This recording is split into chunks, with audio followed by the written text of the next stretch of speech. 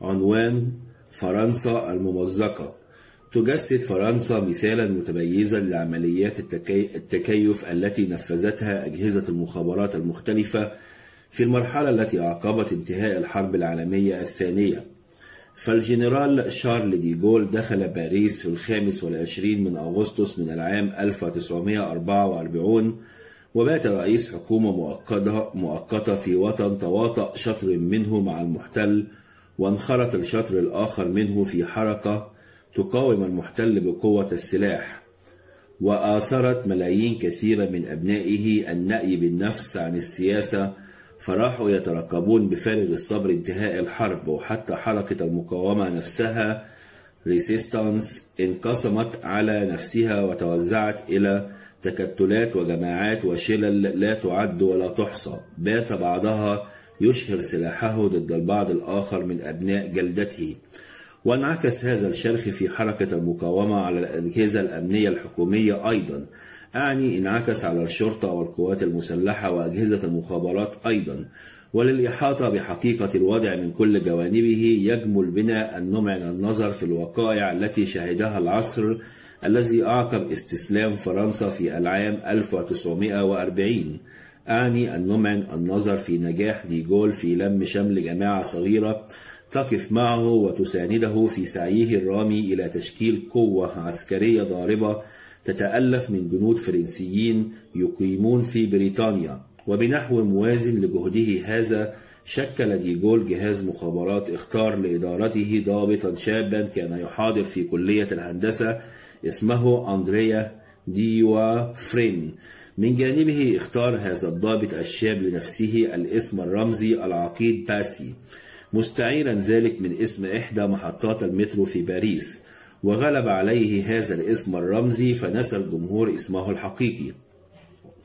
بيد أن مخابرات باسي المشهورة اختصارا باسم BCRA نادرا ما كانت تتصف بالخصائص المهنية المطلوبة. وحاول أصحاب الشأن الاستعانة بمدربين بريطانيين للتغلب على هذا الكسور بيد أن البريطانيين لم يكونوا مهتمين بتمكين ديغول من الحصول على جهاز مخابرات يأتمر بإمرته ويتخذ قراراته بنحو مستقل عنهم لا سيما أن البريطانيين كانوا يحثون المقاتلين الفرنسيين على المشاركة في عمليات عسكرية كانت تنفذها في فرنسا المحتلة من قبل الألمان وحدات خاصة تتبع المخابرات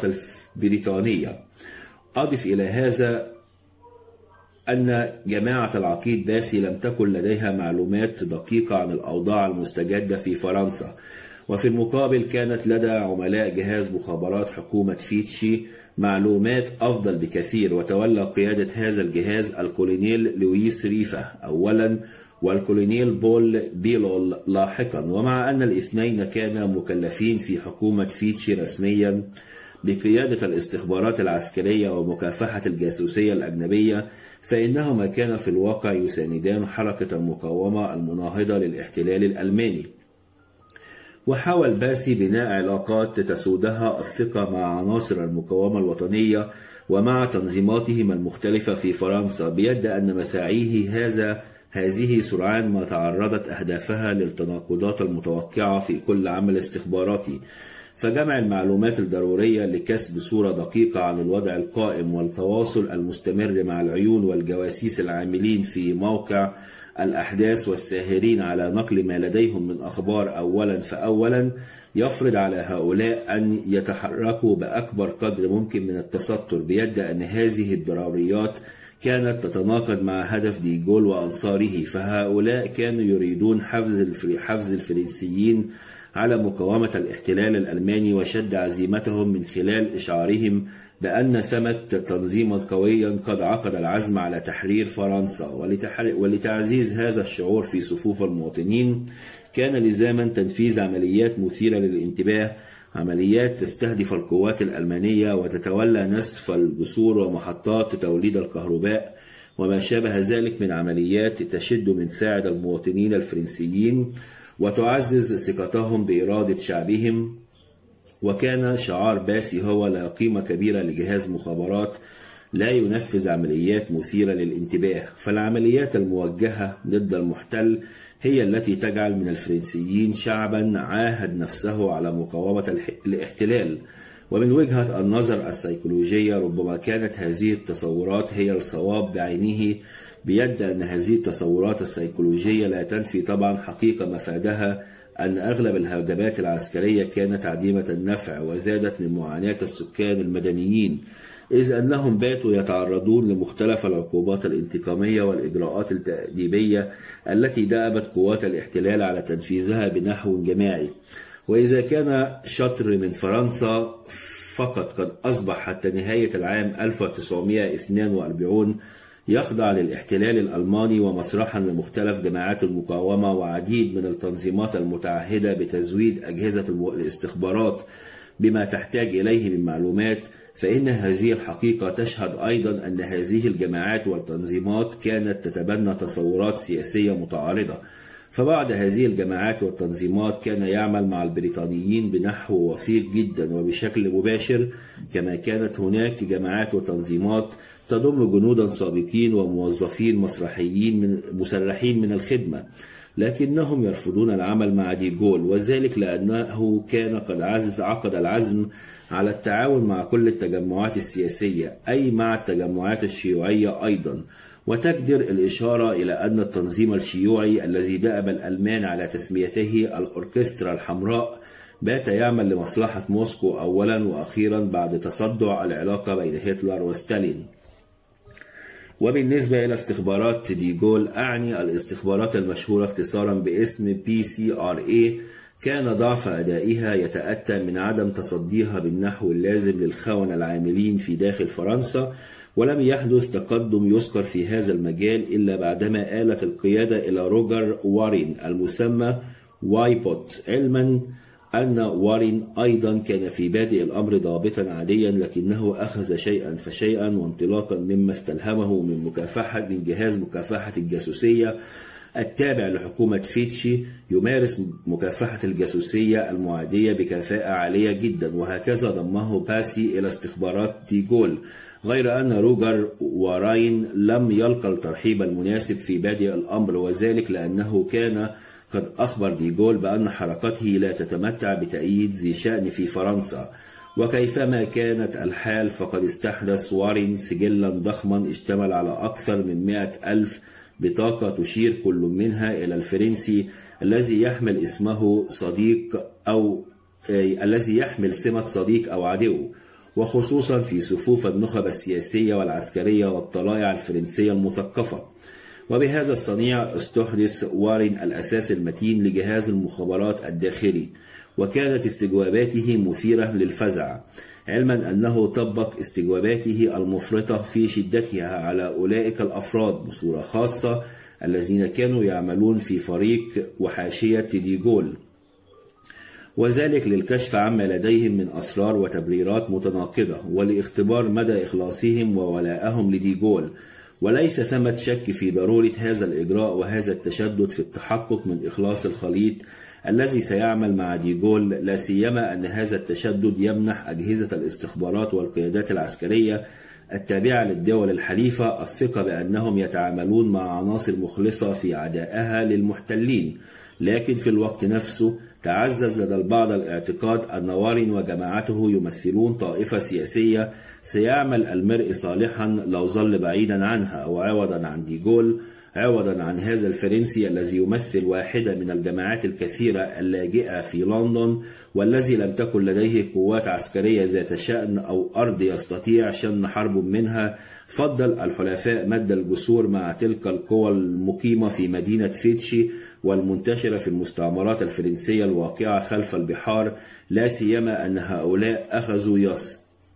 يصعدون من رفضهم لحكومة فيتشي المتعاطفة مع النازيين مع النازيين هذا ولم تكن هذه المستعمرات غنية بالموارد الاقتصادية فقط بل كانت تنتشر فيها أيضا قوات فرنسية وقوات تتبع المناطق المستعمرة. أضف إلى هذا أن هذه المستعمرات كانت لديها مواقع برية ومنافذ بحرية ذات نفع كبير من الناحية الاستراتيجية. بالنسبة إلى الحرب التي تخوضها الدول المتحالفة ضد ألمانيا وفي سياق هذا التسابق على المستعمرات الفرنسية سعى ديغول في سبتمبر عام 1940 وبمساعدة البريطانيين إلى أن يجد لنفسه موطئ قدم في المستعمرات وحاول في سبتمبر 1940 وبمساعدة البريطانيين تنفيذ عملية إنزال على شواطئ دكار السنغال. وباءت هذه المحاولة بفشل تام لأن الحاكم الفرنسي العام في السنغال أعني بيير بواسون كان قد حال دون إنزال قوات الحلفاء على شواطئ السنغال بيد أن الحظ حالف ديغول في صيف العام 1942 إذ نجح في أن ينتزع من حكومة فيتشي الانتداب على سوريا وفلسط... ولبنان. وبمناسبة نجاح الحلفاء في إنزال قواتهم في شواطئ شمال إفريقيا فضل الأمريكيون التفاوض مع قائد قوات حكومة فيتشي الأميرال فرانسوا دارلان ومع جنرال يدعى هنري جيرو. علما أن الأخير كان قد وقع في الأسر وتمكن من الفرار من قبضة الألمان بعدما قضى رتحا من الزمن في مختلف المعتقلات الألمانية. وكيفما اتفق لقد أعرب الاثنان بلا تردد عن استعدادهما التام للعمل مع الحلفاء. أما ديجول فإن الأمر الواضح هو أنه لم يكن يتمتع برضا الرئيس الأمريكي فرانكلين روزفلت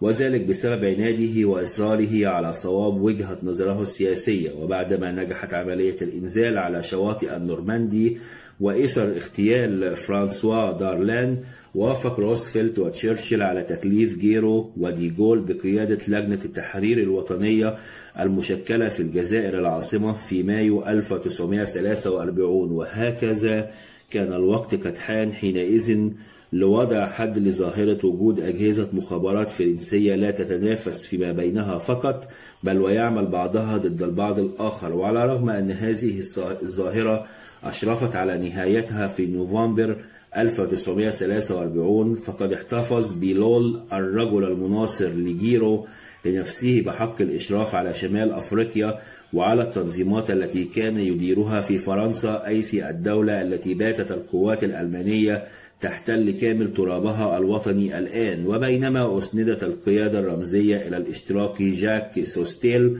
فقد تولى القيادة الفعلية كل من باسي وويبوت وريفت وعدد من القادة الآخرين. وعلى خلفية إنزال الحلفاء قواتهم على شواطئ النورماندي وبناء على تحرير التراب الفرنسي شيئا فشيئا عادت إلى فرنسا أجهزة المخابرات الفرنسية أيضا. وبما أن الوضع في فرنسا كان ينذر باندلاع حرب أهلية لا تبكي ولا تزر فقد أضحى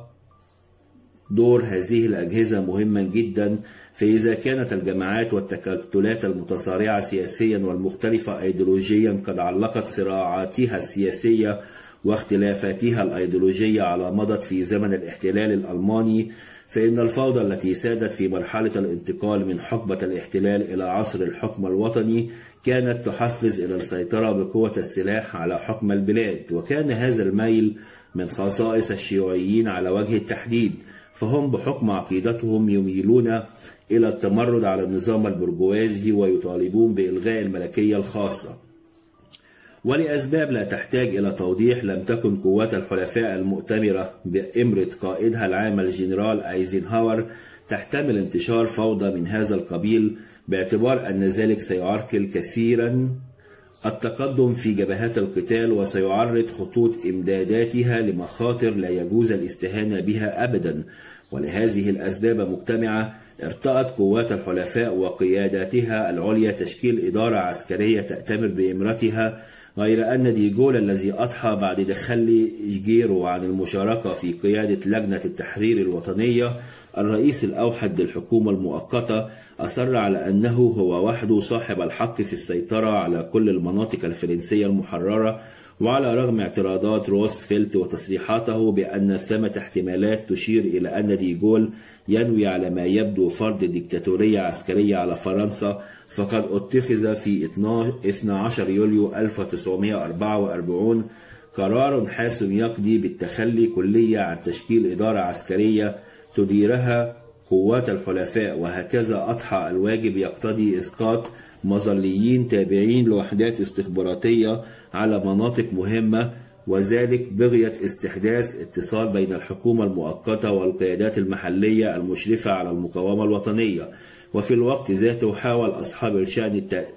تأسيس مكاتب استخبارات محلية مكلفة بتعزيز سلطان الشرطة. وبالكشف عن عناصر خطيرة وعن عملاء ومخربين ربما لا يزالون يتواطؤون مع النظام النازي. وبعد بضعة أيام من دخول ديجول باريس قائدا مزفرا تأتمر بإمرته قوات فرنسية وأمريكية وعقب سيطرة أعوانه على مفاصل السلطة أعلن ديجول حل قوات المقاومة الفرنسية السرية وتجريدها من سلاحها وعلى وقع هذه الإجراءات صرح ديجول بأن كل فرد من عناصر المقاومة يستطيع الآن العمل جنديا في صفوف الجيش النظامي وأثار هذا الإجراء ردود فعل صاخبة خاصة في صفوف المقاومة الوطنية التابعة للحزب الشيوعي وكما تبين لاحقا فإن ستالين هو الذي أمر هذه الأطراف بضرورة التعاون مع ديجول والإذعان لأوامره وذلك بحسب أكثر الاحتمالات لأنه كان يعتقد أن التعاون مع ديجول يحقق له مكاسب تفوق المكاسب الممكن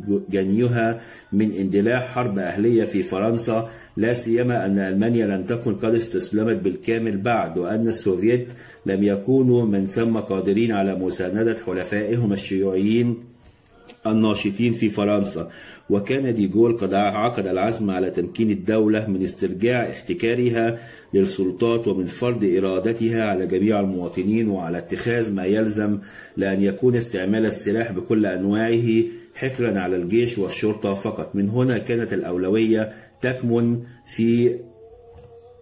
في هذا السياق في تشكيل جهاز شرطة يعتمد عليه في الملمات والشدائد بما في ذلك تشكيل شرطة سياسية. وبالتعاون مع الأمريكيين والبريطانيين تولى نافار وبيلول تفكيك الشبكات المتواطئة مع قوات الاحتلال والعاملة في صفوف الأجهزة الاستخباراتية والأمنية الألمانية.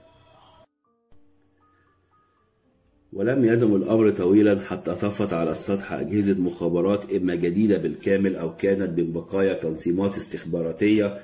شكلت في أقاليم لجأ إليها الفرنسيون الرافضون احتلال الألمان لبلادهم أو من بقايا جماعات تم تعقيمها من شرور حقبة الاحتلال وانخرطت في مختلف الوظائف التقليدية وبإشراف رئيس الحكومة شكل جهاز المخابرات الخارجية ليعمل جنبا إلى جنب مع المديرية العامة للمخابرات العسكرية DSM وأسندت مراقبة الخدمات التكنولوجية وبخاصة خدمات الهاتف والبريد إلى جهاز المخابرات الداخلي المسمى اختصارا DCT على صعيد آخر أسندت مراقبة المدنيين من سكان المحافظات إلى مديرية مديرية خاصة سميت اختصارا RG علما أن هذه المديرية كانت تتبع وزارة الداخلية إضافة إلى ذلك أعادت الحكومة الفرنسية الحياة إلى المديرية العامة للأمن الداخلي المسماة اختصارا DST فقد كلفت ثانية بالمساهمة في تذليل المشكلات الأمنية الداخلية بصورة خاصة وبضرورة العمل بنحو وثيق مع الشرطة الوطنية باعتبار أن التنسيق مع الشرطة الوطنية يعفي المديرية المذكورة من الاستعانة بمحافظي الأقاليم المختلفة.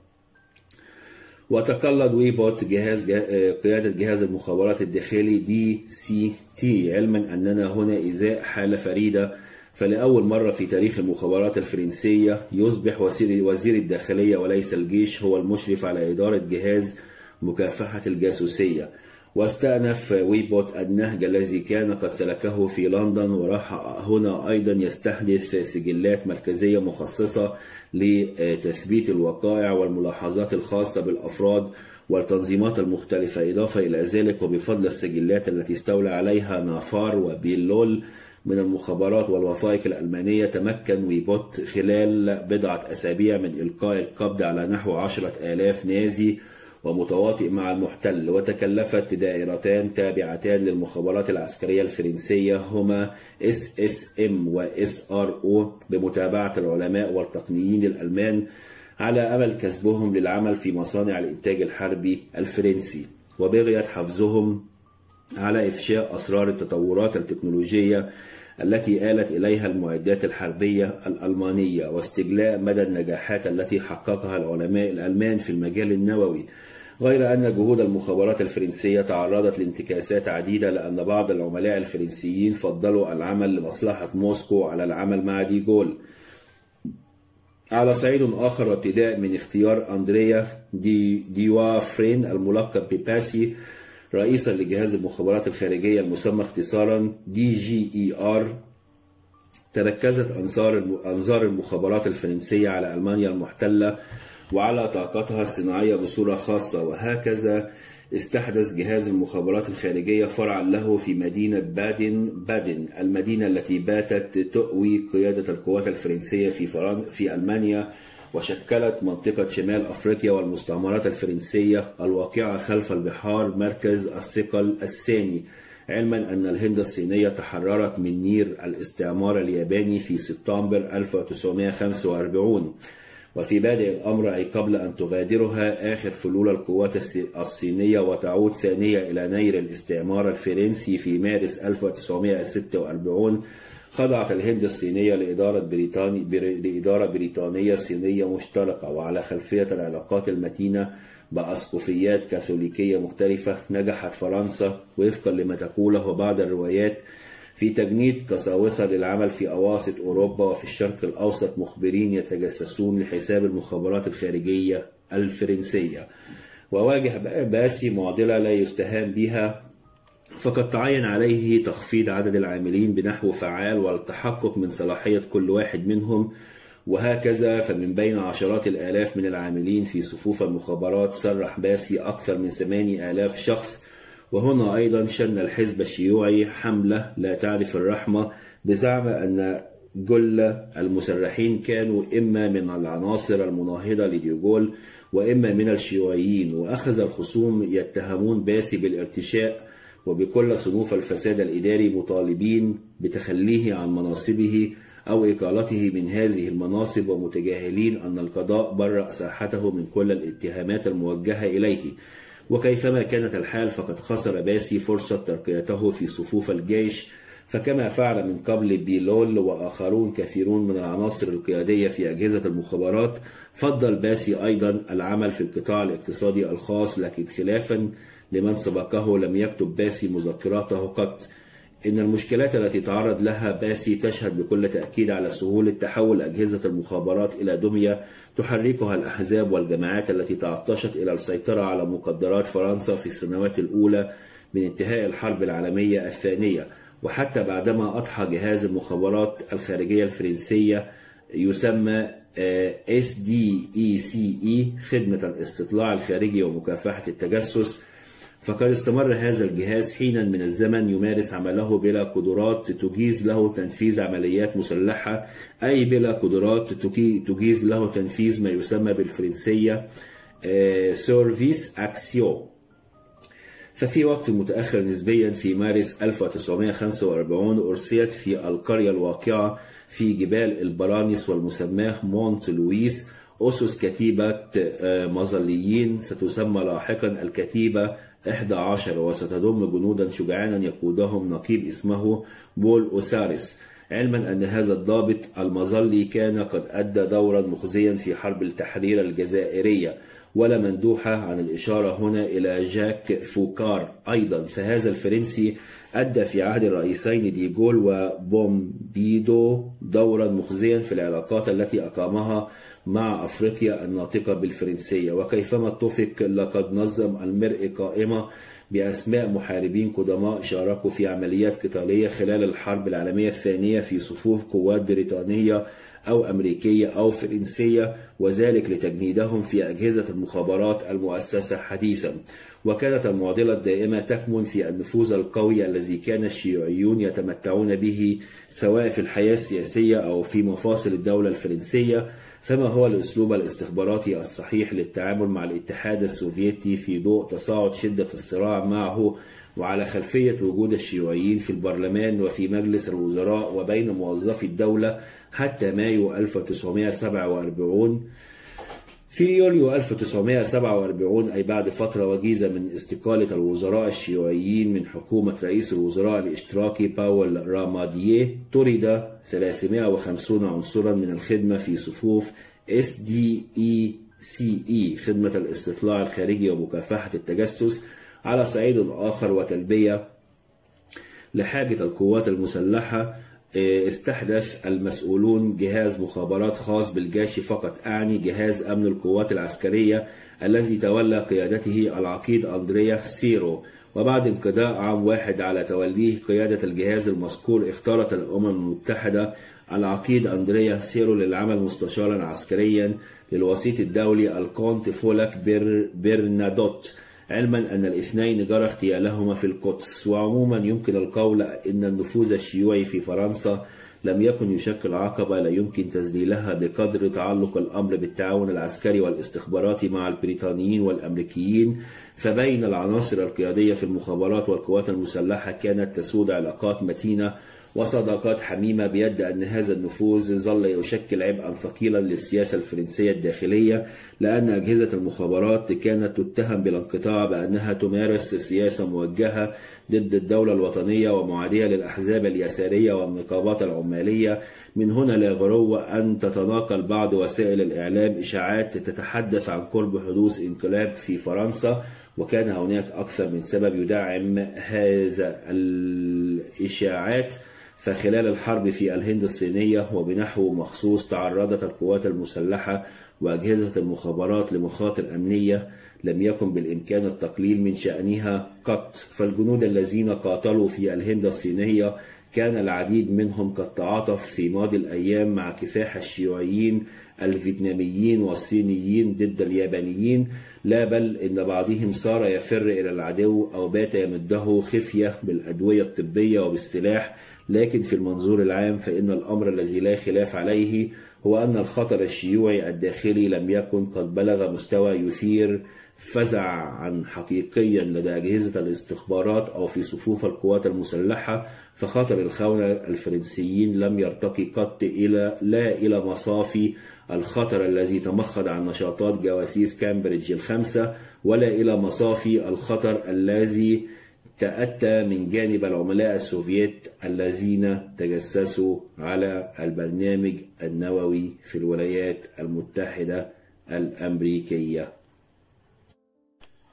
عنوان جهاز مخابرات ألماني من نوع خاص.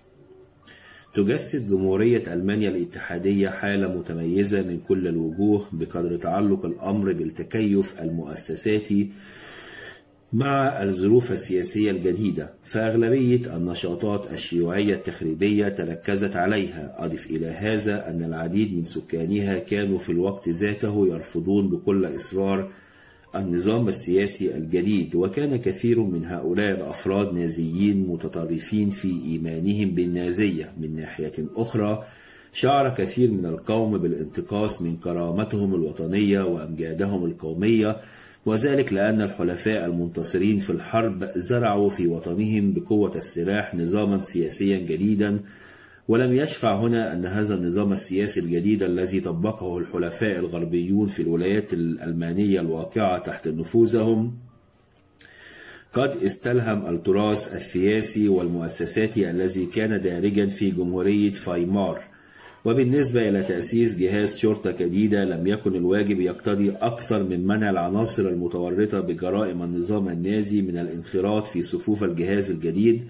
بيد أن المحافظة على الاستقرار السياسي أي في المقام الأول المحافظة على سلامة المؤسسات الديمقراطية الجديدة افترضت طبعا الحصول على جهاز استخبارات داخلي. وفي بادئ الأمر كان هذا الجهاز يتمتع بصلاحيات محدودة جدا لا سيما أنه لم يكن وقت ذاك يخضع لإشراف الحكومة الاتحادية بل لإشراف وزراء الداخلية في الولايات المنضوية تحت راية النظام الفيدرالي الجديد. وفي العام 1950 انضم إلى الأجهزة الأمنية المختلفة المكتب الاتحادي لحماية الدستور وكالة المخابرات الداخلية وبفضل ما لديه من مخبرين مأجورين وإمكانات مخصصة لتنفيذ تحريات سرية نجح هذا المكتب إلى حد ما في مراقبة مختلف التنظيمات والجماعات المشكوك في ولائها للنظام الدستوري السائد في البلاد والمتهمة بالسعي إلى إسقاط هذا النظام. وغني عن البيان أن المحافظة على الاستقرار السياسي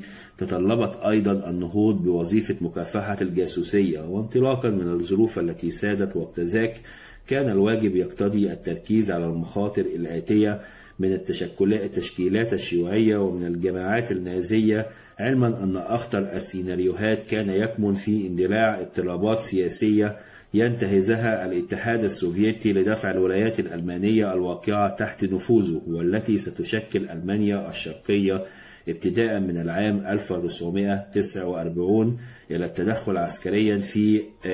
هذه الاضطرابات. فإذا كان المتمردون شيوعيين أو قوى يسارية أخرى فسيبرر هذا التدخل بذريعة مساعدة الأشقاء التقدميين في نضالهم ضد الهجوم الفاشي الذي تشنه عليهم الطغمة الحاكمة في بون. وأما إذا كان المتمردون من العناصر النازية فيتزرع السوفييت وألمانيا الشرقية بضرورة منع الوباء النازي من استرداد الروح. لكن ما الإمكانات المتاحة لألمانيا الغربية خاصة وللعالم الغربي عامة لصد هذا التدخل. حقا كان لدى الحلفاء قوات عسكرية وعناصر من الشرطة العسكرية ومن أجهزة المخابرات المختلفة في ألمانيا الغربية وأنهم من ثم كانوا قادرين بنحو أو بآخر على كتم أنفاس هذه الاضطرابات في مهدها غير أن القوات الأمريكية على وجه الخصوص لم تكن وفق أكثر الاحتمالات بقادرة على الوقوف في وجه العدوان السوفيتي بالنحو المطلوب ولهذا السبب أيضا كان جهاز الشرطة الألماني المتواضع التسلح في حاجة ماسة إلى دعم يحصل عليه من جهاز مخابرات داخلي. وبقدر تعلق الأمر باختيار الرئيس المناسب للمكتب الاتحادي لحماية الدستور اختيار الرئيس المناسب لقيادة وكالة المخابرات الداخلية بين قوسين تعرضت ألمانيا لهزيمة حساسة جدا حينما أصر أعضاء التحالف الغربي على تعيين القانوني الدكتور أوتو جون في هذا المنصب علما أن هذا الشخص كان قد عمل خلال الحرب في صفوف المخابرات البريطانية وفر من ألمانيا بسبب العلاقات التي نسجها مع أقطاب مؤامرة 20 يوليو 1944 أي على خلفية علاقاته مع مدبري محاولي اغتيال هتلر واكتساث دولة النازيين من جذورها. أضف إلى هذا أنه كان قد أدلى في سلسلة المحاكمات التي أقامتها أقامتها قوات التحالف للقياديين المدنيين والعسكريين في النظام النازي والتي دخلت التاريخ باسم محاكمات نورنبيرج بشهادات كانت قد استفزت مشاعر كثير من المواطنين الألمان. وهكذا وعلى خلفية سيرته هذه كان من الصعوبة بمكان أن يأتلف أوتو جون مع طبيعة الأجواء السياسية السائدة في بون عاصمة ألمانيا الغربية. فهذه الأجواء رحبت بعودة كثير من قدماء النازيين. وعودة رجالات القانون بصورة خاصة إلى وظائفهم الحكومية السابقة والتي أمست مقر البرلمان الألماني الذي شدد على لسان كل الأحزاب الممثلة فيه على ضرورة إخلاء سبيل المعتقلين النازيين والكف عن اقتساسهم من المناصب الحكومية أي أيوة وبعبارة واحدة إسدال ستار النسيان على حقبة الدولة النازية. وحينما زار جون برلين الشرقية في العام 1954 لأسباب غامضة مثيرة للريبة وحينما أدلى من هناك بتصريح يشير فيه إلى غضبه من تسلل النازيين إلى مفاصل الحكم في ألمانيا لم يعد هناك مجال للتستر على أن ألمانيا الاتحادية تشهد أول فضيحة فضيحة استخباراتية وفي الواقع لم يكن تصريح جون ووهما لا سند ماديا يدعمه فخليفته في قيادة وكالة المخابرات الداخلية بين قوسين المكتب الاتحادي لحماية الدستور أجبر ولكن في زمن متأخر في العام 1972 على تقديم استقالته. وذلك لأنه اختار عن وعي ومع سبق الإصرار عناصر عملت في سابق الزمن في صفوف الوحدة الوقائية SS. وفي جهاز أمن الحزب النازي SD وتأسيسا على هذا كله ليس ثمة مجالا للشك في أن جهاز الشرطة الاتحادي وأجهزة المخابرات المختلفة دابت على انتهاج سياسة توظيف أضحت من منظور الزمن التالي مرفوضة جملة وتفصيلا. وكيفما كانت الحال فالملاحظ أن هذه الملابسات لم تسلط عليها الأضواء بالنحو المتوخي واللازم حتى الآن غير أن تكيف ألمانيا الاتحادية مؤسسيا وظهور الجيش الألماني الاتحادي إلى عالم الوجود في العام 1955 بصورة خاصة كان أكثر إثارة وأشد للأعصاب بكل تأكيد. ففي الواقع فإن قصة تأسيس وكالة المخابرات الخارجية الألمانية بي إن دي في العام 1956 كانت قد بدأت قبل العام المذكور بسنوات كثيرة. وذلك حينما اتخذ الفريق أول رينهارد جيلين بصفته رئيس قسم FHO أي قسم جيوش أجنبية في الشرق التابع لهيئة الأركان العامة في النظام النازي قرارا يعكس توقعه باستسلام ألمانيا عما قريب واعتقاده أن الواجب سيفرض عليه عندئذ إفشاء ما لديه من أسرار ومعلومات إلى الأمريكيين وذلك لأن هؤلاء فقط لديهم القدرة على التصدي لهيمنة السوفيت على مجمل القارة الأوروبية. فهو كتب في مؤلفه مذكرات الصادر في العام 1971 أنه انتشل هو وعدد من أقرب العاملين معه أهم وثا وثائقه ورصوها في صناديق معدنية وأمروا من ثم بدفنها في جبال الألب البافارية الألمانية ويمضي غيلين قائلا إن هدفه من هذا كله كان يكمن في تهيئة الكادر الألماني المناسب وإنقاذ وثائق عسكرية سوفيتية عظيمة الأهمية بالنسبة إلى تشكيل جهاز استخبارات ألماني في مستقبل الأيام. غير أن ما كتبه غيلين بعد إحالته إلى التقاعد يحتاج إلى فحص تاريخي دقيق ومع أننا لا نشك في وجود هذه الوثائق المشار إلى أنها كانت مرصوصة في صناديق معدنية وعلى رغم أن غيلين أعرب حينما ألقت أجهزة الاستخبارات الأمريكية القبض عليه عن رغبته في التعاون معهم بكل صدق وإخلاص فإنه يظل من الصعوبة بمكان التكهن بما دار في خلده فعلا وقت ذاك وفي المقام الأول تتركز أهم الشكوك والريب حول دوافع غير فالمهتمون لا يستطيعون بنحو دقيق تبيان مدى سيطرة الفكر النازي على أفكار ومشاعر غيل وقت ذاك فزعمه بأن الواجب يقتضي منه أن يفتح عيون الأمريكيين السذج سياسيا ويرشدهم إلى حقيقة الخطر المتأتي من السوفيت يعكس أسطورة متجذرة في أعماق قدماء النازيين وحكايات حكاية كانت وقت ذاك مترسخة في أذهان كثير من الألمان.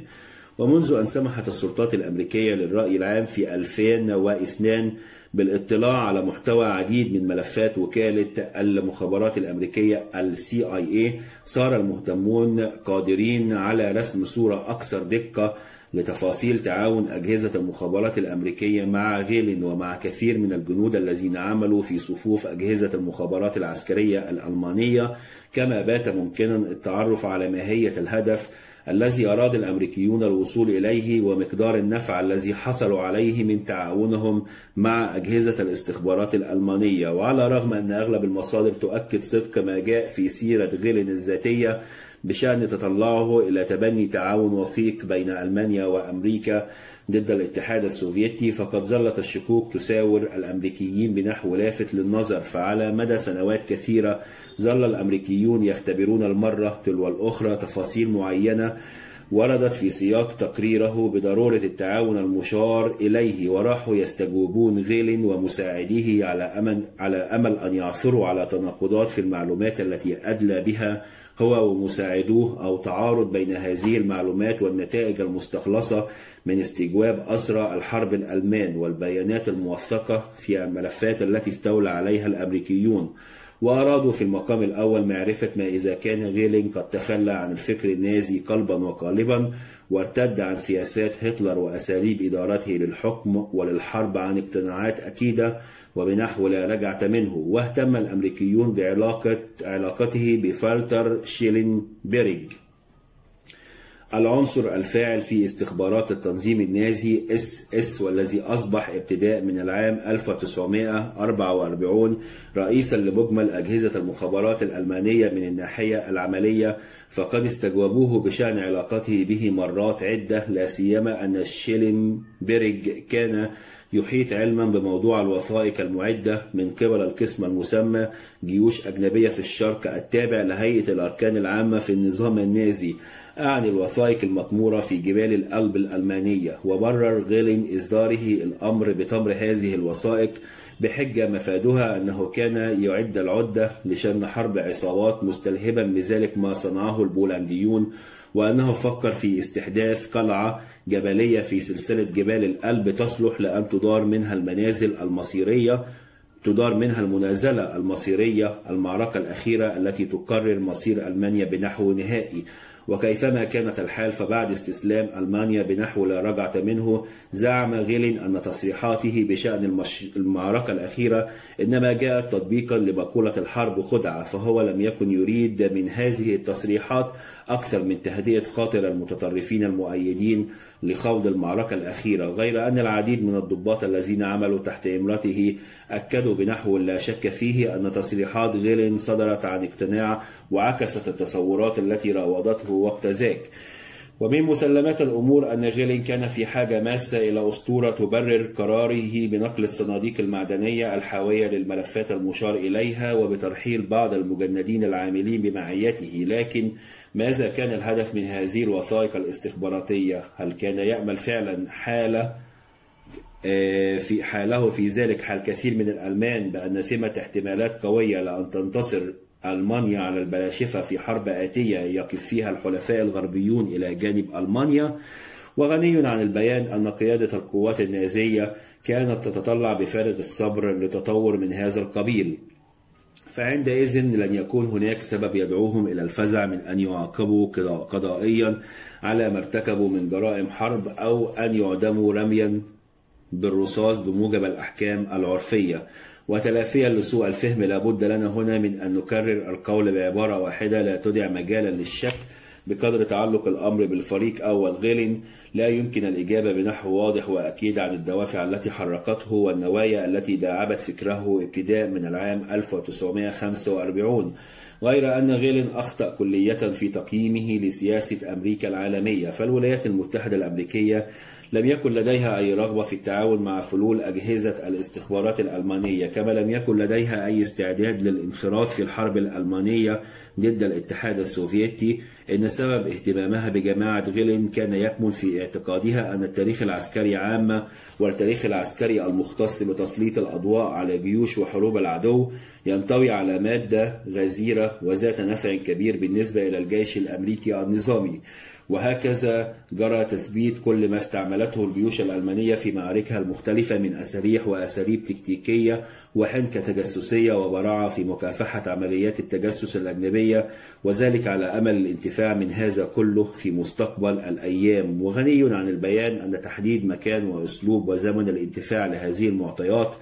لم يشغل بال الأشخاص الساهرين على جمع المعلومات والبيانات وربما رأى البعض أننا هنا إزاء تعليل مبتذل بيد أن هذه الحقيقة التي تفسر أسباب اهتمام الأمريكيين بالفريق أول غيلين لا سيما أن الدراسات والبحوث والبحوث الحديثة أماطت اللثام عن كثير من العمليات السرية العاكفة على جمع معلومات مشابهة مشابهة ولا مندوحة لنا عن الإشارة إلى أن المنتصرين الآخرين الاتحاد السوفيتي وبريطانيا وفرنسا عملوا بنحو مشابه لكن بأقل تكلفة وفقا لأكثر الاحتمالات. وذهب السوفييت مدى أبعد؟ فهم استجوبوا رئيس المخابرات العسكرية في الجيوش الإمبراطورية الألمانية العقيد فالتر نيكولاي. على الرغم أن هذا الضابط تقاعد عن العمل منذ العام 1918 وبلغ الشيخوخة منذ أمد طويل جدا ولقى هذا العجوز حتفه في سياق عملية الاستجواب التي تعرض لها في العام 1947 هذا وقد رد له الاعتبار في العام 1999 ومنذ أمد طويل كان المهتمون يعلمون أن كبار ضباط, ضباط القوات المسلحة الألمانية تعرضوا بانتظام لاستجوابات أجراها معهم الأمريكيون وأنهم أجبروهم في معتقلات الأسر على أن يسجلوا بخط أيديهم تفاصيل تجاربهم العسكرية. على صعيد آخر حقا كان بعض الألمان يخمنون أن الأمريكيين قد اهتموا بمعرفة مدى التقدم الذي أحرزه الألمان في مجال التكنولوجيا التكنولوجيا المدنية العسكرية والشوط الذي قطعوه في برنامجهم النووي بيد أن ما لم يأخذه الألمان في الحسبان هو مدى الدقة التي اعتمدها الأمريكيون في عمليات الاستجواب. كما لم تدع معلومات ذات شأن عامة إذا كان لدى الاستخبارات الألمانية معلومات مهمة عن النظام السوفيتي وعن جيوشه من ناحية أخرى. عزا البعض والعديد من الدراسات الأمريكية أيضا كل أو أغلبية ما لدى الولايات المتحدة من من معلومات عن الجيش الأحمر إلى تعاون الأمريكيين مع غيلين. لكن وبقدر تعلق الأمر بموضوعات فرعية فإن واقع الحال يشهد على أن الولايات المتحدة الأمريكية استقت من مصادر ألمانية أخرى معلومات كانت أكثر أهمية من المعلومات التي حصلت عليها مع من تعاونها مع غيلين. فالمعروف هو أن الولايات المتحدة الأمريكية وبالتعاون مع بريطانيا قد انتفعت بهذه المعلومات بنحو غزير جدا. وعلى مدى سنوات كثيرة وهكذا ومقارنة بوثائق غيلين التي ركزت على وحدات معينة في القوات السوفيتية وعلى قيادات هذه الوحدة والتي فقدت أهميتها بعد فترة وجيزة من انتهاء الحرب وتقادم عهدها من ثم وبكل تأكيد اشتملت المعلومات المستقاة من المصادر الأخرى من مصادر بديلة لوثائق غيلين على صور ملتقطة من الجو وخرائط استعان بها سلاح الجو الألماني في تحديد آلاف المواقع المهمة استراتيجيا أعني مواقع من قبيل الجسور والسكك الحديدية والثكنات والقواعد العسكرية ومخازن البنزين وغير ذلك كثير بيد أن دراسة ألمانية تداولت الأساليب التي استعان بها الألمان في مكافحة الجاسوسية السوفيتية كانت أكثر أهمية بكثير من كل المعلومات التي استقاها الأمريكيون من وثائق غيلين ومن المصادر الألمانية الخاصة بتحديد المواقع والأهداف الاستراتيجية.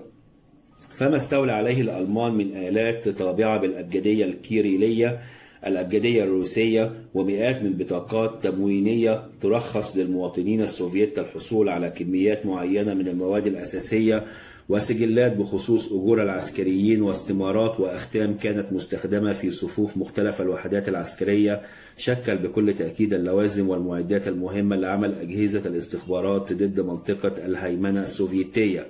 كما انطوت على نفع عملي كبير جماعة الاتصالات اللاسلكية المؤتمرة بإمرة العقيد هيرمان باون فهذه الجماعة كانت متخصصة في مراقبة البرقيات اللاسلكية المرسلة إلى الجيش الأحمر أو الصادرة منه. وبدأت هذه الجماعة عملياتها في وقت مبكر نسبيا في يناير من العام 1946 في مدينة صغيرة تقع بالقرب من مدينة فرانكفورت وكانت تقدم خدماتها لقيادة المخابرات العسكرية التابعة للجيش الأمريكي وبعد فترة قصيرة أخذ باون يرسل عملائه إلى الشطر الألماني السوفيتي ألمانيا الشرقية وبما أن منظمته هذه المسماة ستاب والي لم تخضع لقيادة غيلين خلال سنوات الحرب فقد سافر غيلين ونائبه العقيد غيرهارد فيزل في إبريل من العام 1945 إلى مدينة باد أليستر. لحث باون على مشاركتهم في تنفيذ خططهم ومن حيث المبدأ أعرب باون عن استعداده للمشاركة في تنفيذ الخطط المراد تنفيذها لكنه رفض الموافقة على إسناد القيادة للفريق أول غيلين بحجة أن الأخير ليست لديه أي خبرة ذات شأن في الشؤون السوفيتية.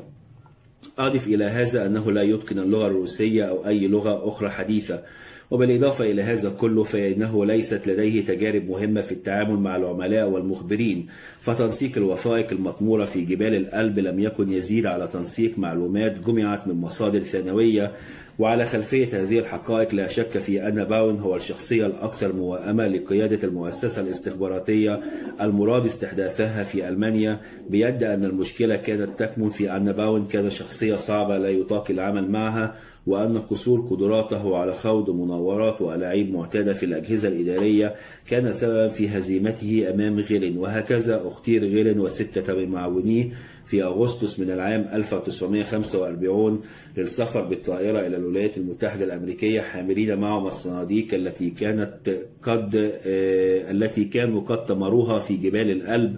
وأحيطت هذه الرحلة بسرية تامة فهبطت طائرتهم في مطار عسكري يقع في محيط واشنطن العاصمة وحالما وطأوا التراب الأمريكي تعرض القوم لعملية استجواب دقيقة ومدنية ومكث غيرهارد فيزل في ألمانيا ليضمن بصفته من العناصر الموالية لغيلين حق الأخير في رئاسة آه، جهاز المخابرات الجديد. من ناحية أخرى واصل فيزل التعاون مع باون وفي يوليو من العام 1946 رجعت الجماعة إلى ألمانيا وراحت تستحدث لنفسها مقرا في أوبروسل المدينة الواقعة في محيط فرانكفورت واندلعت من ثم مشاورات كثيرة وبذلت محاولات مضنية لتسوية الخلافات بين الدوائر الرسمية التابعة للمخابرات العسكرية الأمريكية العاملة في ألمانيا حول الطرف الأصلح لممارسة الرقابة على جهاز غيلين المتزايد الأهمية بلا انقطاع وماهية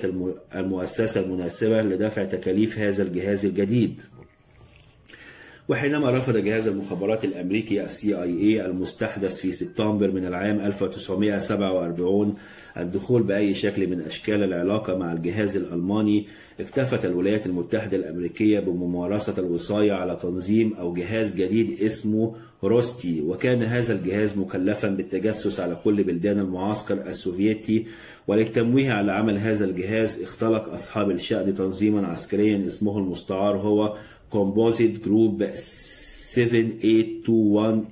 ST وفي خضم هذه التطورات انتقلت جامعة غيلين من مدينة أوبروسل إلى مدينة بولاخ القريبة من ميونخ لتعمل منذ ذلك الحين وحتى تأسيس جهاز المخابرات الخارجية الألمانية المسمى اختصارا بي ان دي تحت مظلة جهاز روستي. وكما هو شائع فقد اتخذ جهاز المخابرات الألماني من هذه المدينة مقرا له في السنوات التالية وجرى المرة والأخرى تكليف خبراء بفحص صلاحية المشروع الذي باتت إدارته في عهد الجيش الأمريكي والذي لم تعد إمكاناته تفي بمتطلبات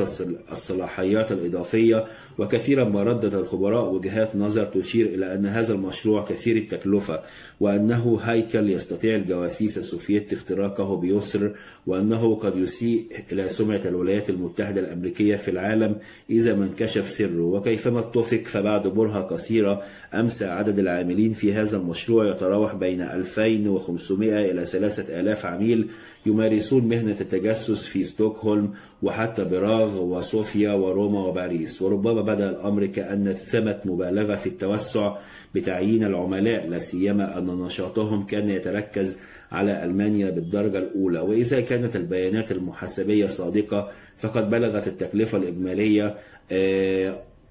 47367 دولارا في الشهر أي ما يساوي 15 دولارا في المتوسط الشهري لتكلفة الموظف الواحد. وأشار التقرير المقدم في مايو من العام 1947 إلى أن إحجام الولايات المتحدة عن رعاية هذا الجهاز وتخليها عن الإنفاق عليه ينطوي على خطر تشكيل جيش سري يفرض إرادته على البلاد حالما تنسحب الولايات المتحدة من إدارة شؤون الحكم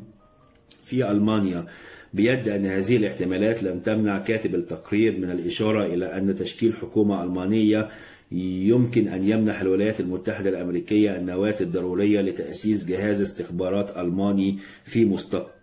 الأيام. كما اندلعت في تلك الحقبة نقاشات صاخبة بسبب استعانة جهاز المخابرات الجديد بعناصر عملت سابقا في صفوف وحدات الوقاية اس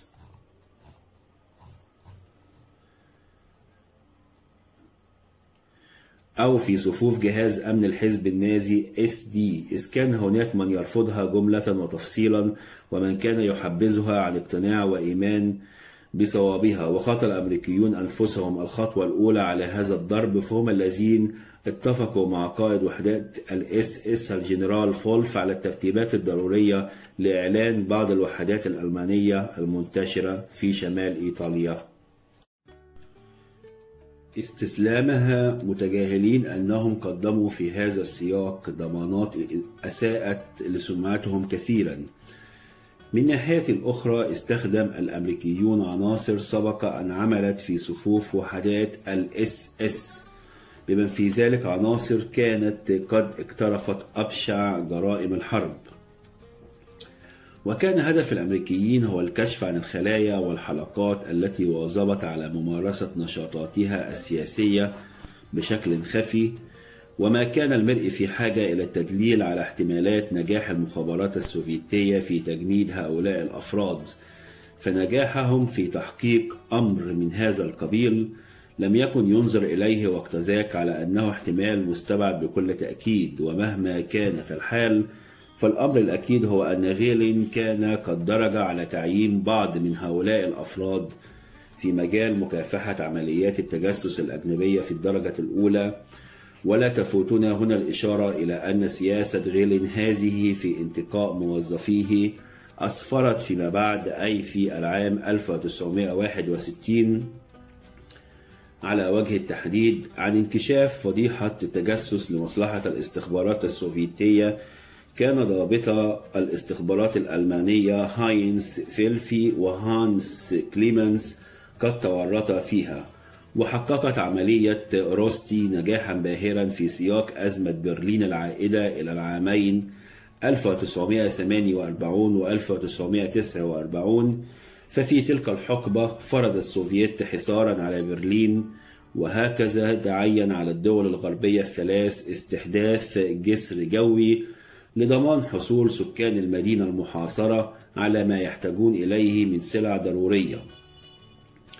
إن هذه العملية التي نفذت بواسطة طائرات شحن عسكرية غير مسلحة وتعمل تنفيذا لما أعلن عنه بصريح العبارة بلا حماية عسكرية تقدمها لها طائرات مقاتلة نجحت طبعا لأن السوفييت لم يكونوا يرغبون في تصعيد شدة الصراع أو في اندلاع حرب جديدة. لكن من أين حصل المسؤولون على تفاصيل هذه التوجهات؟ بكل تأكيد ليس من خلال معلومات حصلوا عليها من جواسيس غربيين يعملون في الكريملين فهؤلاء الجواسيس لم يكن لهم وجود بكل تأكيد الأمر الذي لا خلاف عليه هو أن مصدر هذه المعلومات كان يكمن في المراقبة الدقيقة للجيوش المنتشرة في ربوع ألمانيا الشرقية وفي استطلاع ما يحدث في شوارع وطرق الإمداد المارة بالأراضي البولندية وقدم جهاز روستي خدمات جليلة في هذا الشأن. كما لا تفوتنا هنا الإشارة إلى أن الجواسيس الذين جندوا من بين مواطني ألمانيا الشرقية وعلى رغم المشكلات العويصة التي خيمت على شروط التحرك فقد استطاع المعنيون فعلا إيصال هذه التقارير بشكل متواصل وخلال فترات متقاربة إلى الحاكم العسكري الأمريكي الجنرال كلاي وإلى قائد السلاح الجوي الأمريكي في أوروبا الجنرال كورتيس ليماي. وبما أن الواجب يحتم على كل الجيش على كل جيش وعلى كل سلاح جوي أيضا ألا يشن هجوما مباغتا قبل أن يكون قد أتم كل التحضيرات التعبوية الضرورية لذا كانت البراهين المستقاة من انتشار وتحركات الوحدات المقاتلة ونقل الإمدادات والعتاد الحربي وما سوى ذلك من معدات حربية تشير بنحو جازم إلى أن السوفييت لم يكونوا يرغبون في خوض حرب مع الدول الغربية. وبعد تلك الحقبة جعل حلف شمال الأطلسي من هذه الأدلة والبراهين نظاما للإنذار المبكر. وخلال أزمة برلين كانت كل الأدلة تشير عمليا إلى أن ستالين أراد أن يشن حملة اقتصادية وسياسية ونفسية بالدرجة الأولى ضد ألمانيا الغربية والحلفاء الغربيين لكنه أحجم عن تصعيد الصراع باتجاه حرب لا تحمد عواقبها. ومن المحتمل جدا أن يكون ستالين قد اعتقد أن قواته والاقتصاد السوفيتي لا يزالون غير قادرين على خوض مواجهة عسكرية. على صعيد آخر أشار العقيد جيمس كريت شيفيلد المكلف منذ نوفمبر من العام 1948 باختبار كفاءة جهاز روستي إلى أن سلاح الجو الأمريكي في مقدمة المهتمين بجهاز روستي وأنه يعول كثيرا على النتائج التي يتوصل إليها هذا الجهاز لا سيما حينما تتعلق هذه النتائج بتسجيل البرقيات والمحادثات اللاسلكية وتحديد مكان الجهاد المرسلة والمتسلمة لهذه البرقيات واستخراج المعمي في البرقيات المتداولة في صفوف سلاح الجو السوفيتي.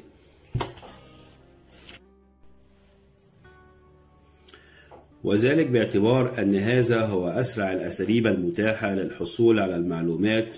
بشأن التحركات التكتيكية التي ينفذها سلاح الجو السوفيتي في أواسط أوروبا. على صعيد آخر اقترح سلاح الجو الأمريكي حث جهاز روستي على استطلاع الإمكانات المحتملة لانتشال أطقم الطائرات المنكوبة وللتعرف على سبل تهريب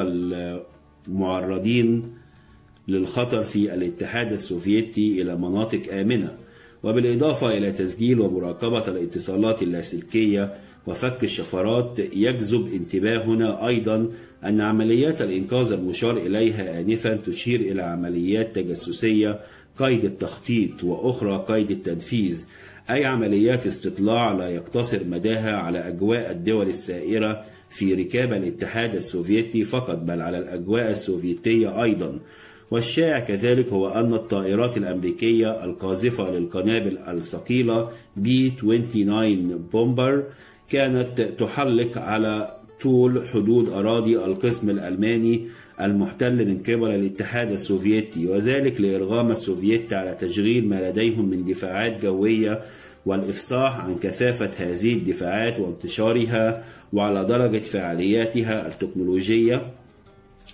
وغنيا عن البيان أن الموضوع كان يدور حول معلومات كانت مهمة جدا للولايات المتحدة الأمريكية. وفي الوقت ذاته أنجز تنظيم روستي جل الأمور الضرورية لمواجهة حالة الحرب ففي مثل هذه الحالة كانت التحضيرات تقتضي نقل المقر الرئيسي من بولاخ إلى سويسرا ومن هناك إلى إسبانيا ووافقت قيادة القوات الأمريكية في أوروبا EUCOM على الإجراءات والخطط التمهيدية الواجب تنفيذها عند الحاجة. وأضاف العقيد كريتشفيلد قائلا إن الأربعة آلاف فرد العاملين في صفوف تنظيم روستي سيكون لهم وزن سياسي ثقيل في تحديد مستقبل ألمانيا. فبما أن كثيرا من هؤلاء الضباط البارزين في الجيش النازي كانوا ضباطا قياديين في هيئة الأركان العامة لذا يمكن أن يؤدي جهاز روستي دورا مهما في حلف عسكري غربي. وهكذا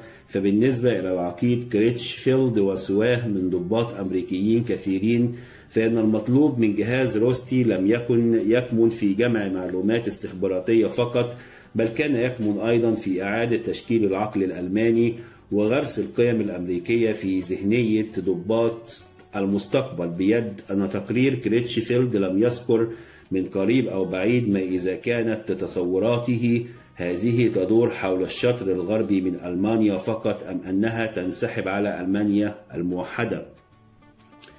وفي بادئ الأمر قدم كريتشفيلد لوكالة المخابرات الأمريكية CIA تقريرا يتضمن وجهة نظره بشأن الظروف المحيطة بتنظيم روستي بقيادة الجيش الأمريكي.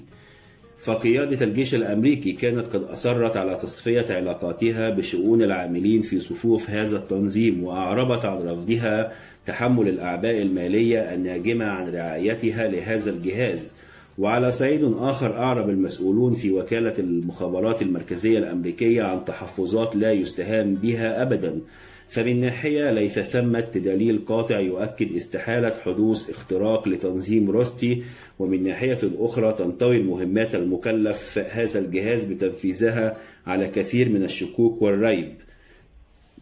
وفقا للخلاصة الذي توصل إليها أحد موظفي وكالة المخابرات المركزية في ديسمبر من العام 1948 فمعلوماتنا عن خصائص العمل الداخلي الدارج في تنظيم روستي محدودة جدا إن لم نقل إنها تكاد تكون بلا قيمة تذكر. علما أننا لا نشط كثيرا إذا قلنا إن معلومات قواتنا المسلحة لا تزيد على معلوماتنا بأي حال من الأحوال. من هنا فإن انخراطنا في هذا التنظيم يفتح الباب على مصراعيه لتسلل القوى المعادية إلى وكالة المخابرات المركزية الأمريكية واختراق هذه الوكالة. أضف إلى هذا أننا قد نجهل ما إذا كان الروس سيستخدمون جهاز روستي لتمرير مناورات مضللة وعمليات زائفة تموه على الحقيقة جملة وتفصيلا. على صعيد آخر استنكر الحاكم العسكري العام في ألمانيا المحتلة الجنرال الأمريكي لوي لوسيوس كلاي بقوة وبكل إصرار المحاولات الرامية إلى توسيع اختصاصات وكالة المخابرات المركزية معربا عن رفضه تحويل الوكالة إلى شركة ضخمة على غرار الشركات العملاقة في ألمانيا لا سيما حينما تتكفل الولاء الوكالة برعاية تنظيم مشبوه مثل جهاز روستي. وحينما تخلى الجنرال كلاي عن منصبه في صيف العام 1949 وبعد أن تشكلت في خريف العام 1949 حكومة ألمانية يرأسها المستشار كونراد أديناور طفت على السطح مشكلة أخرى هل يجوز لمواطنين ألمان أن يستخدموا الأراضي الألمانية للتجسس لمصلحة دولة أجنبية؟ حقا كانت جمهورية ألمانيا الجديدة دولة منقوصة السيادة لا سيما في المسائل المتعلقة بالأمن الخارجي بيد أن الأمر الذي لا يجوز أن يغرب عن بالنا هو أن غيلين كان قد استبق الأحداث بشأن التعامل مع هذه المعضلة إذ كان قد انتهز فرصة انتقال صلاحية الإشراف على جهاز روستي إلى عهدة وكالة المخابرات المركزية الأمريكية ليتفق مع الوكالة خطيا على حقه وحق العاملين معه في استحداث جهاز استخبارات خارجي ألماني. وفي حالة استعادة ألمانيا سيادتها على ترابها الوطني ومع أن المستشار الألماني أدي ناور لم يتدخل في هذا الموضوع فإنه ظل يحتفظ لنفسه بكامل الحرية بشأن القرارات الواجب اتخاذها مستقبلا. وثمة من يعتقد أن تنظيم غيلين الذي تحول اسمه المستعار من روستي إلى زيبر فيما بعد لم يكن ليعمر طويلا لو لم تتصاعد شدة الصراع في شرق آسيا إبان الحرب الباردة. وكان مقر غيلين في مدينة بولاخ يبعد نحو 600 كيلو مترا عن مقر الحكومة في العاصمة الألمانية بون ولم ينظر أديناور بكثير من الريب والشكوك إلى ضباط العصر النازي فقط بل دأب أيضا أن ينأى بنفسه عن النخب البروستانتية القديمة المتحدرة من بروسيا لا سيما أن نسبة معتبرة منهم كانت ترفض سياساته الرامية إلى الاندماج في العالم الغربي ولا توافقه الرأي بأن عملية الاندماج هذه التي تبنتها ألمانيا رسميا في خريف العام 1950 هي الإطار المحتمل لإعادة تسليح ألمانيا. بيد أن غيلين نجح في إقامة علاقة مع هانز غلوك السياسي الكاثوليكي المتحدث من منطقة حوض الراين والعضو السابق في في حزب الوسط وأقرب المقربين من المستشار أديناور. وهكذا راح غيلين يعد تقارير تسلط الضوء على الوضع السياسي الخارجي ويجمع معلومات مثيرة عن الأطراف المؤيدة والرافضة لسياسات المستشار أدينور إضافة إلى ذلك قدم غيلين خدمات جليلة للعديد من البرلمانيين الألمان وغني عن البيان أن تقديم هذه الخدمات نبه البرلمان في ألمانيا الغربية بنحو غير الرسمي على أدنى تقدير إلى أن غيلين يتعاون بشكل مكثف مع الأمريكيين ولا يشط المرء كثيرا إذا زعم أن غيلين قد ترك بصماته واقتزاك على تصورات السياسيين والبرلمانيين الألمان بشأن خصائص سياسة الأمن الألمانية المطلوبة. فهدفه الأسمى كان يكمن في تولي منصب الرئيس الأعلى لجهاز المخابرات العسكرية والخارجية الذي سيرى النور في المستقبل القريب في ألمانيا ولتحقيق هذا الهدف حاول غيلين التأثير في هيكل الجيش الجديد الذي سيرى النور في ألمانيا الغربية. لا سيما أن كثيرا من الضباط البارزين عملوا رتحا من الزمن في صفوف تنظيم غيلين وكانوا يتمتعون بالكفاءات المناسبة ويحظون بالقدرات التي ترشحهم لتبوء مناصب, لتبوء مناصب قيادية في الجيش الجديد. ونود الإشارة إلى غير هارد ويسيل بصورة خاصة فهو كان صديق غيلين الحميم منذ أيام عملهما المشترك في قسم جيوش أجنبية في الشرق FHO التابع لهيئة الأركان العامة في النظام النازي. أضف إلى هذا أن ويسل باشر العمل في صفوف الجيش الجديد فعلا وبذل قصارى جهده للحيلولة دون أن يكون للجيش الجديد جهاز استخبارات عسكرية خاص به. مجاراة لما هو دارج في قوات حلف شمال الأطلسي على صعيد آخر وبعدما حصل على رتبة عقيد في الجيش الألماني الجديد جرى ترشيحه في العام 1968 ليحل مكان غيلين ويتبوأ قيادة جهاز المخابرات الخارجية الألمانية بي إن دي. لكن في بادئ الأمر نشأت في أحشاء جهاز في أحشاء جهاز كان يسمى مكتب بلانيك هياكل استخباراتية متفرقة على غرار الهياكل التي سادت في الجهاز الذي كان يسمى جهاز فريدريش فيله فيلهلم هاينز. استلهاما لاسم ضابط كان مسؤولا عن مكافحة التجسس في تنظيم سري حاول عزل هتلر وعمل هاينز من ثم في صفوف فرقة براندنبورغ المكلفة بمكافحة العمليات التخريبية وتنفيذ مهمات استخباراتية خاصة. ولا مندوحة لنا في هذا السياق عن الإشارة إلى المنظمة الأهلية المسماة حماية الوطن هوم سيرفيس فهذه المنظمة كانت هي الأداة التي درج مكتب مستشار ألمانيا على الاستعانة بها لتوجيه القضايا الاستخباراتية عامة لا سيما تلك المسائل الضرورية لحشد الرأي العام الألماني وكسب تأييده للجهود الرامية إلى إعادة تسليح ألمانيا. وعلى الرغم أن الصراع بين العقيد هاينس وغيلين كان واضحا لجميع المراقبين فإن الأمر الواضح أيضا هو أن ميزان القوى لم يكن متكافئا قط. ففيما كان عدد العاملين في جهاز فريدريش فيلهلم هاينس لا يزيد على المئتين إلا قليلا كان لدى غيلين آلاف العاملين. وإذا ما سأل المرء عن الملابسات التي خيمت على تأسيس جهاز المخابرات الاتحادي BND في الأول من إبريل من العام 1956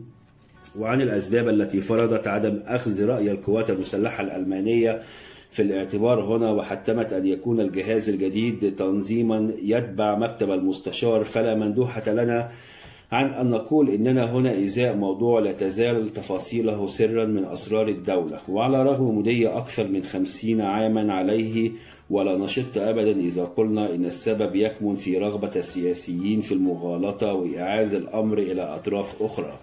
فالدور الذي مارسته الولايات المتحدة بنحو مباشر أو غير مباشر لا يزال مجهولا كما يجهل كثير من المراقبين حقيقة العوامل التي حفزت أديناور على تبني فكرة تأسيس جهاز ألماني مخصص للاستخبارات الخارجية. وكيفما اتفق فمن المحتمل جدا أن يكون أديناور قد رأى في تأسيس جهاز استخبارات يعمل في الخفاء قضية سياسية عظيمة الحساسية وأن عليه من ثم نزع فتيلها ومنعها من أن تكون سببا لخلافات وتوترات تعكر صفو العلاقات الأمريكية الألمانية.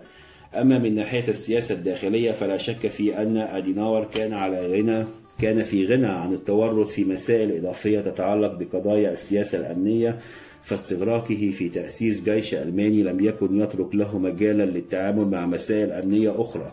وهكذا فحينما تبنى أديناور جهاز غليين وأعرب عن مؤازرته لهذا التنظيم وشرع يتدخل في اختيار العاملين في هذا التنظيم فإنه رمى المسؤولية على عاتق الأمريكيين. ونشأت من ثم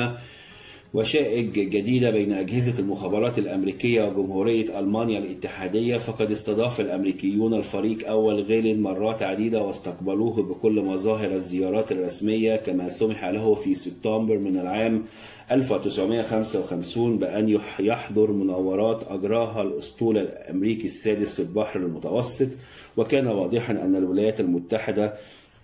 جندت عددا كبيرا من رجالات الاستخبارات الألمان واحتضنتهم وراحت منذ ذلك الحين تسخرهم لمآربها الخاصة. وفي هذا السياق لا مندوحة للمرء عن أن يأخذ في الاعتبار أن إبراهارد بلوم الضابط في الجيش النازي سابقا قد ترقى بين العامين 1982 و 1985 إلى منصب رئيس جهاز المخابرات الخارجية وأنه عمل منذ العام 1974 وبلا 1947 وبلا انقطاع في صفوف جهاز روستي والأجهزة التالية له وتأسيسا على هذه الواقعة غير المسبوقة العائدة إلى مطلع العام 1945 لا مراء في أن من حق المرء أن يسأل عما إذا كان تجنيد رجالات المخابرات الألمان مجرد تجسيد لعلاقة شبه كولونيالية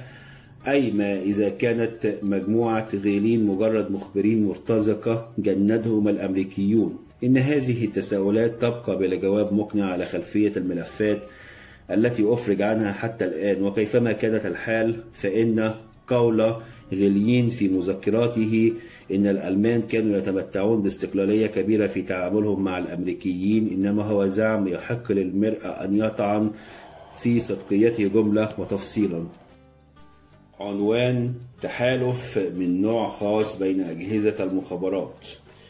وبقدر تعلق الأمر بالنشاطات الاستخباراتية فقد تبلورت بين الولايات المتحدة وبريطانيا علاقات خاصة Special Relationship علاقات استثنائية من حيث متانتها. فإذا كان تعاون الدولتين في المسائل الاستخباراتية خلال سنوات الحرب قد جسد ظاهرة تاريخية جديدة فإن التمسك بهذا التعاون بعد انتهاء الحرب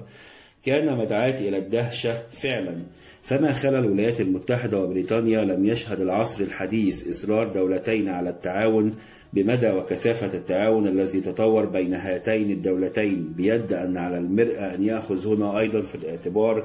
أنه لم تكن أي من الدولتين تجيز للدولة الأخرى الاطلاع بلا قيد أو شرط على كل ما لديها ولدى أجهزتها الاستخباراتية من أسرار. فهذا التعاون خضع ولا يزال يخضع لاتفاقيات كثيرة تحدد بصريح العبارة وبنحو دقيق شروط التعاون بين الأجهزة المختلفة والإجراءات الرسمية الواجب الالتزام بها والأهداف المراد تحقيقها من خلال هذا التعاون. بيد أن متانة العلاقات بين الدولتين لا يجوز أن تبعد عن أنظارنا أن هذه العلاقة تعرضت لخصومات وتوترات وتناقضات نشأت إما على خلفية وجهات نظر مختلفة بشأن معلومات استخباراتية معينة وإما بسبب تباين وجهات النظر بشأن الأساليب الاستخباراتية المطبقة عمليا على أرض الواقع أو بسبب اختلاف أهداف السياسات الخارجية والأمنية المتبعة في الدولتين. ولا شك في أن سياسة التسليح النووي والسياسة الاستعمارية البريطانية خير مثال على اختلاف وجهات النظر وتباين أهداف الدولتين. فمع أن الولايات المتحدة وبريطانيا وكندا كانت في مقدمة الدول التي صنعت قنابل ذرية فقد بذلت الولايات المتحدة بعد العام 1945 قصارى جهدها لدفع لندن إلى التخلي عن امتلاك سلاح نووي خاص بها. وغنيا عن البيان أن جهودها هذه لم تسفر عن النتيجة التي كانت تأملها وخلافا لهذه الواقعة استطاعت واشنطن أن تفرض وجهة نظرها في الصراعات التي خاضتها السياسة الاستعمارية البريطانية المرة تلو الأخرى. أعني على سبيل المثال وليس حصرا أزمة قناة السويس العائدة إلى خريف العام 1956 ففي تلك الأزمة تبنى الأمريكيون مبادرة دبلوماسية قوية لإجبار بريطانيا على الانسحاب وراحوا يهددون بمقاطعة بريطانيا ماليا واتخاذ ما يلزم للحيلولة دون وصول الإمدادات البترولية إلى بريطانيا. والأمر المثير للانتباه أن الصراع في كلا الموضعين لم يسبب تعليق التعاون الاستخباراتي المتين بين الدولتين ولا حتى في مجال السياستين المعنيتين سياسة التسليح النووي والسياسة الاستعمارية المنتهجة من قبل بريطانيا. وهكذا لا غرو أن نلحظ أن التجسس على الاتحاد السوفيتي لمعرفة مدى حصوله على تكنولوجيا القنبلة الذرية كان ولا يزال حتى اليوم سرا من أسرار الدولتين وينطبق الأمر ذاته على تعاون الدولتين في المسائل الخاصة بالمناطق المستعمرة وفي دول العالم الثالث كما سنلاحظ ذلك من خلال عرضنا المقبل. وعموما يمكن القول إن التعاون بين الدولتين في مجال تنفيذ نشاطات تجسسية جوية تستهدف أوروبا الشرقية والاتحاد السوفيتي كان في مقدمة المشروعات التي نفذتها الدولتان بأكبر درجات السرية وفي بادئ الأمر كان المطلوب من عمليات الاستطلاع الجوي هذه في المقام الأول اختبار ما لدى الاتحاد السوفيتي من كفاءة مناسبة لصد هجوم جوي محتمل. وفي السنوات التالية بات المطلوب هو استطلاع قدرات الاتحاد السوفيتي على إنتاج الطائرات القاذفة للقنابل واختبار قدراته على إنتاج الصواريخ والتجسس على ما لديه من مصانع متخصصة في التكنولوجيا الذرية وخلال الأيام الأولى من اندلاع أزمة برلين نشرت الولايات المتحدة الأمريكية في بريطانيا 90 طائرة من طائراتها القاذفة للقنابل علما أن قاذفات القنابل الثقيلة ب 29 كانت تعتبر أضخم وأحدث طائرات عرفها العالم حتى ذلك الحين ولا مندوحة عن الإشارة إلى أن هذا الصنف من الطائرات استخدمته الولايات المتحدة في ماضي الأيام لإشعال النيران في طوكيو وإلحاق دمار فتاك بها ولإسقاط القنبلتين الذريتين من ثم على هيروشيما وناكازاكي. بيد أننا لا نشط كثيرا إذا قلنا إن كل الاحتمالات كانت تشير إلى أن السوفييت كانوا يعملون يعلمون أن الطائرات التي نشرتها الولايات المتحدة في أوروبا لم تكن لديها التقنية الضرورية لإسقاط قنبلة ذرية. وبهذا المعنى فإن التهديد بالقنبلة الذرية لم يكن تهديدا حقيقيا بل كان رمزيا. وفيما رتب أصحاب الشأن حملة واسعة وضجيجا ملأ الأسماع من أجل أن يعرف الداني والقاسي بخطر الطائرات التي نشرت في بريطانيا بما في ذلك التحليق في سماء لندن إمعانا في إظهار القوة فقد مضت الولايات المتحدة تتجسس على المعسكر الشرقي مستخدمة طائرات صغيرة ومتبنية أقصى درجات الحذر والسرية وكما هو شائع تكبدت الولايات المتحدة الأمريكية خسائر كثيرة في الأرواح من جراء تحطم العديد من هذه الطائرات الاستطلاعية. بيد أن الطائرات الأمريكية من صنف لوكهيد يو يو 22 القادرة على التجسس ليلا ونهارا ومن علو مرتفع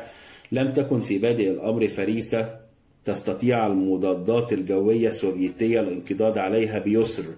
غير أن مشكلة هذه الطائرات التي هبطت في قاعدة ليكنهيث الأمريكية الواقعة في بريطانيا لأول مرة في إبريل 1956 تكمن في أنها كانت تبدأ رحلاتها للتحليق في الاتحاد السوفيتي انطلاقا من مدينة فيس بادن في ألمانيا الغربية. وذلك لأن لندن امتنعت عن منح هذه الطائرات ترخيصا يجيز لها الإقلاع عن الأراضي البريطانية. فبينما كانت الجزر البريطانية تقع في مدى الطائرات السوفيتية القاذفة للقنابل لم تكن الطائرات السوفيتية القاذفة للقنابل الثقيلة قادرة وقت ذاك على تهديد الولايات المتحدة الأمريكية وذلك لأنها لم تكن ضمن مدى هذه الطائرات. وظل الوضع على هذا الحال حتى سبعينات القرن العشرين إلى أن نجح السوفيتيين في تهديد أمن الولايات المتحدة الأمريكية بالسلاح النووي وفي مارس 1957 أدخل رئيس الوزراء البريطاني هارولد ماكميلان تعديلات على الاتفاقية السرية المتعلقة بنشر الطائرات الأمريكية لوكهيد يو يو 22 فبعد مدة من الزمن وفي مايو 1958 على وجه التحديد شرع البريطانيون يستخدمون طواقم وطنية لقيادة طائرة طائرات يو 2 بيد أن التجسس الجوي بواسطة طائرات يو 2 جرى تعليقه في العام 1970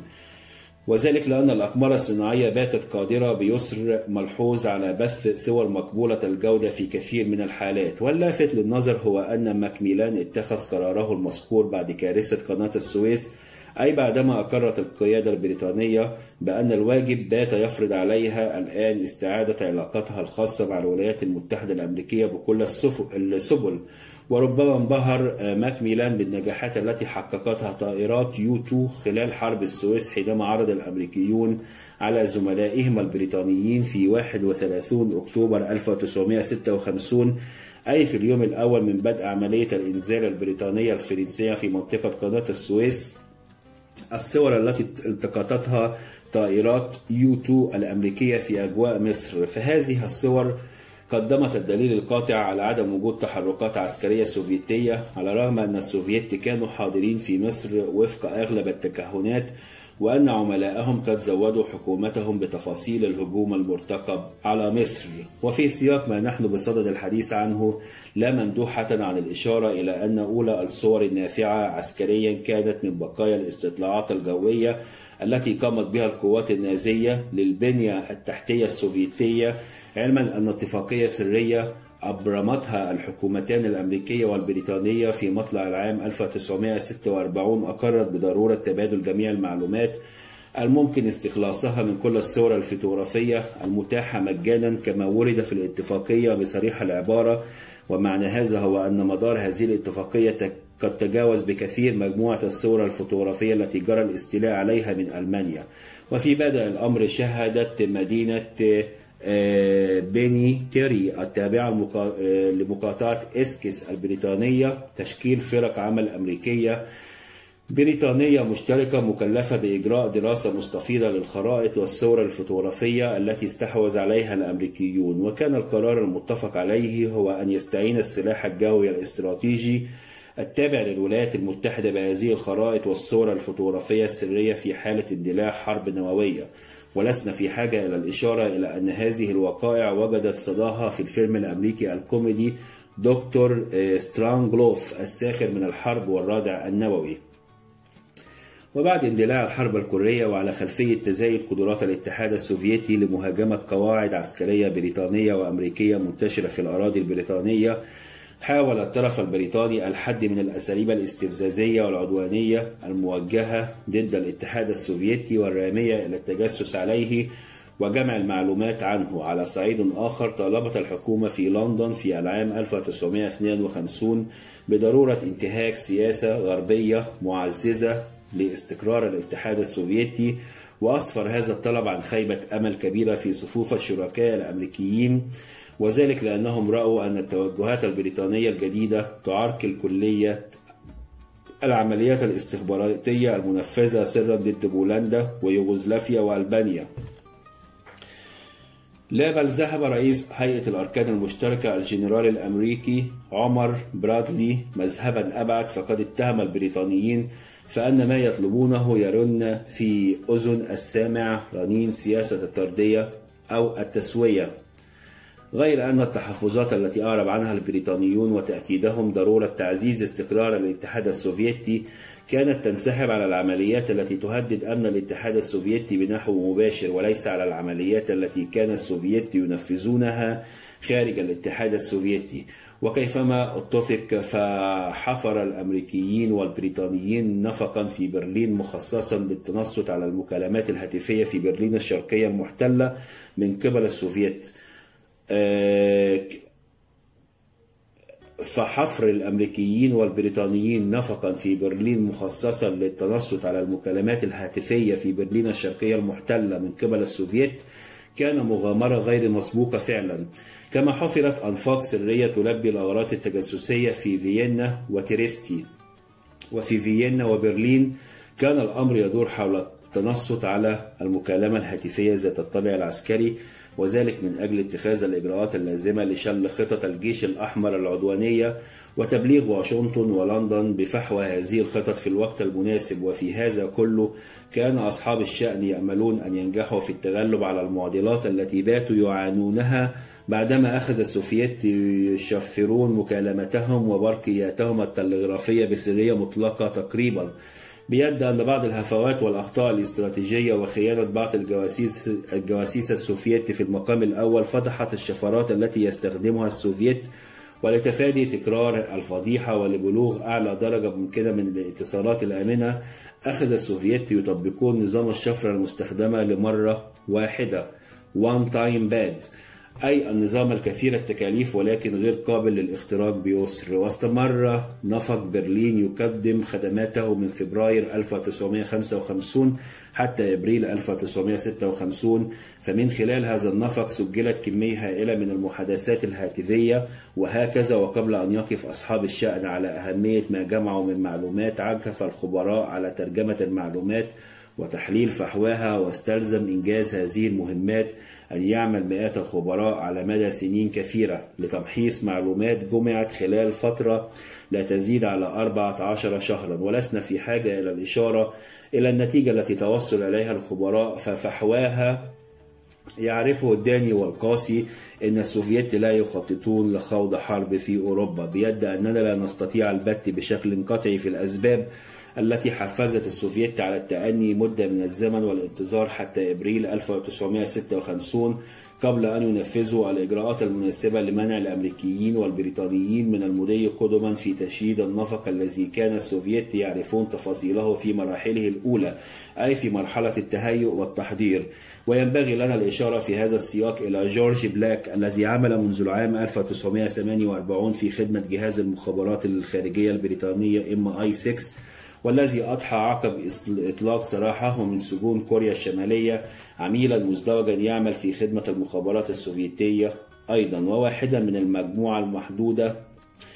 محدودة العدد المطلعة على تفاصيل الخطط الخاصة بحفر النفق. من هنا فإن من حق المرء أن يتكهن بأن السوفيت ربما استخدموا النفق المخصص للتجسس عليهم لتنفيذ عملية تضليل بعيدة الأغوار داهية المغزى لكن ووفق ما بات شائعا حاليا لم يفكر السوفيت في إمكانية استخدام النفق لتضليل الطرف الآخر. إن التفسير الأكثر احتمالا هو أن السوفيت تركوا الأمريكيين والبريطانيين يمضون قدما إلى حين من الزمن في تنفيذ عملياتهم التجسسية لا لشيء إلا لأنهم فضلوا التستر على المصدر الثمين الساهر على تزويدهم بمعلومات غاية في الأهمية أعني أنهم فضلوا التستر على نشاطات عميلهم المزدوج جورج بليك وبهذا المعنى لم يكن التجسس على مكالمات السوفيت الهاتفية عبثا لا نفع منه أبدا. إن التعاون بين الأمريكيين والبريطانيين في مجال جمع المعلومات وفي المسائل المتعلقة بفك شفرات الاتصالات الهاتفية والتلغرافية أيضا كان عظيم الشأن بكل تأكيد. فمناطق الكومنولث المنتشرة حول العالم مكنت أجهزة الاستخبارات من الحصول على بنية تحتية ذات أهمية بالغة بالنسبة إلى التقنيات المطلوبة في تنفيذ النشاطات الاستخباراتية عامة وفي التجسس على أجهزة الاتصالات بصورة خاصة. وبهذا النحو أي بفضل رابطة الكومنولث البريطانية باتت الولايات المتحدة قادرة على ممارسة نشاطاتها التجسسية في أفريقيا والشرق الأوسط وفي أستراليا وآسيا وفي ربوع العالم أيضا التي لم يكن لبريطانيا سلطان عليها بعد. ففي الصين مثلا لم لم تمتلك بريطانيا قاعدة هونغ كونغ فقط بل كان لديها تمثيل دبلوماسي أيضا. فلندن اعترفت بجمهورية الصين الشعبية في وقت مبكر في العام 1950 وهكذا فإذا كانت الولايات المتحدة قد خفضت بعد العام 1945 حجم قواتها المسلحة بنحو ملموس فإنها حافظت على مستوى نشاطها الاستخباراتي الأمريكي. الاستخباراتي فالأمريكيون حصلوا بفضل استخدامهم القواعد العسكرية البريطانية والمناطق الاستراتيجية التابعة لبريطانيا على فرص تاريخية تخولهم الانتفاع بهياكل تحتية عظيمة النفع بالنسبة إلى النشاط التجسسي وبالنسبة إلى القضايا العسكرية أيضا. ولا تفوتنا هنا الإشارة إلى أن الاتحاد السوفيتي لم يفلح قط في بلوغ ما بلغته الولايات المتحدة في الموضوع الذي نحن بصدد الحديث عنه وتظل هذه الحقيقة قائمة حتى إذا أخذنا في الاعتبار أن الاتحاد السوفيتي حاول جاهدا توسيع نفوذه في أفريقيا وأمريكا اللاتينية أيضا. وبسبب موقعها الجغرافي أدت الدول المشاركة في رابطة الكومنولث كندا واستراليا ونيوزيلندا دورا معتبرا فعلا فبينما واصلت لندن إصرارها على أنها هي بمفردها شريك الولايات المتحدة الأمريكية وأنها تتعامل مع الولايات المتحدة بصفتها تمثل الكومنولث المذكورة أشارت تمثل دول الكومنولث المذكورة أشارت الولايات المتحدة الأمريكية إلى أن الاتفاقيات المبرمة مع هذه الدول تشهد على أنها دول مستقلة وذات سيادة تامة. وفي المقابل أصرت الولايات المتحدة الأمريكية على أن أمريكا اللاتينية والفلبين لا يمكن أن تنسحب عليهما أحكام الاتفاقيات الأمريكية البريطانية. ومعنى هذا الاعتراض هو أن الاتفاقيات بشأن التعاون الدولي في المسائل الاستخباراتية ملزمة بمراعاة السياسات الاستعمارية المنتهجة من قبل لندن وواشنطن. وعلى خلفية هذه الملابسات والتعقيدات اتفق أصحاب الشأن في وقت متأخر نسبيا في العام 1948 على قواعد أساسية تنظم التعاون في القضايا الخاصة بالإشارات الاستخباراتية أي التجسس بالسبل التقنية. أعني أنهم توصلوا إلى الاتفاقية المسماة اختصارا أوكوسا أجريمنت.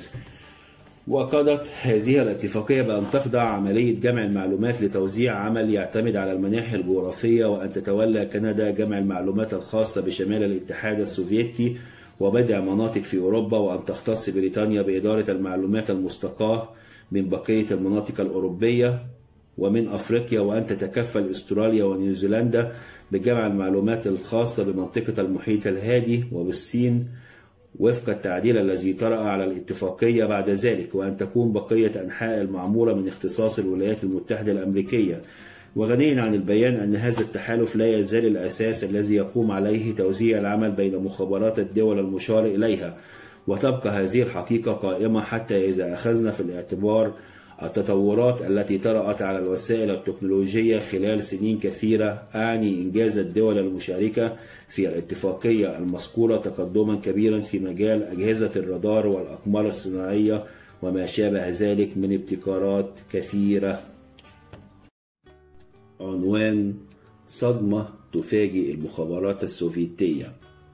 كما سبق أن بينا فقد اعتاد السوفييت حماية معلوماتهم السرية من خلال نظام الشفرة المستخدم لمرة واحدة فقط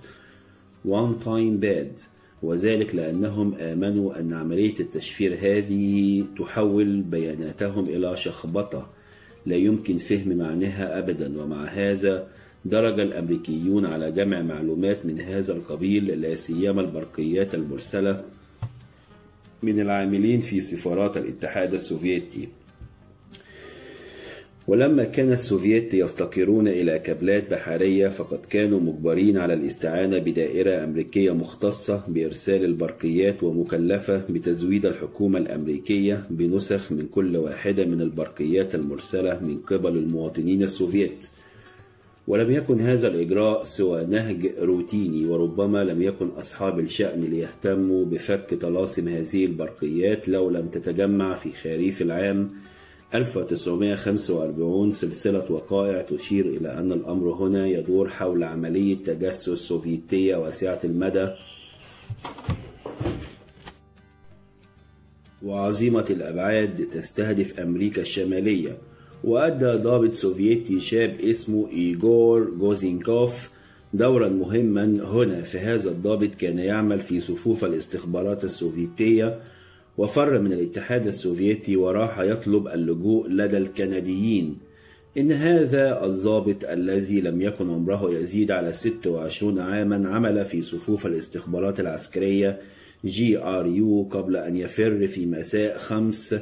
سبتمبر 1945 من بناية السفارة السوفيتية ومعه 109 وثائق أخفاها في جيوب سرواله ولم يتعرض للتفتيش على رغم أنه غادر السفارة على مرأى المفتشين والموظفين الساهرين على حراستها. وآثر هذا الضابط الشاب عدم الانصياع لأمر يفرض عليه العودة إلى الاتحاد السوفيتي مفضلا الإقامة هو وأسرته في كندا وكانت هذه الوثائق والمعلومات التي أدلى بها مهمة جدا بحيث آثر رئيس مجلس الوزراء الكندي أن يسافر إلى واشنطن في 20 سبتمبر 1945 ليبلغ بنفسه الرئيس الأمريكي هاري ترومان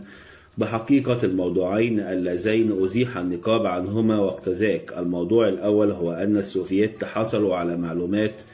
تخص برنامجا كان من أقصى البرامج سرية أعني البرنامج النووي الذي تعاونت لتنفيذه بريطانيا والولايات المتحدة الأمريكية وكندا. أما الموضوع الثاني فإنه كان يدور حول جاسوس يتولى وظيفة قيادية في وزارة الخارجية الأمريكية اسمه آلجير هيس. ومن هذه المعلومات اهتدى المسؤولون إلى أسماء 18 جاسوسا يعملون في كندا وإلى نحو 180 موظفا حكوميا يتجسسون على الولايات المتحدة الأمريكية. وكما سبق أن قلنا كان الفضل في فضح هؤلاء الجواسيس يعود في المقام الأول إلى الأمريكيين وايتيكر شامبرز وإليزابيث بنتلي. فهذان كان قد اعترف أمام مكتب التحقيقات الفيدرالي FBI طواعية بأنهما تجسسا لمصلحة الاتحاد السوفيتي وتوليا قبل الحرب وخلالها نقل الرسائل والمعلومات وعمل وسيطين بين خلايا شيوعية عميلة. وعلى وقع هذه التطورات اكتسبت البرقيات السوفيتية التي كان المرء يرى فيها شخبطة ليس هناك إمكانية للتعرف على مغزاها وقراءة محتواها. أهمية مختلفة كلية. إذ أطلقت الحكومة البريطانية مشروع فينونا أي المشروع الذي يطلق عليه البريطانيون برايت والذي كشفت الحكومة الأمريكية سره في العام 1995 ففي أكتوبر 1948 نجح الخبير في المسائل اللغوية ميريديث جاردنر في قراءة بضعة سطور فقط وعلى رغم أننا هنا إزاء نجاح متواضع جدا فإن علينا أن نقارن نجاح مشروع فينونا بالنجاح الباهت نسبيا الذي حققته وكالة أمن الجيش المسماة Army Security Agency. فهذه الوكالة نجحت خلال خمسة أعوام في فك شفرة نحو واحد في المئة فقط من البرقيات السوفيتية على الرغم أنها حشدت لهذه المهمة فريقا كان أضخم عددا بكثير. وعلى رغم تواضع ما تحقق من نجاحات استطاع الخبراء بعد فترة وجيزة العثور على إشارات مختلفة ترشدهم إلى الجواسيس السوفيت أو تؤكد لهم صواب ما لديهم من براهين بيد أن المسؤولين واجهوا معضلة لا يستهان بها أبدا. فالسؤال بات يتعلق الآن بسبل استخدام هذه الأدلة والبراهين في المرافعات القضائية من دون كشف تفاصيل العملية السرية المخصصة لفك الشفرة السوفيتية. ومارس القضاء الأمريكي دورا يرثى له هنا فهو أدان نفرا من الجواسيس لا غير وذلك لأنه بات ابتداء من العام 1937 يرفض أن يرى في المحادثات الهاتفية المسجلة من قبل الأجهزة الأمنية في سياق تنصتها على هذا المتهم أو ذاك. براهين يمكن التعويل عليها في إدانة المتهمين بالتخابر مع دولة أجنبية. أضف إلى هذا أن محامي الدفاع الماهرين دأبوا على الطعن في اعترافات الأخيرين من المتهمين بذريعة أنهم أدلوا بها طمعا في الحصول على عقوبات مخففة وأسفرت هذه التطورات عن سلسلة محاكمات كانت أشهرها محاكمة الزوجين يوليوس وإيثل روزن روزنبرغ. فهذه المحاكمة أثارت كثيرا من الشكوك وظلت مدار نقاشات كثيرة وموضع خلافات شديدة طوال زمن ليس بالقصير وكيفما اتفق فعلى خلفية اعترافات أدلى بها شقيق إيثل حكم القضاء حكم القضاة على الزوجين بالإعدام. الجدير بالذكر هو أن الوثائق الثبوتية المتداولة حاليا تبين بجلاء أن الزوجين كانا متورطين فعلا في التجسس لمصلحة الاتحاد السوفيتي لكن وبقدر تعلق الموضوع بإيثل ليس ثمة شك في أن المحكمة قد اقترفت جريمة شنعاء بحقها فجريمتها لم تكن تستحق حكم الإعدام وذلك لأن دورها في عملية التجسس كان ثانويا. من هنا فإن من حق المرأة أن يفترض أن عوامل سياسية معينة كانت وراء الحكم عليها بالإعدام ونتجت عن هذه المحاكمات وعن الشعور بعدم وجود أدلة دامغة أسطورة تبنتها الأطراف اليسارية. ليس في أمريكا فقط بل في مختلف ربوع العالم إثبات هؤلاء يزعمون أن عمليات التجسس السوفيتية لم تعرض أمن الولايات المتحدة لخطر ذي شأن وأن الأطراف اليمينية هي التي ضخمت الموضوع واصطنعت الخطر سعيا منها إلى إثارة الرأي العام ضد اليساريين عامة وضد التقدميين الأمريكيين بصورة خاصة. وهكذا لاحت في الأفق البوادر الأولى لنشأة الماكارسية وكملاحظة هامشية ولكن ذات علاقة بالشأن الاستخباراتي لا مندوحة لنا عن أن نضيف أن السوفيت كانوا على علم وثيق بتفاصيل مشروع فينونا فمن ناحية كان عميل لهم البارع الجاسوس البريطاني كيم فيلبي على اطلاع بمغزى مشروع فينونا برايد. ومن ناحية أخرى كان شخص اسمه ويليام فايس باند واحدا من فريق الخبراء المكلف بفك الشفرات واستخراج المعمي. فهذا الخبير أيضا كان يتخابر مع موسكو. ولا تفوتنا الإشارة هنا إلى أن فايس باند هو العميل الذي هيأ الأجواء بنحو ما لأن تنجح كوريا الشمالية في يونيو 1950 في شن هجوم مباغت. كما أخبر هذا العميل السوفيتي أن الولايات المتحدة تتنصت على رسائلهم ومحادثتهم العسكرية المتبادلة عبر أجهزة التلغراف. وهكذا منذ العام 1949 لم يعد في مستطاع الولايات المتحدة التنصت على البرقيات السوفيتية المستخدمة للشؤون العسكرية. ومن ثم فإنها عجزت عن رصد كثافة الإمدادات العسكرية التي تحصل عليها كوريا الشمالية من الاتحاد السوفيتي. غير أن الأوراق الثبوتية لم تكف لإحالة فايز باند إلى القضاء بتهمة الخيانة العظمى وهكذا حكم عليه بالسجن عاما واحدا فقط.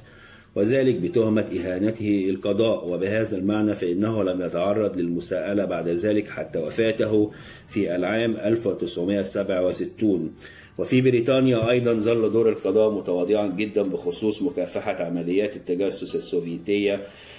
بيد أن الأمر الذي يتعين أخذه بالاعتبار هو أن أسباب تقاعس السلطات البريطانية في إنزال العقاب المناسب بالجواسيس العاملين لمصلحة الاتحاد السوفيتي اختلفت عن الأسباب التي أشرنا إليها في سياق الحديث عن الولايات المتحدة. حقا كان المسؤولون قد نجحوا في إدانة أهم العملاء الذين تجسسوا على البرنامج النووي أعني كلاوس فوكس غير أن الحكم عليه بالسجن مدة لا تزيد على 14 عاما لم يكن يناسب هول الجريمة التي اقترفها. وتفسير ذلك هو أن هذا الجاسوس نال أقصى عقوبة يستحقها على خلفية إفشائه أسرار الدولة وليس على خلفية الخيانة العظمى. فحينما تجسس كلاوس فوكس لمصلحة السوفييت كان الاتحاد السوفيتي لا يزال دولة حليفة. أما جواسيس كامبريدج فإنهم جميعا أفلتوا من قبضة القضاء. ففي مايو فر غاي بيرجس ودونالد ماكلين إلى الاتحاد إلى الاتحاد السوفيتي وبعد التحقيق مع كيم فيلبي مرات عديدة. اكتفت الحكومة بأن أصدرت في العام 1951 قرارا يقضي بطرده من العمل في صفوف المخابرات الخارجية البريطانية MI6 وعلى الرغم من أن السلطات كانت قد امتنعت عن صرف مستحقاته التقاعدية فإنها منحته راتبا تقاعديا متواضعا وأجازت له العمل صحفيا ينفذ مهمات التجسسية لمصلحة المخابرات البريطانية. وبعد فراره إلى موسكو في يناير 1963 نشر فيلبي مذكراته ولم يقف المهتمون على حقيقته على حقيقة ومدى نشاطاته التجسسية إلا بعدما نشرت السلطات السوفيتية في العام 1998 كل الملفات المتعلقة بدوره في التجسس على المملكة المتحدة خاصة والدول الغربية عامة. على صعيد آخر اهتدت اهتدت الحكومة البريطانية إلى المهمات التجسسية التي مارسها أنتوني بلانت وجون كيرني كروس غير أنها حاولت التستر على الأمر بقدر الإمكان وأحجمت عن مقاضاتها مقاداتهما في ضوء القوانين المعمول بها في بريطانيا. ومن حق المرأة أن يرى أن الجواسيس المتحدرين من عائلات تقف في أعلى مراتب السلم الاجتماعي قد حصلوا فعلا على مزايا اجتماعية معينة وأن بلانك هو الجاسوس الوحيد في هذه المجموعة الذي لم يحصل عليها وربما لأنه لم يكن بريطانيا قحا بل يتحضر من أبوين من أصول هولندية وتركية. فوفق قرار المحكمة كان عليه قضاء 41 عاما بين جدران السجون لكنه فر في العام 1966 من السجن بطريقة مثيرة للدهشة وانتقل في الحال إلى موسكو وبمناسبة بلوغه الخامسة والثمانين من العمر قلده فلاديمير بوتين في العام 2007 وساما تقديرا لما بذل من جهود. ومن بين عوامل أخرى مختلفة ورغبة منهم في إقناع الأمريكيين بأنهم لا يزالون يسيطرون على عملائهم وللمحافظة على تعاونهم مع الولايات المتحدة في المجال الاستخباراتي شرع البريطانيون يضعون تحت المجهر جميع البريطانيين الذين لهم علاقة بأسرار الدولة. Positive Vetting وهكذا أنهيت بين العام 1948 وخمسينيات القرن العشرين خدمة مئات الموظفين طواعية وهنا أيضا فضل المسؤولون التعامل مع الموضوع من دون إجراءات قضائية وذلك رغبة منهم في عدم الكشف عن مصادرهم وأساليبهم الاستخباراتية. وما عدا ذلك كانت الإجراءات التي نفذت لتكييف الأجهزة الاستخباراتية البريطانية على متطلبات التعاون مع أجهزة الاستخبارات الأمريكية متواضعة الفاعلية. فالمسؤولون البريطانيون أرادوا مواصلة التمسك بهيمنة بريطانيا على شؤون العالم. وحاولوا بالسبل الاستخباراتية فقط التصدي للنشاطات الشيوعية الهدامة اعتقادا منهم أنهم بهذا النحو سيتمكنون من الحيلولة دون استمرار تآكل هذه الهيمنة بشكل تدريجي. وسيضعون في سيضعون في الوقت نفسه حدا للتعاظم السريع في نفوذ الاتحاد السوفيتي بيدعي أن انهيار الهند البريطانية وانقسامها خلال العام 1947 و 1948 إلى أربع دول تتمتع بالاستقلال. أعني الهند وباكستان وسيلان وبورما لم يكن هناك سبيل لصده إلا قليلا كما لم يطرأ تحديث فعلي لعورة العلاقة بين المؤسسات الاستخباراتية والجهاز الحكومي وهكذا فإن من حق المرء أن يقول إن كل ما في الأمر هو أن التقنيات الضرورية للحصول على المعلومات قد وحدت. ابتداء من العام 1946 إلى حزمة واحدة تحمل تعمل تحت سقف مكاتب الاتصالات الحكومية البريطانية. من ناحية أخرى واصلت القوات المسلحة الحصول على مكاتب استخباراتية خاصة بها على صعيد آخر ظل تحليل المعلومات والبيانات خارج نطاق اختصاصات المخابرات الداخلية MI5 والمخابرات الخارجية MI6 فابتداء من العام 1993 أمسى تحليل المعلومات والبيانات الاستخباراتية من اختصاصات Joint Intelligence Committee المسمى اختصارا GIC أي من اختصاصات لجنة كانت حتى ذلك العام تديرها هيئة الأركان المشتركة. لكن هذه الترتيبات الجديدة توقف العمل بها على خلفية أزمة السويس في العام 1957 فمنذ ذلك الحين صار تحليل المعلومات من اختصاصات مكتب رئيس الوزراء كابينيت أوفيس ففي ضوء المعلومات التي يتوصل إليها فريق من الخبراء يتولى موظفون كبار يعملون في الوزارات المشرفة على إدارة السياسة الأمنية إعداد تقديراتهم بخصوص الوضع الأمني وحتى اليوم لم يطرأ أي تعديل يذكر على هذه الترتيبات. عنوان الولايات المتحدة الأمريكية إمبراطورية مخابرات جديدة. بقدر تعلق الأمر بالولايات المتحدة الأمريكية يرى المراقبون أن الإدارات الأمريكية المختلفة لم تنفذ التحولات المؤسساتية المناسبة لظروف الزمن الذي أعقب انتهاء الحرب العالمية الثانية فقط بل هي شرعت بعد العام 1945 في استحداث نظام استخباراتي جديد إلى حد بعيد. فبما أن الأمريكيين لم يكن لديهم في أزمنة السلام جهاز مخابرات شامل ومتخصص بالتجسس في العالم الخارجي على القضايا غير العسكرية ولما كان دورهم الجديد في قيادة العالم من الصعوبة بمكان الوفاء بمتطلباته بلا جهاز مخابرات فقد تعين على الرئيس ترومان البت فيما إذا كان المطلوب هو تفكيك مكتب الخدمات الاستراتيجية OSS أو الاكتفاء بإعادة هيكلة هذا المكتب وإصلاح حاله بنحو يناسب واقع عصر ما بعد الحرب. وبعد مدة قصيرة اتخذ الرئيس ترومان قرار يقضي بتفكيك المكتب المذكور لأنه لم يكن راغبا في إثارة السخط في صفوف مؤسستين بيروقراطيتين عظيمتي الأهمية القوات المسلحة ومكتب التحقيقات الفيدرالي FBI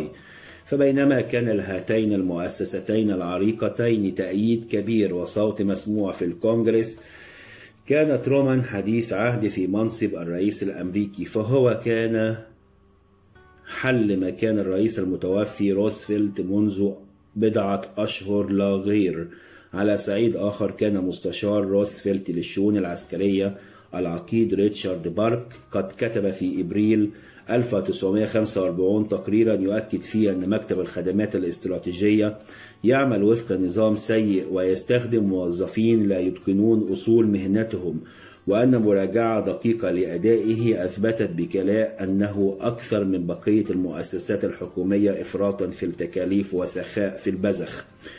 وبعد بضعة أسابيع من ذلك أوردت وسائل الإعلام الإعلام مقتطفات من هذا التقرير زاعمة أن المكتب المذكور ليس سوى ذراع يحركها جهاز الاستخبارات البريطاني وأنه يخطط لشن حرب ضد الاتحاد السوفيتي. بالإضافة إلى هذا شاعت أقوال كثيرة تؤكد تفشي الارتشاء وعمليات الاختلاس في صفوف العاملين في المكتب. وعلى خلفية هذه الاتهامات وتأسيسا على رغبة رئيس مكتب الخدمات الاستراتيجية OSS ويليام جوزيف دونوفان بضرورة تهيئة جهازه على العمل في أزمنة السلم. أيضا رأى دونوفان أن الواجب يفرض عليه أن يواجه الصحافة طالبا منها أن تنشر أخبار البطولات التي نفذها في عهده موظفو مكتب الخدمات الاستراتيجية. ووفق أكثر الاحتمالات كان رئيس مكتب التحقيقات الفيدرالي إدغار هوفر هو الشخص الذي كان يقف خلف الحملة التي تعرض لها مكتب الخدمات الاستراتيجية OSS ورئيسه ويليام جوزيف دونوفان. ومما يؤكد هذا التكهن أن هوفر كان يتطلع إلى أن يكون جهاز المخابرات الخارجية تحت مظلته لا سيما أن مكتب التحقيقات الفيدرالي كان يشرف على شؤون كل أقطار أمريكا الجنوبية وعلى اتصال متين بالعملاء العاملين هناك. بيد أن ترومان لم يكن راغبا في استحداث جاستابو أمريكية أي شرطة سرية على غرار جهاز الشرطة السرية في النظام النازي. فهو دأب على تأكيد وجهة النظر هذه في الكثير من التصريحات التي كان يعرب عنها في هذا الشأن. وبما أن علاقة دونوفان بالقيادة العسكرية لم تكن تتصف بالصفاء إلا فيما نظر فمكتبه أعني مكتب الخدمات الاستراتيجية OSS لم يؤدي دورا ذا شأن في الحرب التي دارت روحها في المحيط الهادي فقد أقاله الرئيس ترومان من منصبه في الأول من أكتوبر 1945 بيد أن التحولات الجديدة لم تلبي تطلعات هوفر قط فهوفر رأى في هذه الترتيبات. إشارة أراد الرئيس ترومان من خلالها إفهامه أن على مكتبه المسمى اختصارا FBI أن يقنع بتنفيذ مهمات شرطية صرفة لا سيما أن قسم الأبحاث والتحاليل R&A Research and, and Analysis بات يتبع وزارة الخارجية ليس إلا بعدما فكك مكتب الخدمات الاستراتيجية OSS فمن ناحية أخرى نقل المسؤولون إدارة شبكة الجواسيس وشعبة مكافحة الجاسوسية المضادة إلى وزارة الحربية فباتت منذ ذلك الحين تعمل تحت مظلة تنظيم جديد أطلق عليه اسم وحدة الخدمات الاستراتيجية. وألغيت الأقسام المتخصصة في العمليات الهدامة وإدارة الحروب السرية بنحو نهائي ومن دون بديل يحل مكانها بيد أن الرئيس ما برح يفتقر إلى دائرة مركزية تتولى تنسيق المعلومات التي يتسلمها من الوزارات المختلفة ذات الشأن بالقضايا الأمنية وكانت وزارة الخارجية وقيادة الأركان المشتركة قد قدمتا بنحو منفصل مقترحات عكست الصراعات الدائرة بين الطرفين بهدف الحصول على ميزة في التعامل في تعامل البيت الأبيض معها. من هنا وحسما للصراع. اتخذ ترومان قرارا حكيما إذ استحدث منصب مدير المخابرات المركزية Director of Intelligence DCI علما أنه لم يختر لهذا المنصب شخصية تعمل في واحدة من الوزارات المتصارعة بل قرر أن يتلقى هذا المدير أوامره من البيت الأبيض مباشرة وهكذا اختار ترومان لهذا المنصب سيدني سويرز أي اختار رجل أعمال يتحدر من ولاية ميسوري مسقط رأس ترومان وتربطه به صداقة حميمة. وكان قد عمل خلال الحرب العالمية الثانية في استخبارات سلاح البحرية حيث حصل على رتبة أدميرال احتياط ولتعزيز عمله أضحى لدى مدير المخابرات المركزية فريق محدود العدد مكلف بتحليل البيانات والمعلومات أي الفريق المسمى Central Intelligence Group والذي نشأت عنه وكالة المخابرات المركزية المسماة اختصارا CIA غير أن عدد العاملين ضمن هذا الفريق لم يزد على بضع عشرات الموظفين والملاحظ أن هذه الوكالة كانت مكلفة بتنفيذ مهمة واحدة فقط تسليط الضوء على المعلومات التي تجمعها المخابرات العسكرية والمخابرات الملحقة بوزارات أخرى لا شأن لها بالمسائل العسكرية ويندرج ضمن هذه المهمة اتخاذ ما يلزم لتمكين الرئيس من الإحاطة بالمعلومات التي يتسلمها يوميا ولمساعدته على فهم مغزاها بيسر. وتطورت هذه الترتيبات فنشأ عنها ما بات يعرف بموجز الرئيس اليومي President's Daily Brief BDB PDB أي نتجت عنها فكرة مناقشة القضايا الآنية والتقارير اليومية التي يقدمها إلى الرئيس الأمريكي مدير المخابرات الوطنية أو ما ينوب عنه. ولتحليل المعلومات الاستخباراتية الخاصة بالوضع العام ولتنسيق هذه المعلومات شكل ترومان هيئة مخابرات وطنية National Intelligence Authority. تضم عددا من الوزراء وكبار مستشاريه العسكريين وتولى سويرز منصب مدير المخابرات المركزية لبضعة أشهر فقط وحل مكانه الجنرال الطيار هويت إس فاند نيبرغ. وقبل أن يتولى هذا المنصب كان مدير المخابرات المركزية الجديد قائدا عسكريا شارك في معارك عديدة. وكيفما كانت الحال فبما أن جمع المعلومات السرية أو لنقل بما أن التجسس في العالم الخارجي أمس من اختصاصاته لذا فإنه نجح في أن يجعل من فريق CIG جهاز مخابرات حقيقيا يعمل وفق مهنية عالية الجودة. وفي المقابل فك فاند نيبرج ارتباط بعض عناصر وحدة الخدمات الاستراتيجية بوزارة الحربية وجعل منها شعبة تتبع فريقه المسمى CIG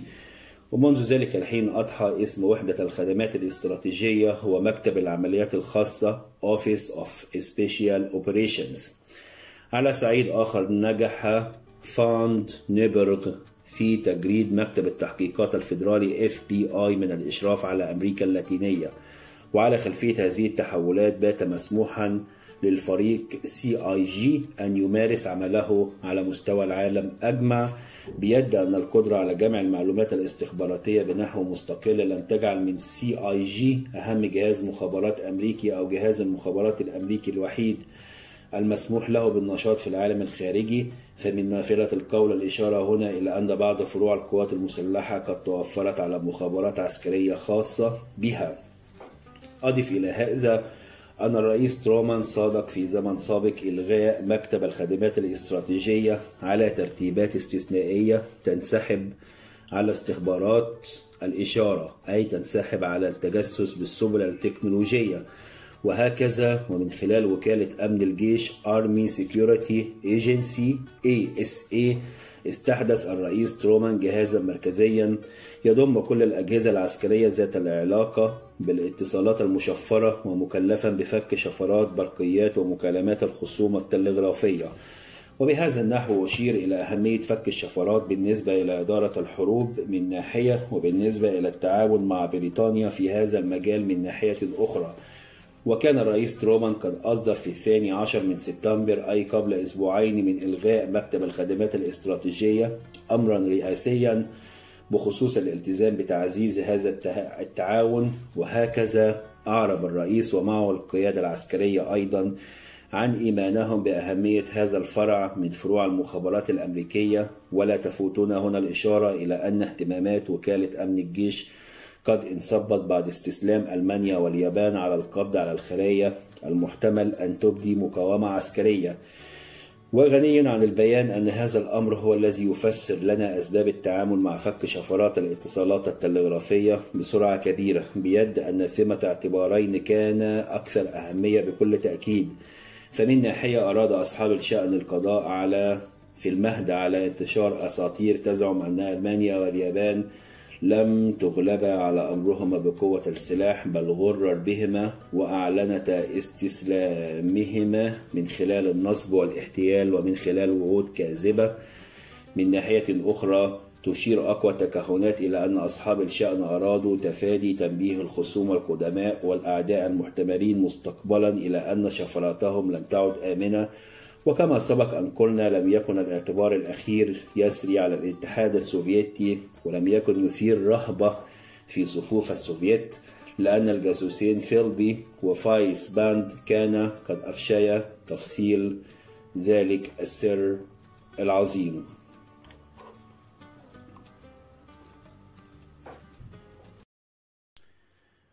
وكان ترومان يعلم جيدا أن استحداث الفريق CIG والتوسع في المهمات المكلف بها وزيادة عدد, عدد العاملين في صفوفه بنحو يناسب التصعيد المستمر في مهماته يشكل عبئا كبيرا على كاهل الميزانية الحكومية علما أن حصول جهاز المخابرات الجديد على ميزانية خاصة به يتطلب الحصول على موافقة الكونغرس من ناحية أخرى وهذا هو الموضوع الأهم.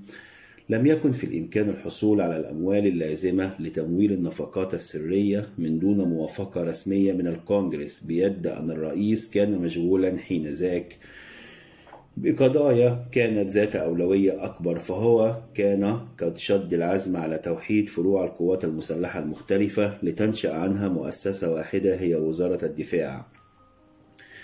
وذلك اعتقادا منه أن الترتيب الذي كان سائدا حتى ذلك الحين أعني وجود وزارة للحربية وأخرى لسلاح البحرية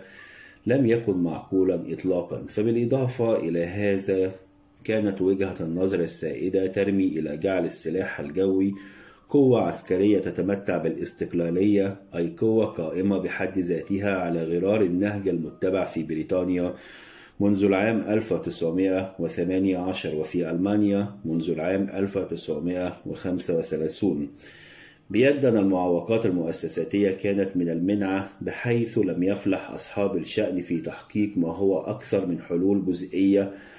لم يفلحوا في تحقيق ما هو أكثر من وضع سلاح الطيران جزئيا وليس كليا تحت سقف وزارة الدفاع الجديدة.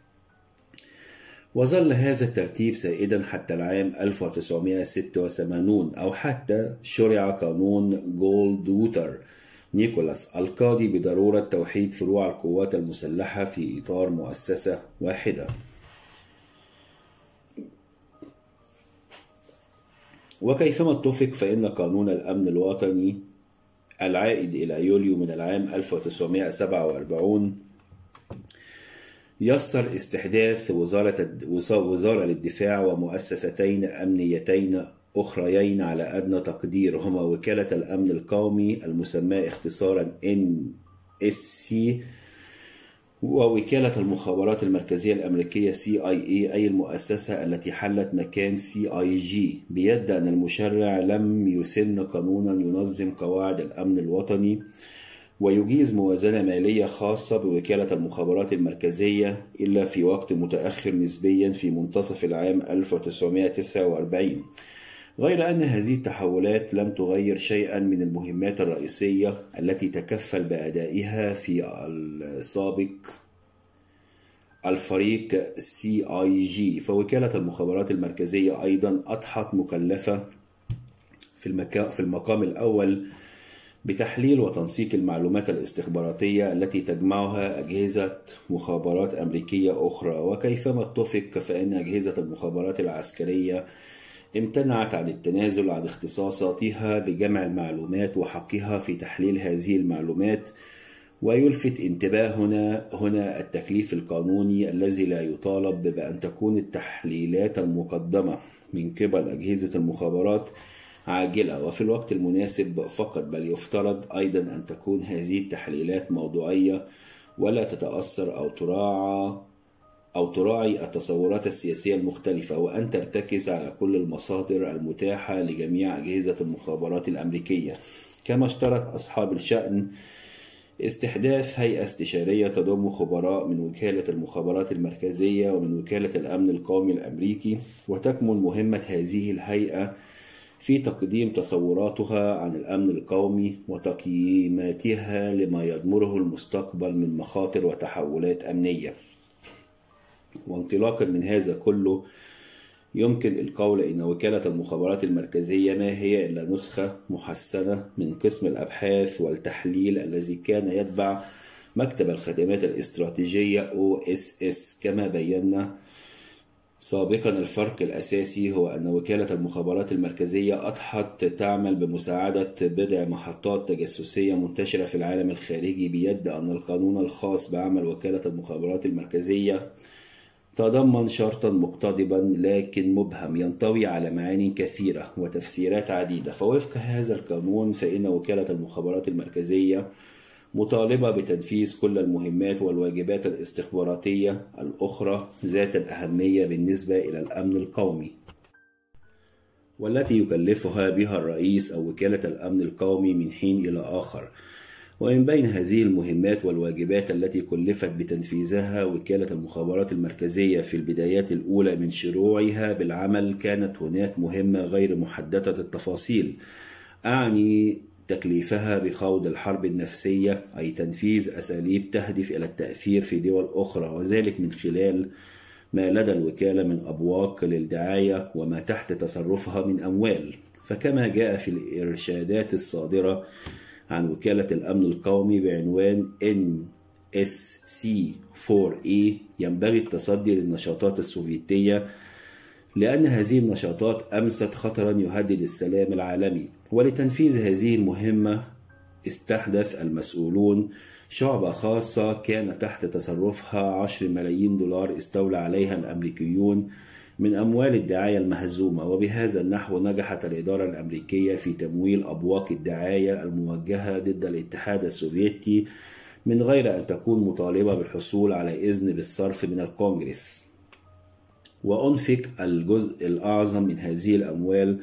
من أجل التأثير في الانتخابات البرلمانية في إيطاليا ولمؤازرة الحزب الديمقراطي المسيحي وشد أزره في صراعه مع الشيوعيين. ولم تكن وزارة الخارجية مرتاحة من هذه السياسات ومن ثم فإنها أشارت إلى ضرورة أن يؤخذ رأيها في الاعتبار في هذه القضايا التي تدخل في اختصاصاتها أيضا. ولا مندوحة لنا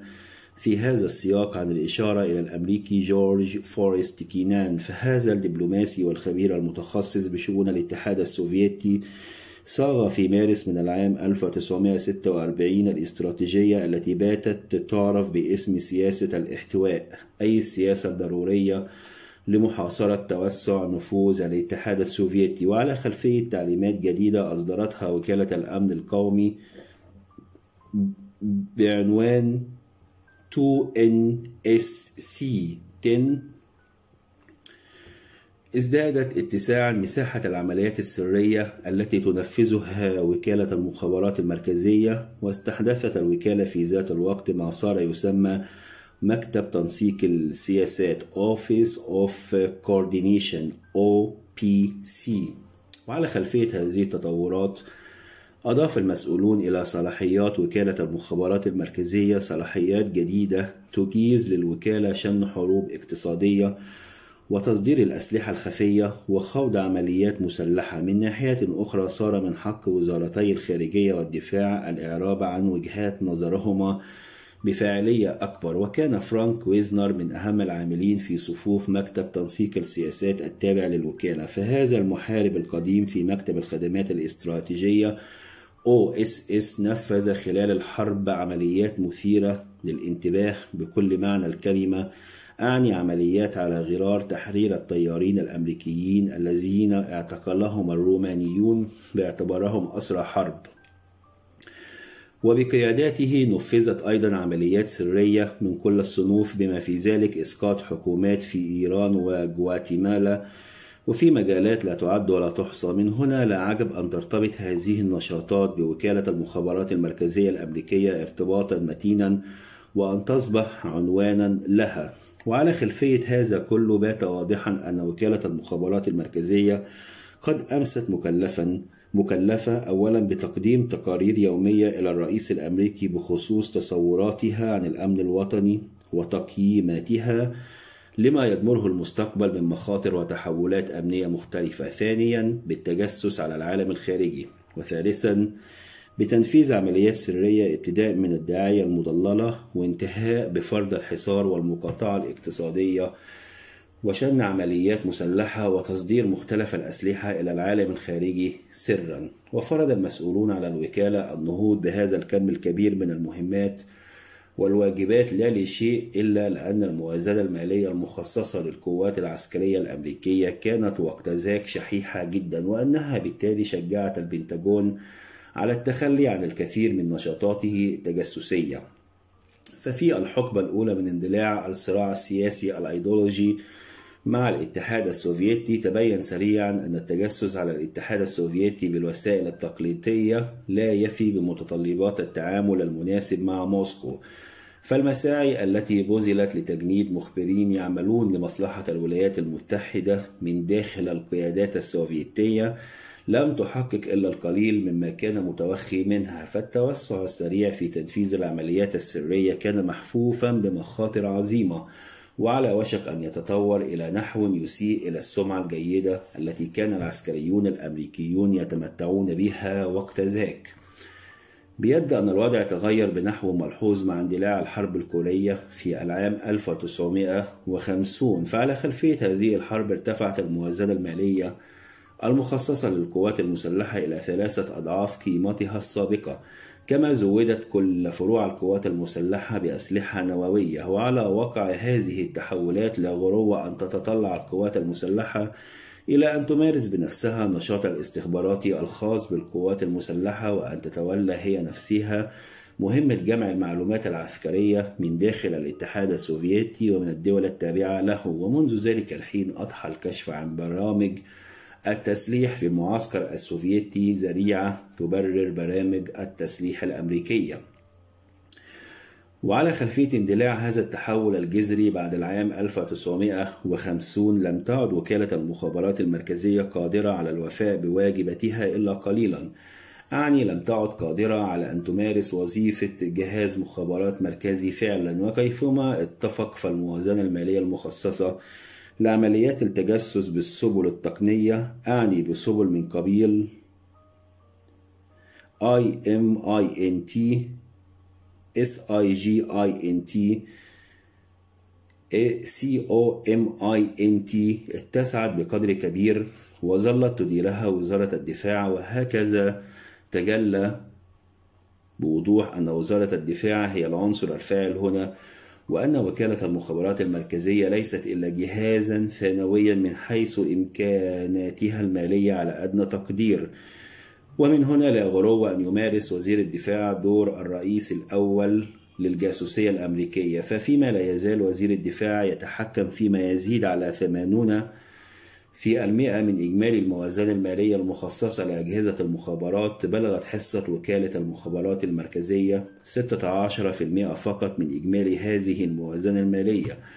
ومعنى هذا هو أن الصفة المركزية الواردة في عنوان وكالة المخابرات المركزية الأمريكية تشير فقط إلى مكانة هذه الوكالة في التسلسل الإداري فهي لا تتلقى تعليمات من هذه الوزارة أو تلك بل من أعلى سلطة تنفيذية في الولايات المتحدة الأمريكية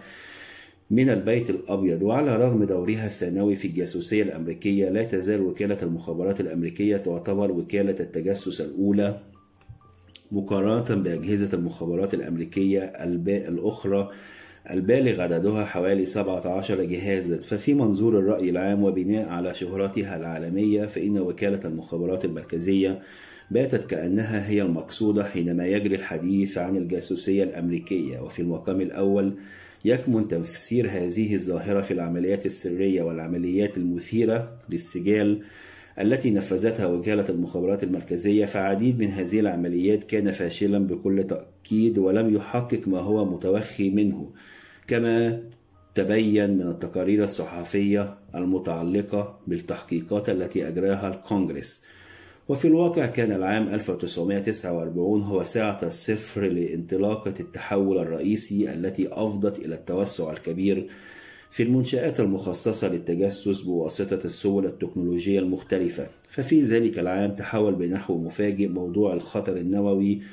الآتي من الاتحاد السوفيتي إلى حديث الساعة. تحول إلى شأن يحظى بأقصى اهتمامات أجهزة المخابرات. فإذا كانت الدوائر العسكرية والاستخباراتية الأمريكية قد اعتقدت أن الاتحاد السوفيتي في مستوى متخلف جدا وأنه أعجز ما يكون عن تطوير أسلحة نووية وأنه يفتقر إلى المواد القابلة للانشطار فما ذلك إلا لأنها لم تأخذ في الاعتبار الإرهاصات التي لاحت طلائعها تبدو في الأفق في الزمن السابق. فالأجهزة الأمنية الأمريكية تجاهلت من دون قصد منها طبعا المؤشرات العكسية التي تبلورت في العام 1946 ففي ذلك العام وصلت إلى الأسماع أخبار تتحدث عن إبرام اتفاق بين الاتحاد السوفيتي والدولة الشيوعية وقت ذاك تشيكوسلوفاكيا يتضمن استخراج اليورانيوم من مدينة يوآخيمتال القريبة من مدينة كارلس باد إضافة إلى ذلك تدفقت أخبار مختلفة تتحدث عن تجنيد وترحيل خبراء وعلماء ومهندسين ألمان بالقوة ليشاركوا في تطوير التجارب النووية السوفيتية. وهكذا فلم تكد تلوح في الأفق المؤشرات الأولى التي توحي بأن السوفييت يتجسسون على مشروع منهاتن المشروع الأمريكي السري لصنع السري لصنع القنبلة النووية. حتى بدا واضحا وضوح الشمس في رابعة النهار أن السوفييت تعاقدوا العزم على صنع قنبلة نووية خاصة بهم. بيد أن الأمر الذي كان لا يزال مجهولا هو مدى الشوط الذي قطعه السوفييت في هذا المجال والفترة الزمنية التي يحتاجون إليها لبلوغ مرادهم. ونجح جهاز المخابرات البريطاني فيما بعد في الكشف عن بضعة مشروعات نووية وعن مواقع هذه المشروعات إضافة إلى ذلك حصل جهاز المخابرات البريطاني على معلومات تتعلق بكمية اليورانيوم التي استخرجها السوفييت من المناجم الواقعة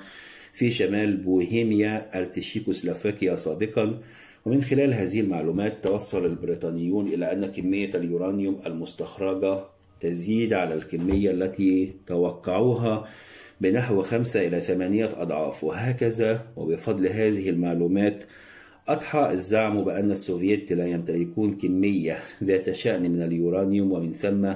فإنهم لن يفلحوا عما قريب في صنع القنبلة النووية تصورا عاريا من الصحة وثرثرة لا سند لها واقعيا. ومن خلال المعلومات والبيانات الجديدة استنتج الخبراء أن الاتحاد السوفيتي قد ينجح في العام 1949 أو في العام 1952 على أدنى تقدير في إجراء أولى تجاربه النووية بيد أن لجنة الاستخبارات العسكرية التابعة لهيئة الأركان الأمريكية المشتركة رجحت عدم نجاح السوفييت في مسعاهم هذا قبل منتصف العام 1953 إن نجاح السوفييت في إجراء أولى تجاربهم النووية في 29 أغسطس من العام 1949 بدد بكل تأكيد الثقة بالتنبؤات التي أذاعتها أجهزة المخابرات والتي ساقها خبراء الأسلحة النووية وتبنتها القوات المسلحة. وعلى رغم هذا الفشل في التنبؤ بمدى نجاح السوفييت في مجال برامجهم النووية فلا بد من الإشارة إلى أمر عظيم الأهمية بخصوص ما نحن بصدد الحديث عنه أعني أن الأساليب التقنية الضرورية للتدليل على اندلاع تفجيرات نووية طورت بنحو ملموس وباتت قادرة على رصد النشاط الإشعاعي حتى إن كان مصدر هذا النشاط يأتي من أجواء تبعد, 5 إلى 10 آلاف متر. وللتدليل على صواب هذا الاكتشاف زود المسؤولون بضع طائرات بمعدات مخصصة لقياس درجات الإشعاع من خلال الهواء المتسرب إلى داخل محركات الطائرة النفاثة. إلى داخل محركات الطائرات النفاثة إضافة إلى ذلك استخدم أصحاب الشأن مناطيد مزودة بمعدات تقيس مستوى ضغط الموجات الصوتية من ارتفاع يبلغ 15 ألف مترا. وذلك لأن هذه الموجات تنتشر في هذا الارتفاع بنحو قوي وتحيط بالكرة الأرضية بيسر وانطلاقا من هذه التكنولوجيات طور الخبراء مشروعا أمريكيا بريطانيا مشتركا مخصصا لتحديد مكان التفجيرات النووية واسترشد المسؤولون عن تنفيذ هذا المشروع المشترك بالتجارب النووية التي أجرتها الولايات المتحدة الأمريكية في العام 1946 في جزر بيكيني الواقعة في المحيط الهادي. وجرى التمويه على حقيقة التحليق في سماء المحيط الأطلسي وشمال أفريقيا بذريعة أنه يخدم التنبؤات الجوية الخاصة بالطيران الحربي. وفي مطلع سبتمبر من العام 1949 رصد المسؤولون ما كانوا يتكهنون به فقد سجلت طائرات أمريكية مزودة بالمعدات التكنولوجية المناسبة ارتفاعا ملحوظا في درجات النشاط الإشعاعي بين اليابان وألاسكا. كما سجلت هذه الظاهرة طائرات بريطانية كانت تحلق في, أسم... في سماء اسكتلندا وبعد بضعة أيام أكدت مياه الأمطار صدقية ما لاحظ... لاحظته الطائرات الأمريكية والبريطانية. بيد أن الأمر الجدير بالذكر هنا هو أن معدات قياس مستوى ضغط الموجات الصوتية لم تتوصل إلى نتائج ذات نفع كبير. ومهما كانت الحال فإن الموضوع الأكثر إثارة للانتباه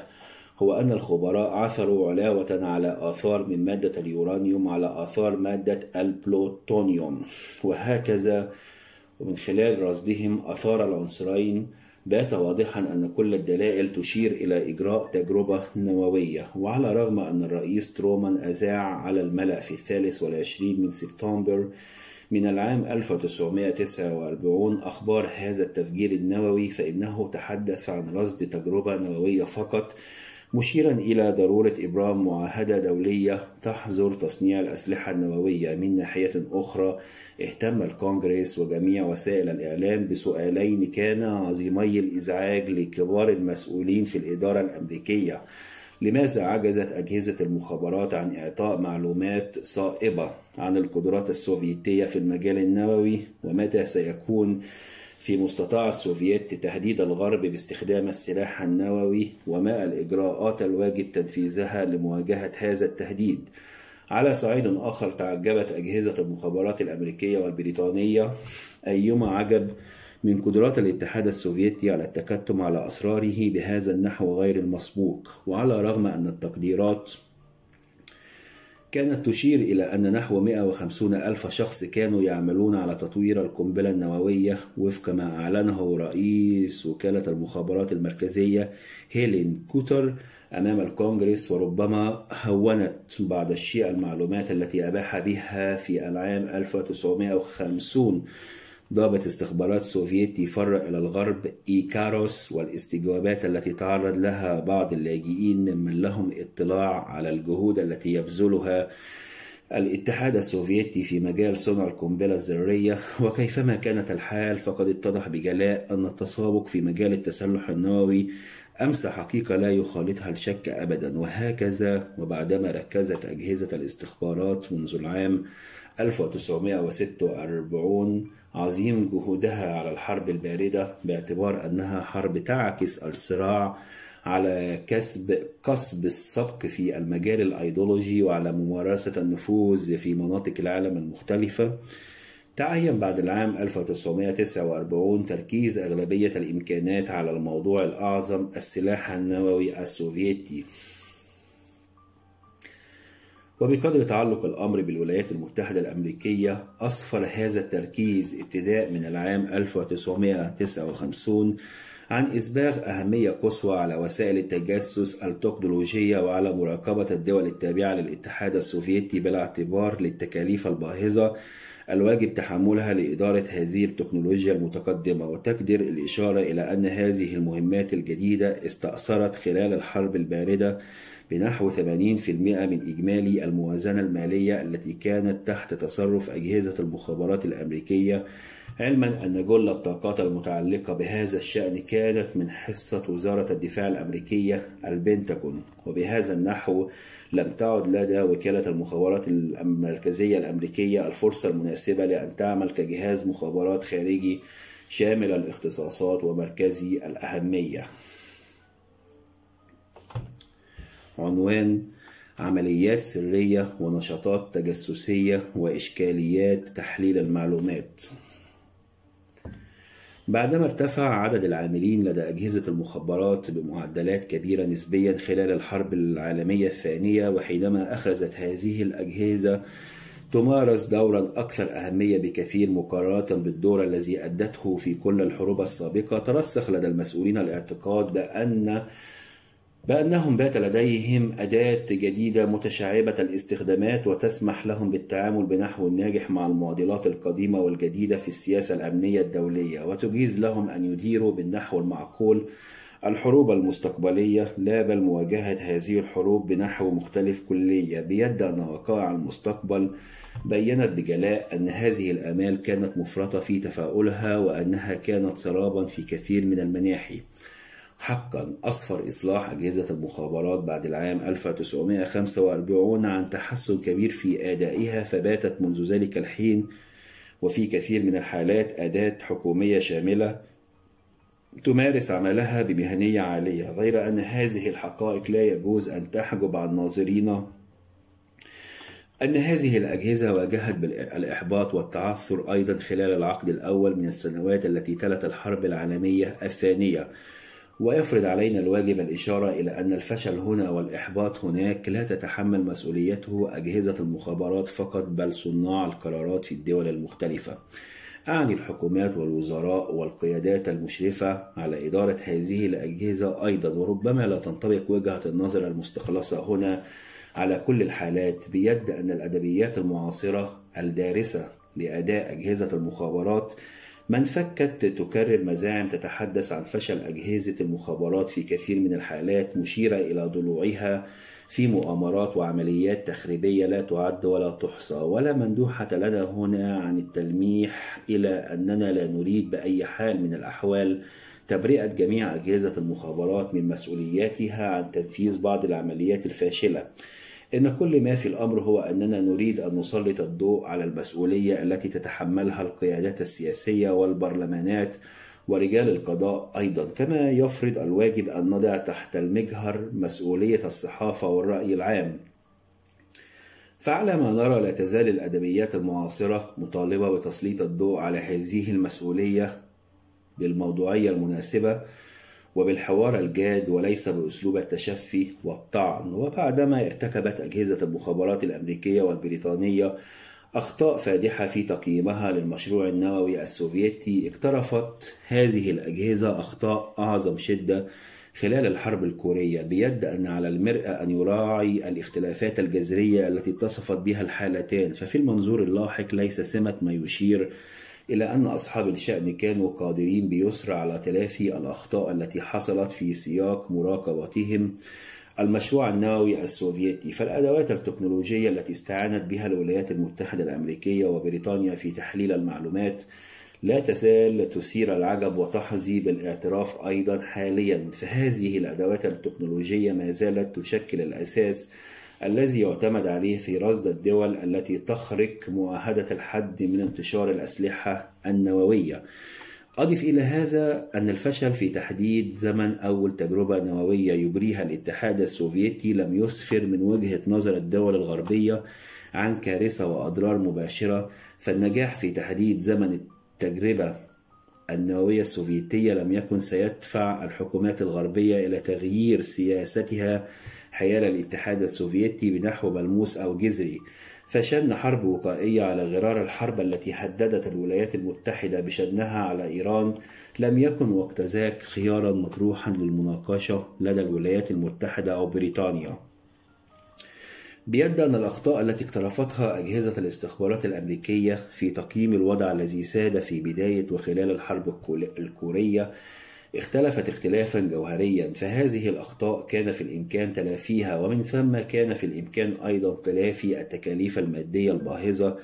والخسائر الفادحة في الأرواح وتبدد كثير من هيبة الولايات المتحدة بين دول العالم.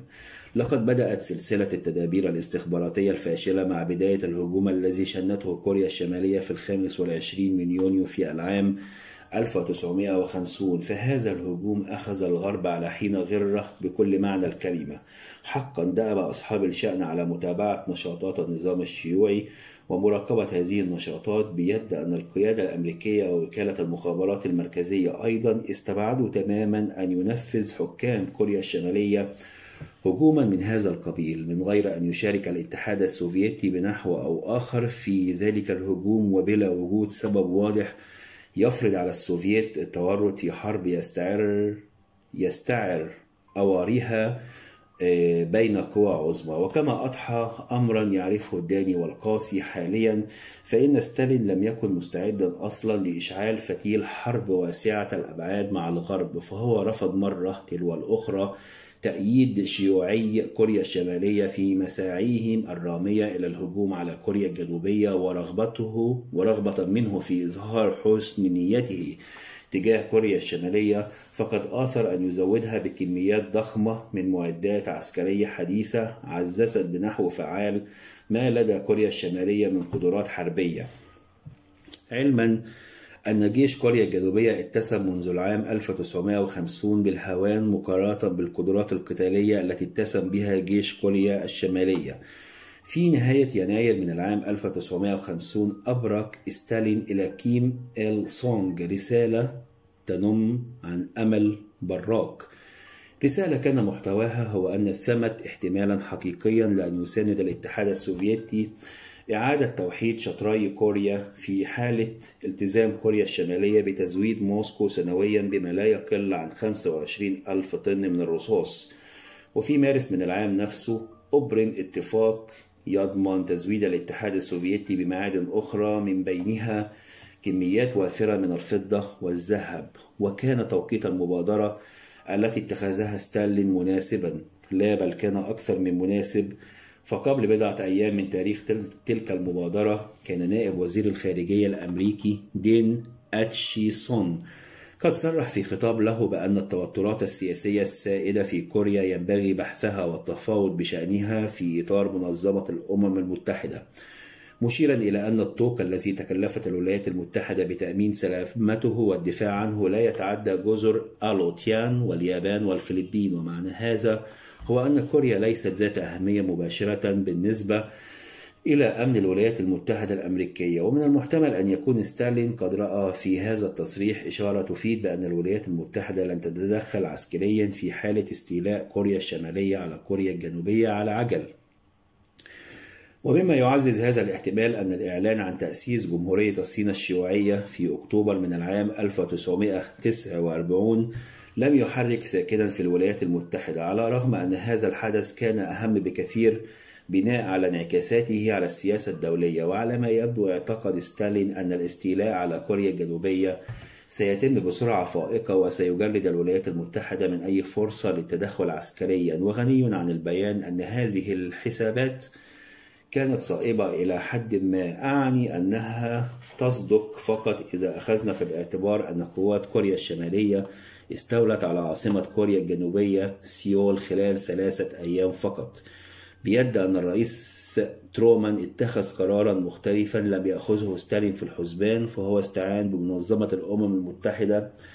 وذلك من أجل الحصول منها على تفويض دولي يجيز له تشكيل تحالف حربي والتدخل في كوريا. من ناحية أخرى فإنه أصدر في 27 يونيو أمرا يقضي بضرورة أن تساند القوات الميدانية والقوات الأمريكية الجوية الأمريكية المرابطة في أرجاء المحيط الهادي كوريا الجنوبية وأن تنتشر سفن الأسطول الأمريكي بالقرب السابع بالقرب من تايوان وذلك للحيلولة دون اندلاع حرب بين الدولتين الصينيتين. وفي الخامس عشر من سبتمبر هبط قائد قوات الأمم المتحدة الجنرال دوغلاس ماك آرثر في مطار لا يبعد كثيرا عن سيول ليكون على اتصال مباشر بقواته المرابطة في كوريا الجنوبية. وخلال خمسة أسابيع نجح أرثر في استعادة جنوب البلاد وواصل تقدمه في أراضي كوريا الشمالية. وفي ضوء هذا الوضع وقبل فترة وجيزة من لقائه الجنرال مارك أرثر في جزيرة ويك المحمية الأمريكية الواقعة في الوسط الغربي في من المحيط الهادي سأل ترومان أجهزته الاستخباراتية عما إذا كانوا يعتقدون أن اتساع دائرة العمليات الحربية خطر قائم وفق أكثر الاحتمالات وعما إذا س... عما إذا سينخرط النظام الحاكم في الصين الشعبية أو في الاتحاد السوفيتي في هذه الحرب. وهل هناك احتمال أن يحارب الصينيون والسوفييت جنبا إلى جنب دفاعا عن كوريا الشمالية؟ إن الجنرال مارك أرثر لم يتبنى هذه الفكرة لا سيما أن الصين الشيوعية فاتها انتهاز الفرصة المناسبة للتدخل وأعرب المحللون في وكالة المخابرات المركزية عن وجهة نظر مشابهة وذلك لاعتقادهم أن للسوفييت تأثيرا كبيرا في سياسة بكين وبالتالي فليس من المتوقع أن تتدخل الصين في الحرب ما دام الاتحاد السوفيتي غير معرض لخطر حرب محدقة. كما أشار هؤلاء المحللون إلى أن بكين لا ترغب بتاتا في تصعيد تبعيتها لموسكو. لكن وخلافا لكل التنبؤات ومن دون سابق إنذار عبر عبر عبر خفية نحو 200 ألف متطوع نهر يالو الفاصل بين الصين وكوريا الجنوبية والتحق هؤلاء المقاتلون بمجموعة متطوعين صينيين آخرين ليشكلوا قوة صينية مقاتلة يبلغ إجمالي تعدادها نحو 300 ألف متطوع. ولقى هذا التدخل استحسان موسكو وإن لم تعلن بكين أو موسكو الحرب بنحو رسمي والولايات المتحدة الأمريكية أيضا لم تطلق على عملياتها العسكرية. صفة الحرب لا سيما أن مجلس الشيوخ الأمريكي لم يوافق على إعلان الحرب أصلا فكما هو معروف لا تستطيع الإدارة الأمريكية إعلان الحرب بلا موافقة مجلس الشيوخ وهكذا كان التعبير الأمريكي الرئيسي لوصف العمليات الحربية هو تنفيذ عملية بوليسية Police Action. على صعيد آخر درجت الصحافة على الحديث عن conflict نزاع صراع منازعة دولية ومعنى هذا هو أن الصراع الدولي المحتدم على الأراضي الكورية كان حربا جديدة كان حربا أراد ستالين من خلالها تنفيذ أهداف لم تفلح أجهزة الاستخبارات في الوقوف على مغزاها الفعلي. ويظهر لنا حذر الرئيس ترومان من خلال تعامله مع خطوط الإمدادات السوفيتية فهو أصدر إلى القوات المسلحة أمرا يحظر عليها كلية قصف الإمدادات المعادية المرة عبر الأراضي الصينية ويمنعها من نقل الحرب إلى العمق الصيني. ومن خلال هذه الوقائع يتبين لنا مرة أخرى صعوبة الاعتماد على الأساليب التقليدية الدارجة في الجاسوسية الغربية في تذليل الاتصال بأصحاب القرار في المعسكر السوفيتي. وهكذا لم يبقى أمام الغرب سوى الاعتماد على مؤشرات عسكرية وإمعان النظر في انتشار القوات الميدانية. وفي مراقبة كثافة الاتصالات اللاسلكية واستجواب أسرى الحرب على أمل أن تفشي هذه الوقائع عن أهداف العدو. بيد أن على المرء أن يأخذ في الاعتبار أن الاعتماد على مؤشرات وتكهنات وتخمينات وظنون يمكن أن يعرض المرء لخدع كثيرة ومكائد مختلفة. وفي واقع الحال فإن هذا هو بالضبط الفشل الذي خيم على الأجهزة الأمريكية المكلفة بالتجسس على مختلف المجالات العسكرية. فبسبب الخيانة التي اقترفها ويليام وايس باد لم يعد الأمريكيون منذ نهاية العام 1949 قادرين على فك شفرات البرقيات التلغرافية السوفيتية وباتوا مكرهين على الاستعانة كلية بتقارير أجهزة المخابرات الصديقة. أعني أجهزة مخابرات كوريا الجنوبية وتايوان علما أن هذه الأجهزة لم تكن مرتشية فقط بل كانت مشبعة بالشيوعية أيضا من كثرة الشيوعيين الذين كانوا يتسللون إلى صفوفها. وعلى الرغم أن أصحاب الشأن حاولوا تجنيد عملاء ومخبرين جدد مهمتهم هي التجسس لحساب الأمريكيين من خلف حدود العدو وعلى جناح السرعة ومن دون إعداد دقيق وتدريب مهني مناسب فإن هذه المحاولة باءت بفشل ذريع وبنحو مأساوي لألوف مؤلفة من الجواسيس الكوريين والصينيين. إذ قبض عليهم الشيوعيون وجرى استخدام البعض منهم لتضليل الأمريكيين والتمويه عليهم. أضف إلى هذا أنه لم يعد أحد منهم تقريبا إلى صفوف الأمريكيين أو استطاع أن يبرك إليهم معلومات دقيقة. وتولى رئيس شعبة العمليات الخارجية السرية OPC التابعة لوكالة المخابرات الأمريكية فرانك ويزنر إنشاء مقر في جزيرة سايبان التابعة لجزر ماريانا لتدريب الفارين وأسرى الحروب على التجسس لمصلحة الولايات المتحدة الأمريكية.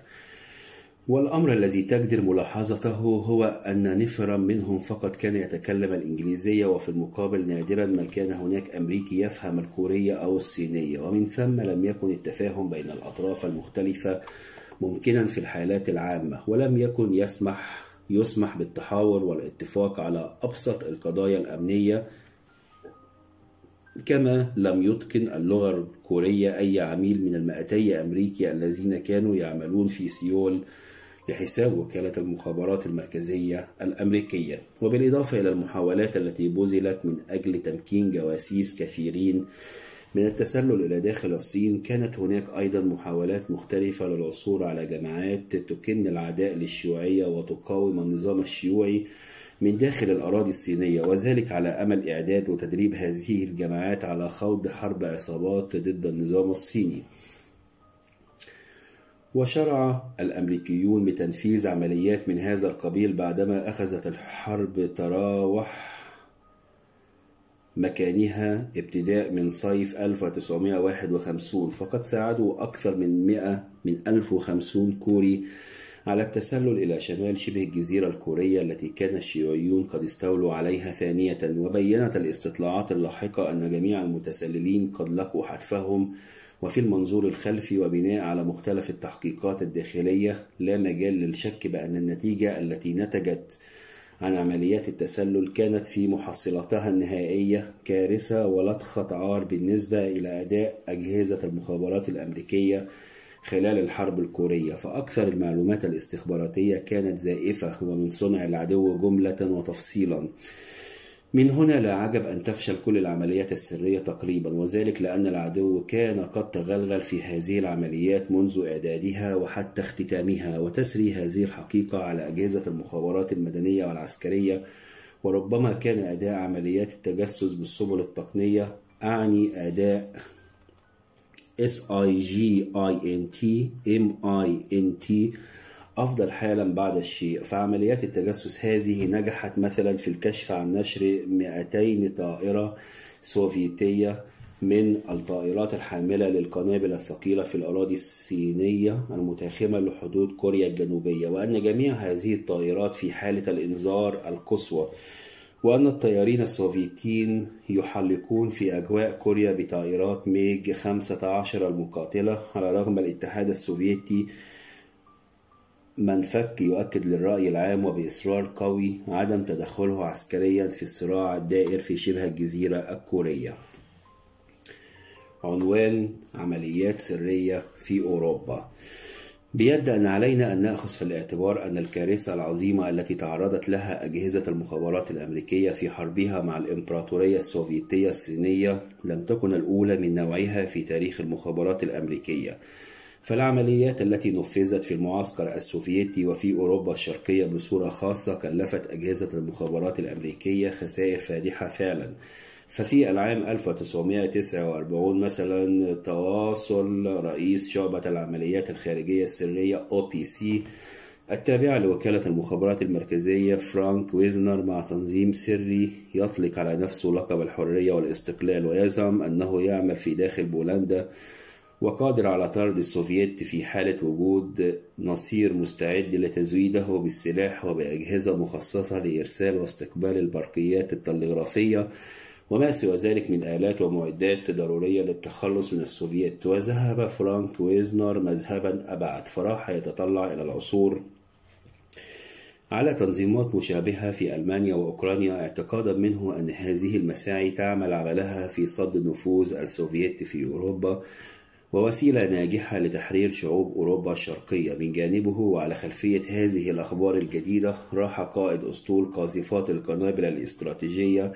الجنرال كورتيس ليماي يفكر في احتمالات خوض حرب مع الاتحاد السوفيتي وبضرورة توفره. والحالة هذه على متمردين مناصرين للغرب وعناصر يمكن الاستعانة بهم في انتشال الطيارين الأمريكيين الذين تسقط طائراتهم في أراضي العدو أي أنه استعاد التجارب الناجحة التي تحققت إبان الحرب التي خاضتها الولايات المتحدة ضد ألمانيا قبل بضع سنوات وكيفما كان الوضع فإن الأمل بوجود عناصر في بولندا وأوكرانيا وفي إقليم البلطيق مهيئة للتمرد وعازمة على الانخراط في حرب عصابات ضد السوفييت لم يكن تصورا من وحي الخيال. ففي هذه الدول صارعت قوى متمردة النفوذ السوفيتي طوال السنوات الكثيرة التي أعقبتها التي أعقبت انتهاء الحرب العالمية الثانية. إن كل ما في الأمر هو أن أجهزة المخابرات السوفيتية نجحت في التسلل إلى صفوف هذه الحركات.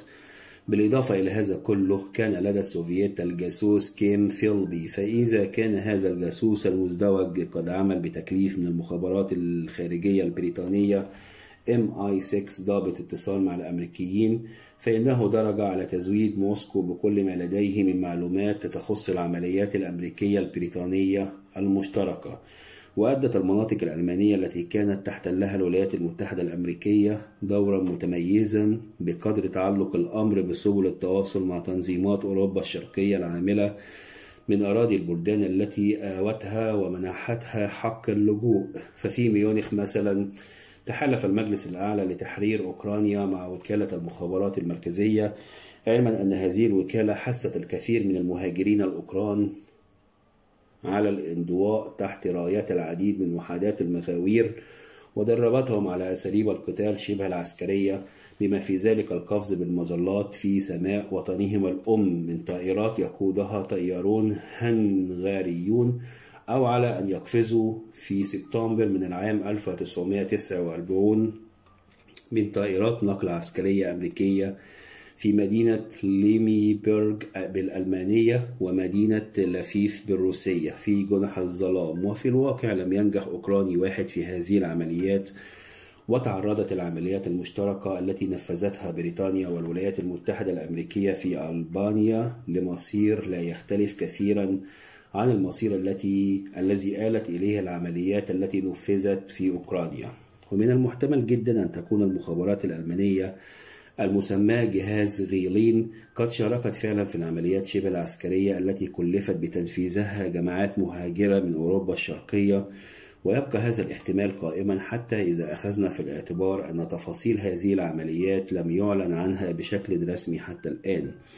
ومن الممكن جدا أن يسري هذا الاحتمال بصورة خاصة على نحو عشرين ألف لاجئ بلطيقي جرى تدريبهم تدريب كثيرا منهم على شواطئ بحر البلطيق. البلطيق على فنون التسلل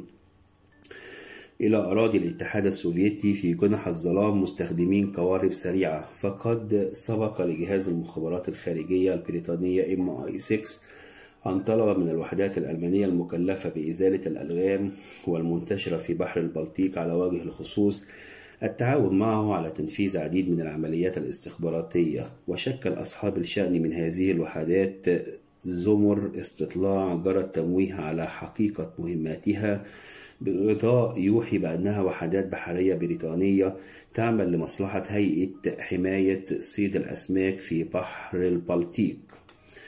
وكان هانس هيلموت كلوزا واحدا من البحارة الألمان الذين تكفلوا بأداء هذه المهمة فهو انتهى انتمى إلى هذه الزمرة ابتداء من العام 1956 وبذل جهودا كبيرة لتدليب السلاح البحري الألماني على تنفيذ عمليات الاستطلاع المنشودة وترك خلال سبعينيات القرن العشرين إلى منصب قائد لأحد الأساطيل الألمانية.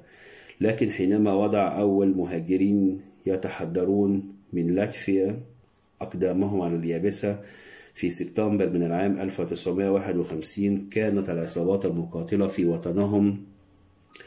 قد هزمت شر هزيمة ووفق ما تقوله بعض المصادر فبعد, فبعد هذه الهزيمة وصل عدد المتمردين المنتشرين في ليتوانيا فقط إلى بضعة آلاف مقاتل حتى العام 1952 وتشير روايات أخرى إلى أن المناطق الأخرى في البلطيق شهدت حتى العام 1956 معارك متفرقة وأن المتمردين على النظام السوفيتي في هذا الحيز من العالم قتلوا عشرات الآلاف من جنود الجيش الأحمر ومن كوادر الشيوعيين ومن المتواطئين مع السوفيت. وإذا كان الاتحاد السوفيتي قد اعترف طواعية بأنه تكبد خسائر كثيرة في الأرواح فإن الأرقام التي أعلنها كانت أدنى بكثير من الأرقام التي تحدثت عنها الجماعات اللاجئة. وأثبت الاتحاد السوفيتي أنه هو الطرف الذي أحرز قصد السبق في المعركة الإعلامية فأبواق الدعاية المسيرة من قبله نشرت عبر الإذاعة البولونية المسموعة في ديسمبر من العام 1951 تفاصيل المكيدة التي نفذها السوفييت بدهاء وإحكام. فقد نجحت المخابرات السوفيتية فعلا في توظيف التنظيم البولندي السري المسمى الحرية والاستقلال لتضليل أجهزة المخابرات الغربية. فبعد بضع سنوات من انتهاء الحرب اتصل بالجنرال البولندي أندرز الشديد العداء للشيوعية شخص بولندي الأصول. يعرض عليه مساعدته في العمل مع معارضين بولنديين يناضلون سرا. وفي سابق الأيام حارب الجنرال في صفوف القوات السوفيتية ثم مع جيوش أيزنهاور ضد ألمانيا وكيفما كانت الحال ففي نهاية الأمر أسقطت السلطات البولندية الجنسية عنه فأجبر على العيش في لندن بصفته لاجئا سياسيا. وعلى ما يبدو كانت قوة شخصيته هي العامل الرئيسي الذي حرض أجهزة المخابرات البريطانية والأمريكية على أن تقدم للبولنديين المنخرطين في حرب عصابات ضد الشيوعيين معودات قيمة تشتمل على مبالغ مالية معتبرة وكميات عظيمة من السلاح والعتاد وعلى أن تدعم كفاحهم من خلال إرسال عدد من الجواسيس والعملاء إليهم. لكن سرعان ما تبين أن أجهزة المخابرات الغربية تعرضت لمقلب أحكم السوفييت تفاصيله أي أنها تعرضت للمقلب نفسه تقريبا الذي تعرضت له عناصر استخباراتية غربية في العشرينات من القرن المنصرم على خلفية المكيدة التي دبرها البلشفيك للمخبرين الغربيين. ويشهد الواقع على أن النجاح في أوروبا كان حليف تلك النشاطات الاستخباراتية التي تعاونت أجهزة المخابرات البريطانية والأمريكية على إنجازها هناك ولا تفوتنا في هذا السياق الإشارة إلى الانتخابات البرلمانية التي أجريت في إيطاليا في العام 1948 ففي تلك الانتخابات وظفت وكالة المخابرات المركزية كل طاقتها المالية لدعم الأحزاب ووسائل الإعلام المناهضة للشيوعية كما يحق للمرء أن يشير في هذا السياق إلى الدعم الخفي الذي حصلت عليه النقابات العمالية الحرة في أوروبا الغربية.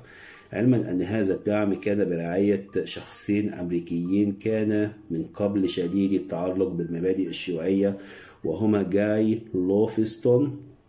وإيرفين براون.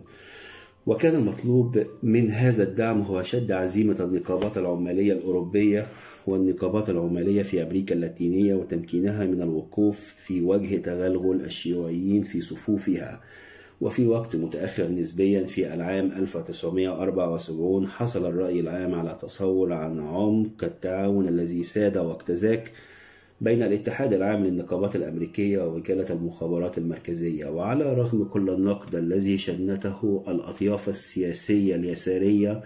على مؤتمر الحرية الثقافية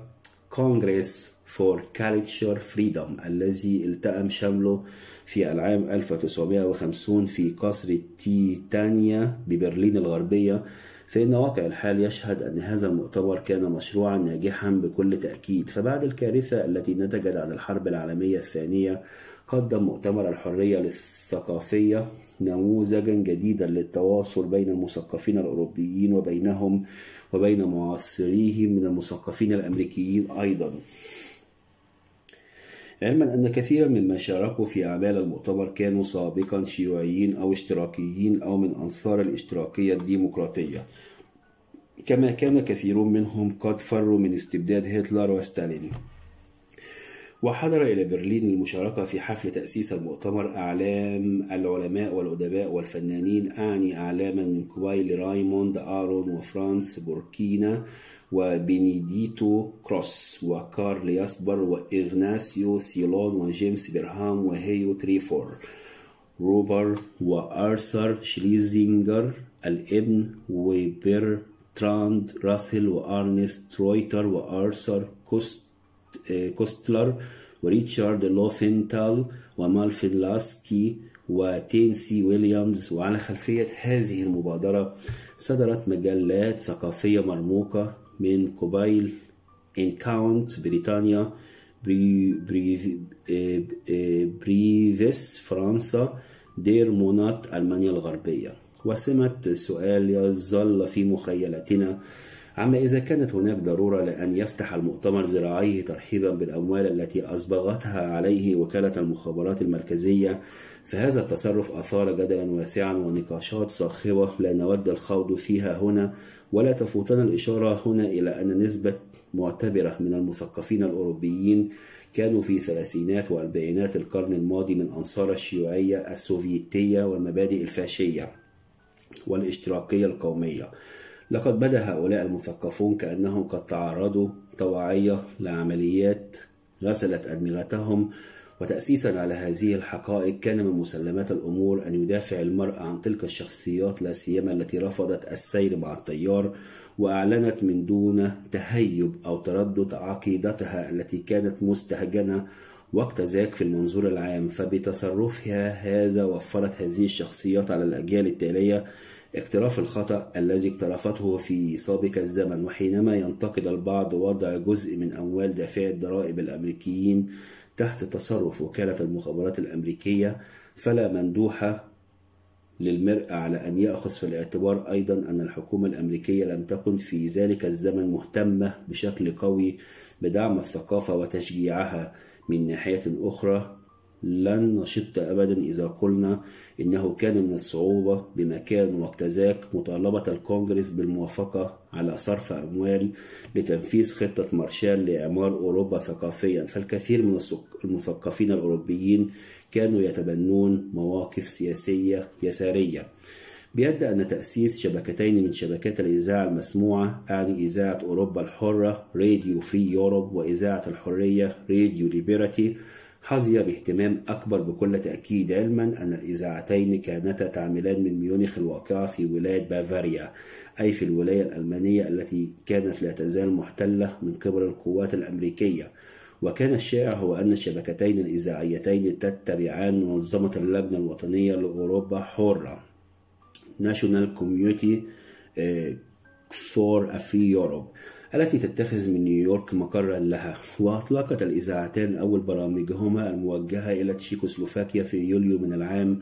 1950 على الموجة القصيرة وتوسع نشاطهما فأخذتا في مرحلة لاحقة تبثان بلغات دول أوروبا الشرقية الأخرى. وابتداء من العام 1953 استحدثت إذاعة أخرى عملت في بادئ الأمر باسم إذاعة التحرير وباسم إذاعة الحرية ابتداء من العام 1964 ودرجت هذه الإذاعة على بث برامجها بالروسية أولا وببقية لغات الاتحاد السوفيتي فيما بعد. واسترشدت هذه الإذاعات بإذاعة برلين المسماة اختصارا RIAS برلين. والتي كان عنوانها التام هو راديو in the American Sector علما أن هذه الإذاعة شرعت تبث برامجها في العام 1946 وبينما كانت هذه الإذاعة يعني إذاعة RIAS برلين تمول من الضرائب المستقطعة من دخول المواطنين الأمريكيين وتسير من قبل محررين ألمان في المقام الأول فقد استمرت الإذاعات الأخرى حتى العام 1971 تنفق من الأموال التي تحصل عليها من وكالة المخابرات المركزية في ابتداء من ذلك العام. وافق الكونغرس على حق هذه الإذاعات بامتلاك ميزانيات خاصة بها. كما بات الإشراف على هذه الإذاعات من اختصاص مجلس البث العالمي. Board for International Broadcasting. وليس من اختصاص الحكومة الأمريكية نفسها فحتى ذلك الحين درجت وكالة المخابرات المركزية ووزارة الخارجية خلال خمسينات القرن الماضي بصورة خاصة على توجيه هذه الإذاعات وكثر السجال حول الدور الذي أدته إذاعة أوروبا الحرة خلال الاضطرابات الشعبية التي عمت المجر في العام 1956 وذلك لأن وسائل الإعلام الأمريكية تركت لدى المجريين الانطباع بأنهم سيحصلون من الولايات المتحدة الأمريكية على الأسلحة وما سوى ذلك من مساعدات سخية. وفي الواقع كانت هذه الإيحاءات سرابا لا قيمة له. فبينما كانت وسائل الإعلام الأمريكية تكرر من دون انقطاع وبنحو مبطن هذه الآمال الزائفة كانت واشنطن تتعهد للسوفييت بأنها لا تنوي التدخل في الشأن المجري ولا تريد التورط في الموضوع عسكريا بصورة خاصة. وهكذا تبين أن الحديث عن سياسة تحرير شعوب أوروبا الشرقية من نير الاستعباد والقهر ثرثرة لا طائل منها وتبجح فارغ مخصص في المقام الأول لتهدئة خاطر الرأي العام الأمريكي وطمأنة المواطنين الأمريكيين المتحدرين من أوروبا الشرقية بشعارات وطنية وبيانات حماسية. ومن وجهة النظر الأمريكية كان توظيف الشبكات الإذاعية الجماهيرية لتحقيق أغراض سياسية أمرا مثيرا للاستغراب فتصرف من هذا القبيل يتوقعه المرء من الأنظمة الأوروبية المستبدة من نظام موسوليني وهتلر وستالين وليس من العالم الحر.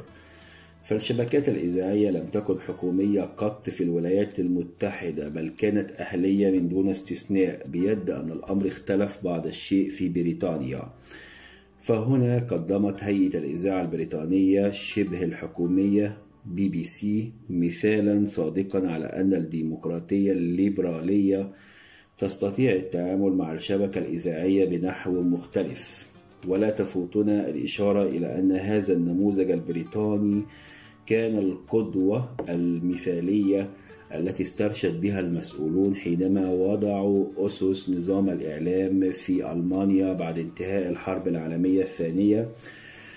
وفرضوا عليها نظاما لا يخضع لرقابة الدولة وغير مركزي ويعتمد في تمويله على رسوم المستمعين والمشاهدين. بيد أن هذا كله لا يجوز أن يحجب عن ناظرينا أن الشبكات الإذاعية الألمانية كانت مكلفة بأن تكون أداة تعمل على صد مساعي الإمبراطورية السوفيتية لإخضاع ألمانيا لنفوذها. وغني عن البيان أن هذا التوجه أثار الكثير من النقاشات فليس ثمة شك في أن من حق المرأة أن يسأل هنا عما إذا كان هذا التكليف يتفق مع مبدأ الاستقلالية عن التوجيه الحكومي. ومن حسن الحظ أن الدول الشيوعية لم تكن قادرة على التزرع بهذا الأمر. وذلك لأنها لم تكن تلتزم أصلا بحقوق الإنسان المشار إليها في ميثاق الأمم المتحدة. أضف إلى هذا أن المعسكر الشرقي شارك بنحو مكثف في الحرب الدائرة على الأثير فإذاعة موسكو بدأت في زمن مبكر نسبيا في العام 1939 بتقديم برامج تنطق بالفرنسية والإنجليزية والعربية والإيطالية. من ناحية أخرى شرعت إذاعة بكين منذ العام 1947 في بث برامجها باللغة الإنجليزية وشاركت ألمانيا الشرقية في هذا الشأن بنحو قوي وفعال ابتداء من العام 1959 وبعد فترة قصيرة أدلت بدلوها دول أخرى كثيرة. وإذا توخينا الدقة فليس ثمة شك في أن البرامج التي درجت الشبكات الإذاعية الحكومية على بثها لم تكن تدخل بالضرورة في دائرة النشاطات الاستخباراتية بيد أن من حقائق الأمور أيضا أن إذاعة أوروبا الحرة وإذاعة الحرية إذاعة التحرير منحت وكالة المخابرات المركزية فرصا كبيرة لمزاولة نشاطاتها وقدمت فرص عمل معتبرة لمهاجرين كانوا يتطلعون بفارغ الصبر إلى حشد ما لديهم من علاقات شخصية ومهنية في المعسكر الشرقي ضد النظام السوفيتي. على صعيد آخر عزز العاملون في هذه الإذاعات لا سيما العاملون المتحدرون من أوروبا الشرقية روابط التواصل مع الجماعات المنشقة واستخدموهم مصدرا يحصلون منه على معلومات كان بعضها مهما جدا فأن لأجهزة الاستخبارات الغربية أن تعلم بحقيقة التحولات التي تطرأ في مجتمعات المعسكر الشرقي. فمن حقائق الأمور أن المنشقين واللاجئين كانوا يقدمون أفضل المعلومات الخاصة بمجالات لا تعد ولا تحصى بيد أن هذا كله لا يجوز أن يحجب عن أنظارنا أن أجهزة المخابرات الشيوعية كانت تراقب هؤلاء المنشقين بنحو قوي وبآليات محكمة. على صعيد آخر كان تعزيز الروابط معهم يعرض أجهزة المخابرات الغربية لمخاطر معتبرة. من ناحية أخرى كانت هذه الروابط تجود بكثير من الثمار فمن خلال المعلومات الصادقة التي ينقلها هؤلاء الأشخاص استطاعت الشبكات الإذاعية الأجنبية أن تخاطب مستمعيها بنفس اللغة التي جرت على لسان أبناء جلدتهم وبنفس الصور التي استخدموها. لإعطاء صورة دقيقة عن الأوضاع السائدة في دولهم مفندين بذلك ما ترويه أبواق الدعاية من أكاذيب وأباطيل ومعارين هذه ومعرين هذه الأبواق على حقيقتها. فروايات أدبية منع تداولها وقت ذاك في الاتحاد السوفيتي. أعني روايات بوريس باسترناك وألكسندر سولجينتسين على سبيل المثال. أذاعت نصوصها شبكة الحرية وشبكة التحرير الإذاعيتان قبل إجازة تداولها بعقود كثيرة من السنين وتأسيسا على هذه الحقيقة يمكن القول إن هذه الشبكات الإذاعية أدت دورا مهما ليس في تاريخ الاستخبارات فقط بل في تاريخ الثقافة الأوروبية أيضا. عنوان حروب خاضتها أجهزة المخابرات في دول العالم الثالث. على خلفية انهيار استعمار بريطانيا للهند في العام 1947 وحصول الفلبين على استقلالها قبل عام من ذلك التاريخ شهدت السياسة العالمية تحولات جذرية أطلق المراقبون عليها مصطلح مقاومة الاستعمار وتصفيته. ونشأ في سياق هذه التحولات ما بات يسمى العالم الثالث. وأظن أن الحديث عن مقاومة الاستعمار أو تصفيته ينطوي على خطأ واضح ولا, ولا يعبر بنحو دقيق عن فحوى الظاهرة التي نحن بصدد الحديث عنها هنا. فكثير من الشعوب والأقاليم المعنية بهذه الظاهرة لم تخضع لعلاقات إمبريالية.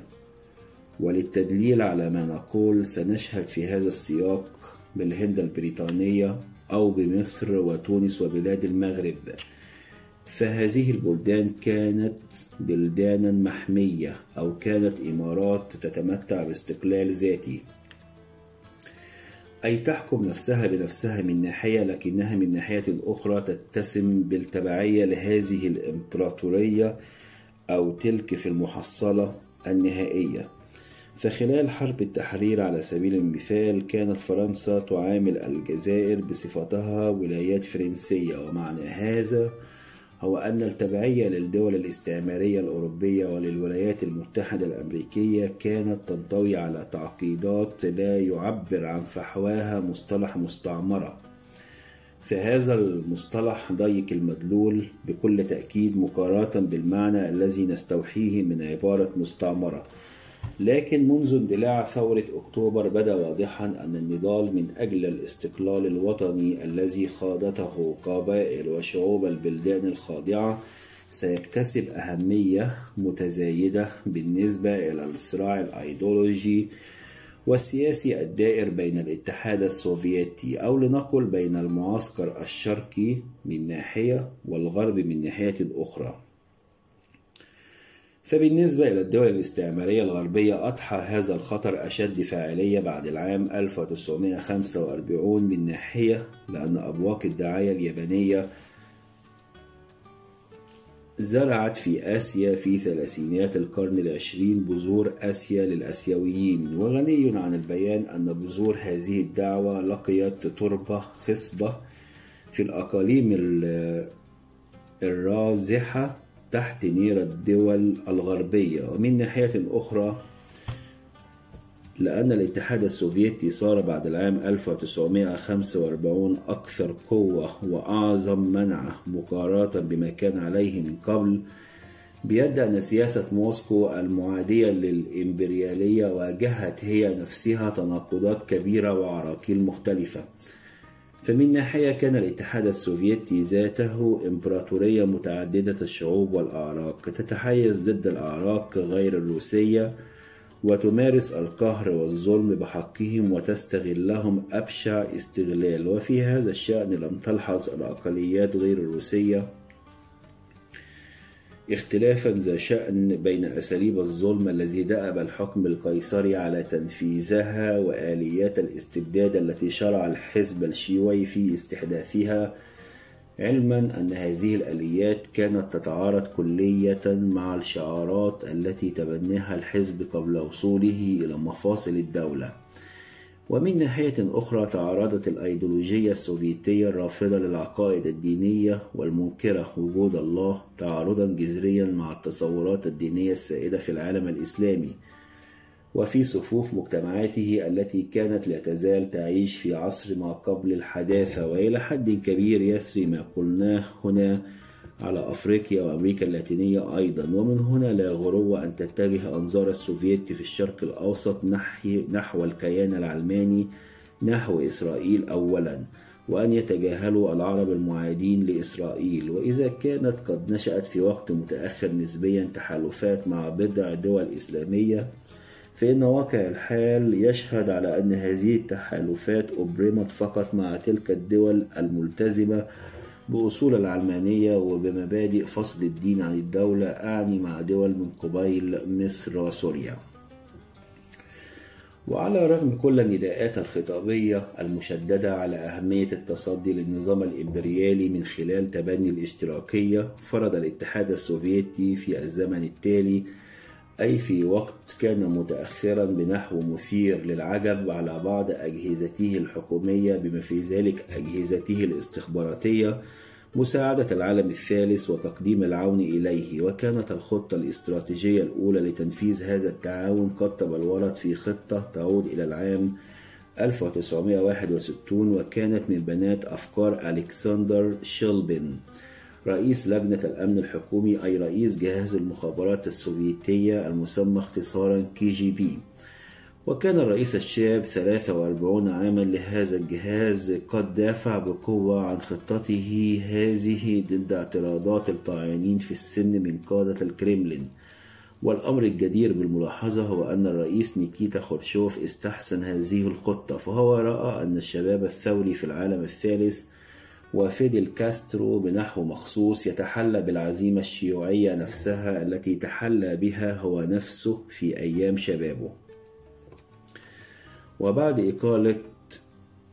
خروشوف وتولي ليونيد بريجينيف زعامة الاتحاد السوفيتي استذكر الزعيم الجديد الخطة وأشار إلى أن كل الاحتمالات تؤكد إمكانية الانتصار على الدول الغربية الرأسمالية بنحو نهائي في سياق الصراع الدائر حول العالم الثالث. وكيفما اتفق فقد نشأ في رحاب كي جي بي جيل في مقتبل العمر لديه معرفة جيدة بقضايا العالم ويحظى بدعم العناصر المكلفة من قبل اللجنة المركزية للحزب الشيوعي السوفيتي بمتابعة وتحليل القضايا الدولية ويكافح من أجل أن تؤدي الخطة الاستراتيجية المقترحة من قبل رئيس جهاز المخابرات شيلبين دورا أكثر أهمية في السياسة الخارجية السوفيتية كما أكد كبير المفكرين في الحزب ميخائيل سوسلوف أن أن توهين أو إنهاك النظام الرأسمالي يتحقق من خلال القوى المناضلة ضد الإمبريالية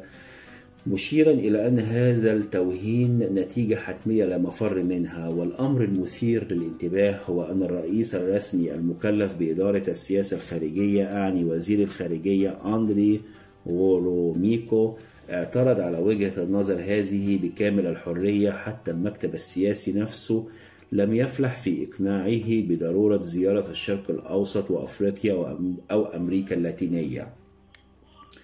كما لم يكن رئيس لجنة الأمن الحكومي المخابرات السوفيتية يوري أندروبوف متأكدا من أن بالإمكان الانتصار على الغرب في المضامير الأيديولوجية وفي ميادين العالم الثالث العسكرية. فأندروبوف صرح في منتصف إبريل من العام 1975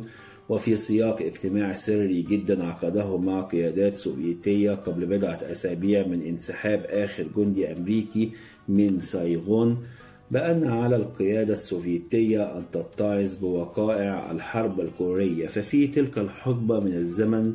بسطت القوات الشيوعية سيطرتها على كامل البلاد لكنها تعرضت لهزيمة نجراء في نهاية المطاف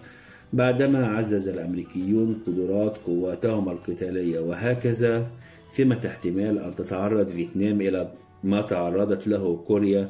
لا سيما أن كل قوات الشمال جرى حشدها عمليا في القسم الجنوبي من فيتنام. الأمر الذي جعل الطريق إلى هانوي من دون دفاعات قادرة على صد هجوم أمريكي مباغت على شمال فيتنام. وعلى ما يبدو لم يكن يوري أندروبوف قادرا على تصور تعرض الأمريكيين في فيتنام للهزيمة النقراء التي تعرضوا لها فعلا.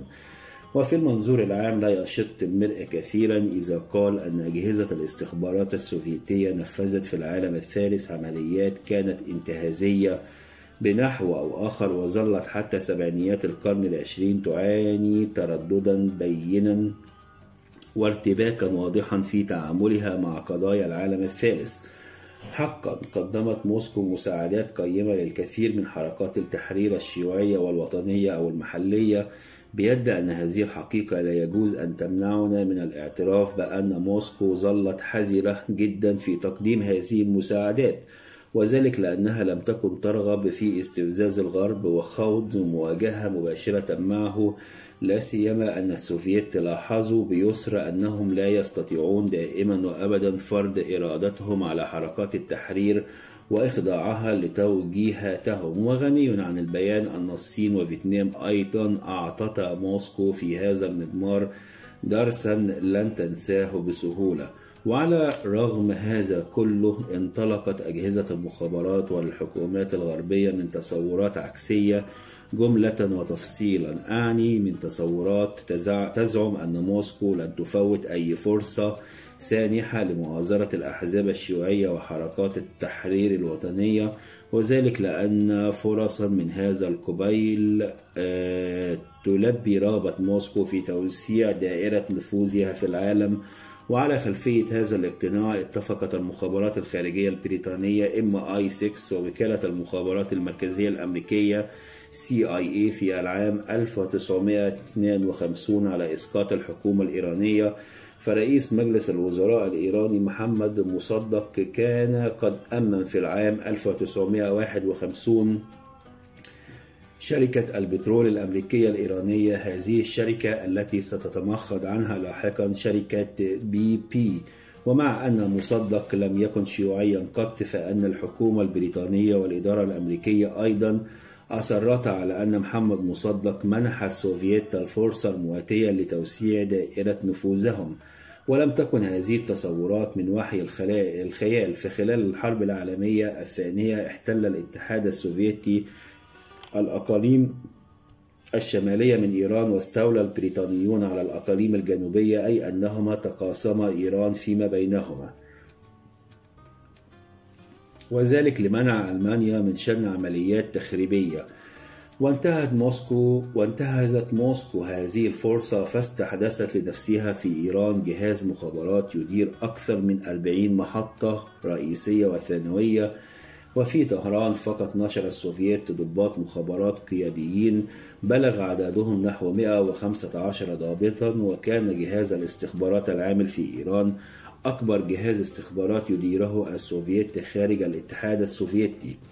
وعلى الرغم من أن الدول الغربية قد نجحت في العام 1946 في إكراه السوفييت على الانسحاب من إيران فإنهم واصلوا تعزيز نفوذهم على حزب على حزب تودة أي الحزب الشيوعي الإيراني. وعلى القبائل القاطنة شمال إيران وفي المناطق المحاذية للاتحاد السوفيتي بنحو مخصوص. وذلك لأن أواصر قرب متينة كانت تجمع بين سكان المناطق الواقعة على جانبي هذه الحدود. على صعيد آخر تعرض الشاه في العام 1949 لمحاولة اغتيال دبرها ضباط يؤيدون حزب تودة وحينما قرر مصدق في أكتوبر من العام 1952 إغلاق أبواب السفارة البريطانية في طهران فإنه كان في الواقع قد اتخذ قرارا بطرد جميع عملاء المخابرات الخارجية البريطانية MI6 فهذا الجهاز كان يعمل من داخل السفارة أصلا وعلى وقع هذه التطورات لاحظت بريطانيا أن مواجهة الوضع الجديد تفرض عليها الاستعانة بقدرات وكالة المخابرات المركزية الأمريكية CIA لكن واشنطن لم توحي بأن لديها الاستعداد لمساندة الهيمنة البريطانية على استخراج البترول من آبار الشرق الأوسط. لا بل ذهب الرئيس ترومان مذهبا أبعد. ففي يونيو من العام 1951 صادق ترومان على قرار أمر فيه وكالة الأمن القومي بضرورة احترام حق الدول المستقلة في السيطرة على ثرواتها الطبيعية. غير أن الأمر اختلف كلية بعدما وصل الرئيس أيزنهاور إلى سدة الحكم في يناير من العام 1953 فأيزنهاور نظر إلى الصراع الإيراني البريطاني من زاوية الصراع بين المعسكرين الشرقي والغربي وعلى صعيد آخر رأى أيزنهاور في العمليات المموهة أي السرية أداة لا يمكن الاستغناء عنها أبدا للوقوف في وجه النفوذ الذي بات الاتحاد السوفيتي يمارسه في العالم. وللإحاطة بتفاصيل الأحداث التي عصفت بإيران لا مندوحة لنا من الإشارة إلى كيرميت روزفلت الرجل الذي ربطته بالرئيسين الأمريكيين تيودور روزفلت وفرانكلين روزفلت صلة قرابة والذي كان يعمل في وكالة المخابرات المركزية شعبة الشرق الأوسط. فكيرميت روزفلت رفع إلى وزير الخارجية الأمريكية دالاس في يونيو من العام 1953 تقريرا من 22 صفحة يشرح فيه بإسهاب تفاصيل مؤامرة تسعى إلى الإطاحة بحكومة مصدق بيد أن هذا التقرير لم يكن في الواقع من بنات أفكار أجهزة المخابرات الأمريكية بل من صنع عملاء المخابرات الخارجية البريطانية. وكانت خطة الانقلاب تقتضي الاستعانة بضباط مرتشين من ذوي الرتب العالية ومدنيين على أتم استعداد لتنفيذ ما يطلب منهم لقاء المال كما اقتضت الخطة إنزال الدهماء إلى شوارع طهران لإشاعة الاضطرابات في العاصمة وللإيحاء للشعب بأن حكومة مصدق تواجه انقلابا لا مفر منه. من ناحية أخرى اقترحت الخطة أن يتولى جنرال ميرتش رئاسة الحكومة الجديدة وأن يعتقل مصدق أو ينفذ به حكم الإعدام من دون تردد غير أن محمد مصدق أحيط علما بما يدبر له وأنزل من جانبه الدهماء إلى شوارع البلاد وعلى وقع هذه التطورات فر الشاه إلى أوروبا وهكذا أضحت كل المؤشرات تشير إلى أن العملية الانقلابية باءت بالفشل وأن كل الجهود التي أنفقتها أجهزة المخابرات الأمريكية والبريطانية على هذه العملية ذهبت سدى. من هنا لا غرو أن تأتي تعليمات جديدة من واشنطن تفرض على عملاء وكالة المخابرات المركزية العاملين في طهران ضرورة الكف عن مواصلة العمل بالمؤامرة الفاشلة لكن وبما أن الاتصالات الهاتفية كانت تمر على محطة المخابرات الخارجية البريطانية العاملة من قبرص فقد أحيط البريطانيون علما بتفاصيل التعليمات ونجحوا في وقف إبراكها إلى عملاء وكالة المخابرات الأمريكية في طهران من دون علم منهم بما طلب منهم. واصل عملاء المخابرات المركزية الأمريكية تنفيذ الخطة المعدة مسبقا فاستولوا على الإذاعة الإيرانية وراحوا يذيعون على الإيرانيين أخبارا مزورة وتقارير ملفقة تزعم أن مصدق عزل من منصبه وأن الشاه عاد إلى طهران وغني عن البيان أن كلا الخبرين كانا عاريين من الصحة وكاذبين. وكيفما كانت الحال فقد نجحت الخطة وأعادت الهدوء إلى أرجاء البلاد وسمحت للشاه بأن يعود إلى طهران آتيا من إيطاليا بعد أسبوع من الاستيلاء على مبنى الإذاعة. وبعدما شاركت وحدات عسكرية مؤيدة للشاه في المعارك الدائرة بين المدنيين في شوارع العاصمة وبينما نجح مصدق حينا من الزمن في الاختفاء عن أنظار المتآمرين فإنه اضطر أخيرا إلى أن يسلم نفسه إليهم في واحد وعشرون أغسطس وبعد قضائه ثلاث سنوات في السجن وضع مصدق تحت الإقامة الجبرية حتى وفاته المنية في العام 1967 وعلى وقع هذه التحولات سرعان ما أبرمت الحكومة الإيرانية الجديدة مع لندن اتفاقا يقضي بتقاسم عوائد عائدات البترول فيما بينهما. وحاليا وعلى خلفية المبدأ الذي أعلنه جورج بوش الإبن أعني مبدأ تغيير الأنظمة الحاكمة في دول أجنبية بكل السبل الناجحة تبدو لنا عملية إسقاط حكومة مصدق الأساس الذي انطلقت منه الريب المتحكمة في علاقة إير... انطلقت منه الريب المتحكمة في علاقة إيران بالدول الغربية الديمقراطية وبين إيران والولايات المتحدة وبريطانيا بصورة خاصة. أعني الريبة التي آلت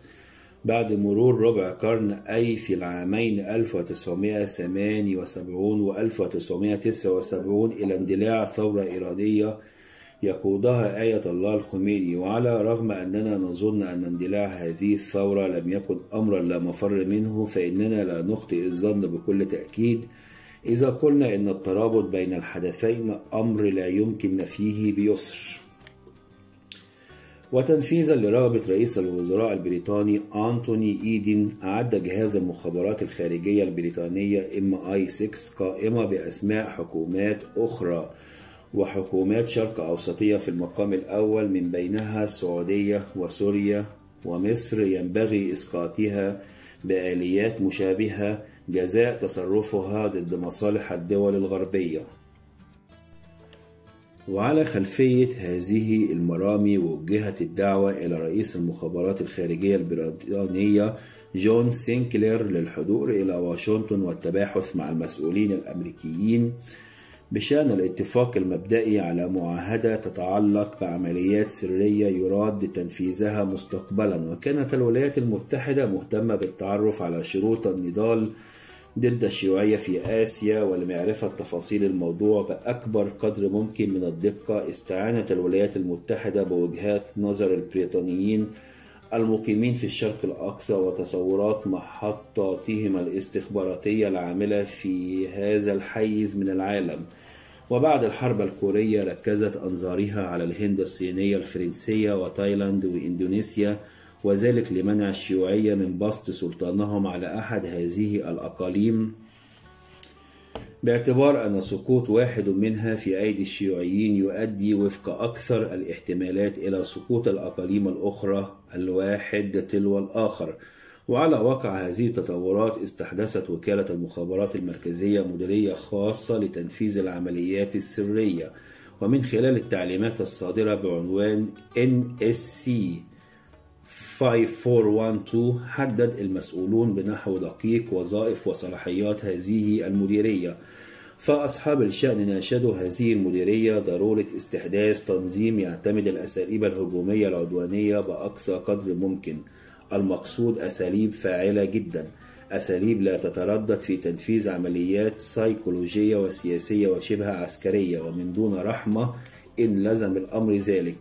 وأشارت التعليقات التوضيحية المتضمنة وظائف وصلاحيات المديرية الجديدة والقادية باستحداث لجنة تشرف على العمليات المزمع تنفيذها إلى أن الهدف من هذه العمليات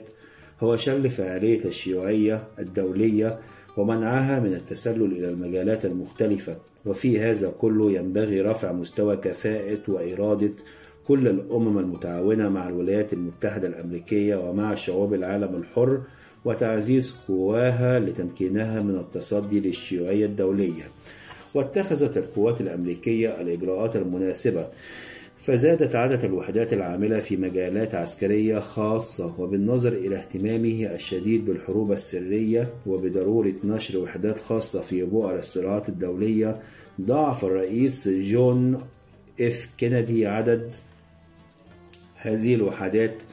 ففي الأيام الأخيرة من فترة ترأسه الإدارة الأمريكية بلغ قوام هذه الوحدات أكثر من 11 ألف جندي. علما أن كينيدي لاحظ في الفترة الأولى من حكمه للبلاد بأم عينه سرعة تعرض هذه العمليات للفشل لا سيما حينما لا تكون الولايات المتحدة قد استعدت بالنحو المطلوب للانخراط فعلا في الحرب المعنية. وهكذا واعتقادا منه أن المسؤولين قد أنجزوا إبان إدارة أيزنهاور العمليات التعبوية الضرورية لعملية إنزال سرية تستهدف الاستيلاء على كوبا الجزيرة التي تحولت صوب الشيوعية أعطى الرئيس الكندي الضوء الأخضر لبدء التنفيذ على رغم أن الخطط العسكرية غيرت مرارا وأن الكوبيين المقيمين في الولايات المتحدة الأمريكية لم يحصلوا على التدريب العسكري بالقدر الضروري ومن ثم فإن القوات الأمريكية لم تكن تعول على إمكاناتهم لتقديم العون المطلوب لا سيما العون الجوي. على صعيد آخر وبما أن كينيدي كان يرى في نفسه خبيرا في المسائل العسكرية فإننا نراه قد غير ساعة الهجوم وقرر أن ينطلق الهجوم في ساعات الليل متجاهلا أن القوات المهاجمة لم تتمرن قط على الإنزال في كوبا في جنح الظلام. وفي الواقع أخذ قرار كندي في الحسبان احتمالات فشل العملية ففي جنح الظلام كان يسهل عليه أن ينفي بكل إصرار مشاركة إدارته في هذه العملية. وحينما رمت الطائرات ما تنقل من إمدادات ومعدات عسكرية في مستنقعات لا قدرة على اختراقها وبعدما تعطلت محركات بعد الزوارق الحربية تحققت الكارثة بكامل فصولها لا سيما أن قوات فيديل كاسترو كانت تعمل جيدا بما كان يدبر لكوبا وكان لديها معلومات تخص تفاصيل العملية. وحاول كندي التنصل من الكارثة فألقى اللوم على الرئيس السابق. وكيفما كانت الحال فالملاحظ هو أن فشل عملية احتلال كوبا لم يهز ثقة كندي بجدوى العمليات السرية بأي حال من الأحوال. لا سيما حينما يتولى الجنود والعملاء الأمريكيون بأنفسهم تنفيذ العمليات السرية. وعلى ما يبدو كان كندي يسترشد هنا بنتائج المعارك السرية التي دارت رحاها في الهند الصينية. فالأمريكيون رأوا في فشل الفرنسيين في حسم هذه المعارك لمصلحتهم في العام 1954 فرصة سانحة لأن يجربوا حظهم وينفذوا عمليات استخباراتية مموهة تهدف إلى صد الخطر الشيوعي الناشر زلاله على فيتنام ولاوس ولا مندوحة للمرء من أن يأخذ في الاعتبار تطور التدخل الأمريكي في الصراع الدائر في هذا الإقليم من العالم. فحينما تولى كندي رئاسة الإدارة الأمريكية كان عدد المستشارين الأمريكيين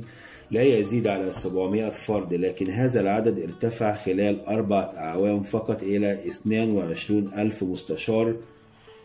وتزامن هذا الارتفاع العظيم في عدد المستشارين مع تزايد تردي الأوضاع وعلى خلفية بوادر الفشل. هذه نفذ الأمريكيون سلسلة إجراءات وبرامج جديدة آملين الحصول على الآليات الضرورية لوقف تسلل مقاتلي فيتنام الشمالية جنوبا ولشل فعالية حرب العصابات الدائرة رحاها في جنوب فيتنام. وفي السياق ذاته وابتداء من العام 1961 تضمنت البرامج الجديدة استحداث قرى يسكنها فلاحون عازمون على أن يشكلوا دروعا بشرية أو حواجز سكانية تمنع ثوار جبهة التحرير الفيتنامية من السيطرة على مزيد من المواقع في فيتنام الجنوبية.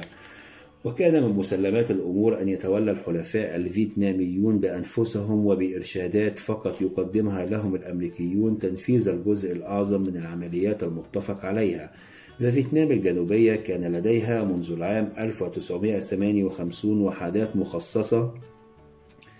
لمقاتلة فيتنام الشمالية بيد أن نحو 200 من هذه الوحدات اختفت من الوجود لأن الشيوعيين كانوا قد نجحوا في اختراق البرنامج الأمريكي الفيتنامي كما لم تتحسن الأوضاع. حتى بعدما أجبر رئيس فيتنام الجنوبية نوغو دين ديم على التنحي عن حكم البلاد في نوفمبر من العام 1963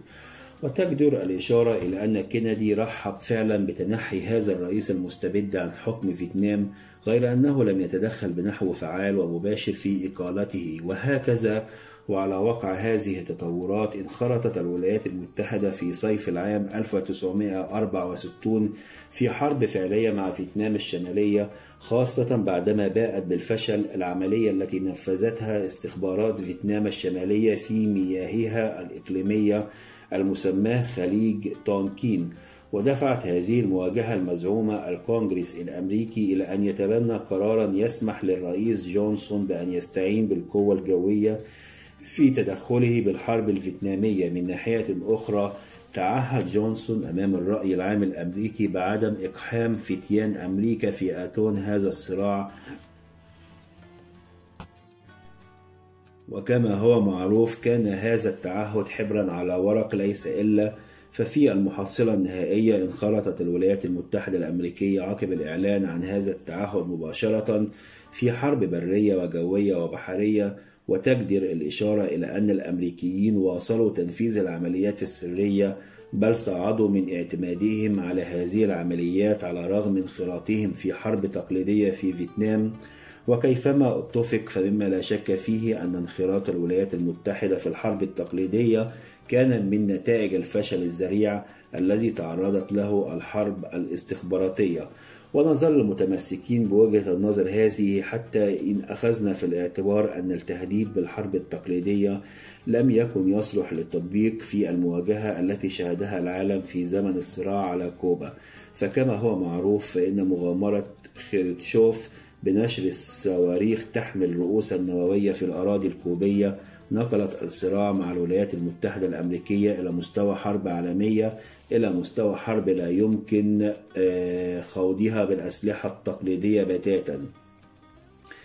وتكرر هذا النموذج في العراق أي خلال الحرب على العراق في العام 2003 هذه الحرب التي حاكت خيوطها الولايات المتحدة بعدما باءت بالفشل كل العمليات الاستخباراتية والتآمرية الرامية إلى تغيير نظام الحكم في العراق. فقد أحبط صدام حسين كل المؤامرات الرامية إلى اغتياله وجميع المحاولات الهدامة التي عملت على تنفيذها. جماعات كانت تسيطر عليها الولايات المتحدة بنحو مباشر كما اتسق غزو الاتحاد السوفيتي لأفغانستان في ديسمبر من العام 1979 مع هذا النموذج بنحو تام تقريبا. فالانخراط في حرب تقليدية حدث هنا أيضا بعدما تبين أن الجهود الاستخباراتية الرامية إلى تقويض أركان النظام القائم واستبداله بنظام جديد فشلت كليا. فعلى خلفية هذا الفشل أضحت موسكو واثقة من أنه لم يعد لديها خيار آخر غير ترك القوات المسلحة تغزو أفغانستان وتتولى بنفسها تغيير نظام الحكم القائم في هذه الديار. بيد أن دخول القوات السوفيتية أفغانستان جسد أسلوبا متميزا مقارنة بالأساليب الدارجة لتغيير أنظمة الحكم فأفغانستان كانت منذ تعرضها لإنقلاب عسكري شيوعي في إبريل من العام 1978 جمهورية شعبية أصلا وغني عن البيان أن الاتحاد السوفيتي حاك بنفسه وعلى مدى سنين كثيرة خيوط هذا الانقلاب العسكري. أضف إلى هذا أن الاتحاد السوفيتي كان قد أبرم مع هذه الجمهورية الشعبية معاهدة صداقة وتعاون لا يختلف مضمونها عن مضمون المعاهدات المبرمة مع دول المعسكر الشرقي. وعلى رغم ما بين الاتحاد السوفيتي وأفغانستان من أواصر صداقة متينة فقد واصلت موسكو رفضها الأساليب الهمجية التي استخدمها النظام الأفغاني في تعامله مع رجال الدين المسلمين ومع شيوخ القبائل التقليديين والمسلمين شديد الإيمان وذلك اعتقادا منها أن الأساليب القمعية تحرض على اندلاع حركات مقاومة عنيفة لا قدرة للأجهزة الأمنية الأفغانية على صدها والتغلب عليها بأي حال من الأحوال.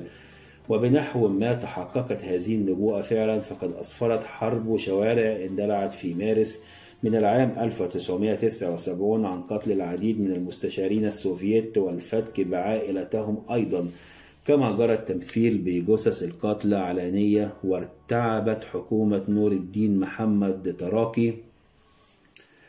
فأسرعت تطلب النجدة من السوفييت سائلة إياهم أن يتدخلوا عسكريا ويسعفوها بقوات سوفيتية غير أن المكتب السياسي للحزب الشيوعي الحاكم في الاتحاد السوفيتي رفض الاستجابة لطلب الحكومة الأفغانية لكن وحفاظا على سلامة رعاياها وعلى القاعدة الجوية التابعة للاتحاد السوفيتي أمرت الحكومة السوفيتية عناصر من وحدات المظليين بالهبوط في قاعدة بجرام الجوية التي تبعد عن شمال كابول نحو 65 كيلومترا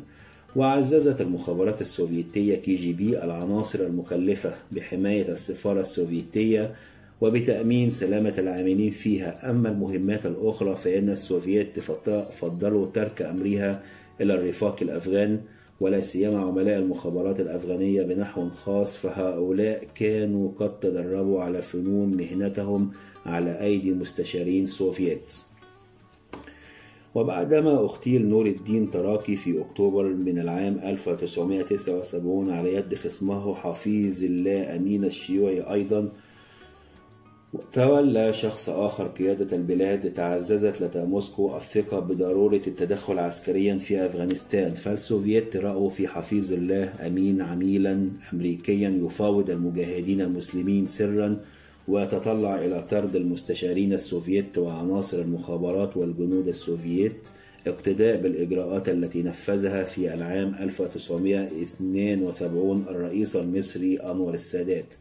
وهنا أيضا حاول المسؤولون السوفيت التخلص من حفيظ الله بنحو نهائي وذلك من خلال تكليف المخابرات السوفيتية بتسميمه بيد أن أمين نجا من هذه المحاولة وكرر السوفيت محاولات تسميمه ولكن من دون أي نجاح. وهكذا قرروا أخيرا تكليف وحدات خاصة قوامها 700 فرد بالهجوم على حفيظ الله في السابع والعشرين من ديسمبر من العام 1979 وارتدى هؤلاء الجنود ملابس عسكريين أفغان حينما دخلوا القصر الجمهوري فقتلوا حفيظ الله وأسرته والأفراد الموالين له غير أن السوفيت تكبدوا في هذا الهجوم مئة قتيل. بمن في ذلك قائدهم المكلف بالإشراف على تنفيذ الهجوم ولم تحجب أخبار هذه الخسارة في الأرواح عن الرأي العام فقط بل عن القيادة السوفيتية ذاتها أيضا. فللتمويه على حقيقة ما حصل تحدث المرء عن قوى رفضت تسليم حفيظ الله مقاليد الحكم في أفغانستان وأنها ابتهجت وعمتها فرحة غامرة باستقبال القوات السوفيتية المنتشرة في البلاد تنفيذا لمعاهدة الصداقة المبرمة في العام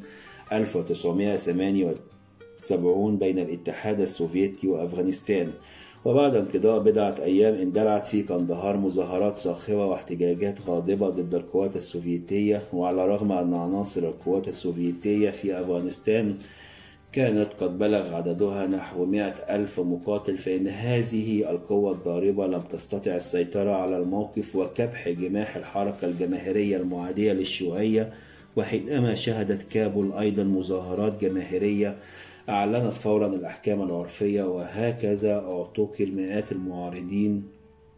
ونفذ حكم الإعدام في كثيرين منهم بيد أن القمع لم ينفع كثيرا. فمناطق شاسعة من البلاد عمتها الثورة وأضحت تخضع لسيطرة متمردين شديدي الإيمان بالإسلام. وبدأ واضحا أن القوات السوفيتية لا خبرة لديها في كيفية التعامل مع حرب العصابات. أضف إلى هذا أن تجهيزات ومعدات هذه القوات كانت في وضع يرثى له فجميع الجنود كانوا يفتقرون إلى ملابس شتوية تحميهم من برد أفغانستان القارس أما الخدمات الطبية فحدث عنها ولا حرج فقد كانت متردية بشكل لا يوصف. أضف إلى هذا أن 40% من الجنود السوفيت العاملين في أفغانستان كانوا قد أصيبوا بمرض التهاب الكبد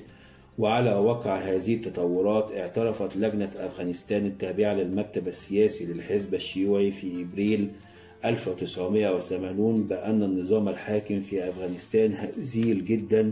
أيديولوجيا وتنظيميا وأن مناطق شاسعة من البلاد عصية على تطبيق أدنى القواعد الإدارية وأن الجيش والحرس الشعبي لا يمتلكان الكفاءة المطلوبة لكبح جماح المتمردين. كما أكد التقرير أن بابراك كارمل سكير سكير مدمن على شرب الخمر ويرى نفسه أعظم من فيدل كاسترو.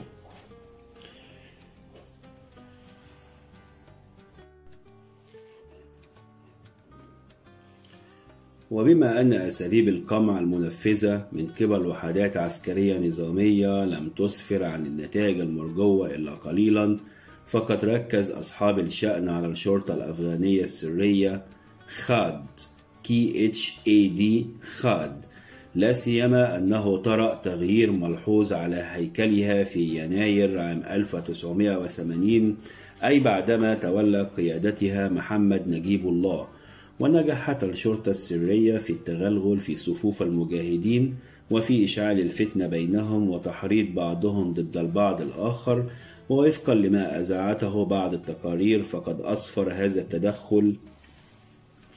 حتى العام 1982 عن مقتل ما يزيد على 20 ألف مجاهد. من ناحية أخرى نجح الجيش الأحمر في تكييف أساليبه القتالية على خصائص الحرب الأهلية الأفغانية إذ أخذ يستخدم قنابل النابالم الحارقة والغازات السامة ويزرع الألغام ويرمي في المدن والقرى الآهلة بالسكان ألعاب أطفال محشوة بالمتفجرات.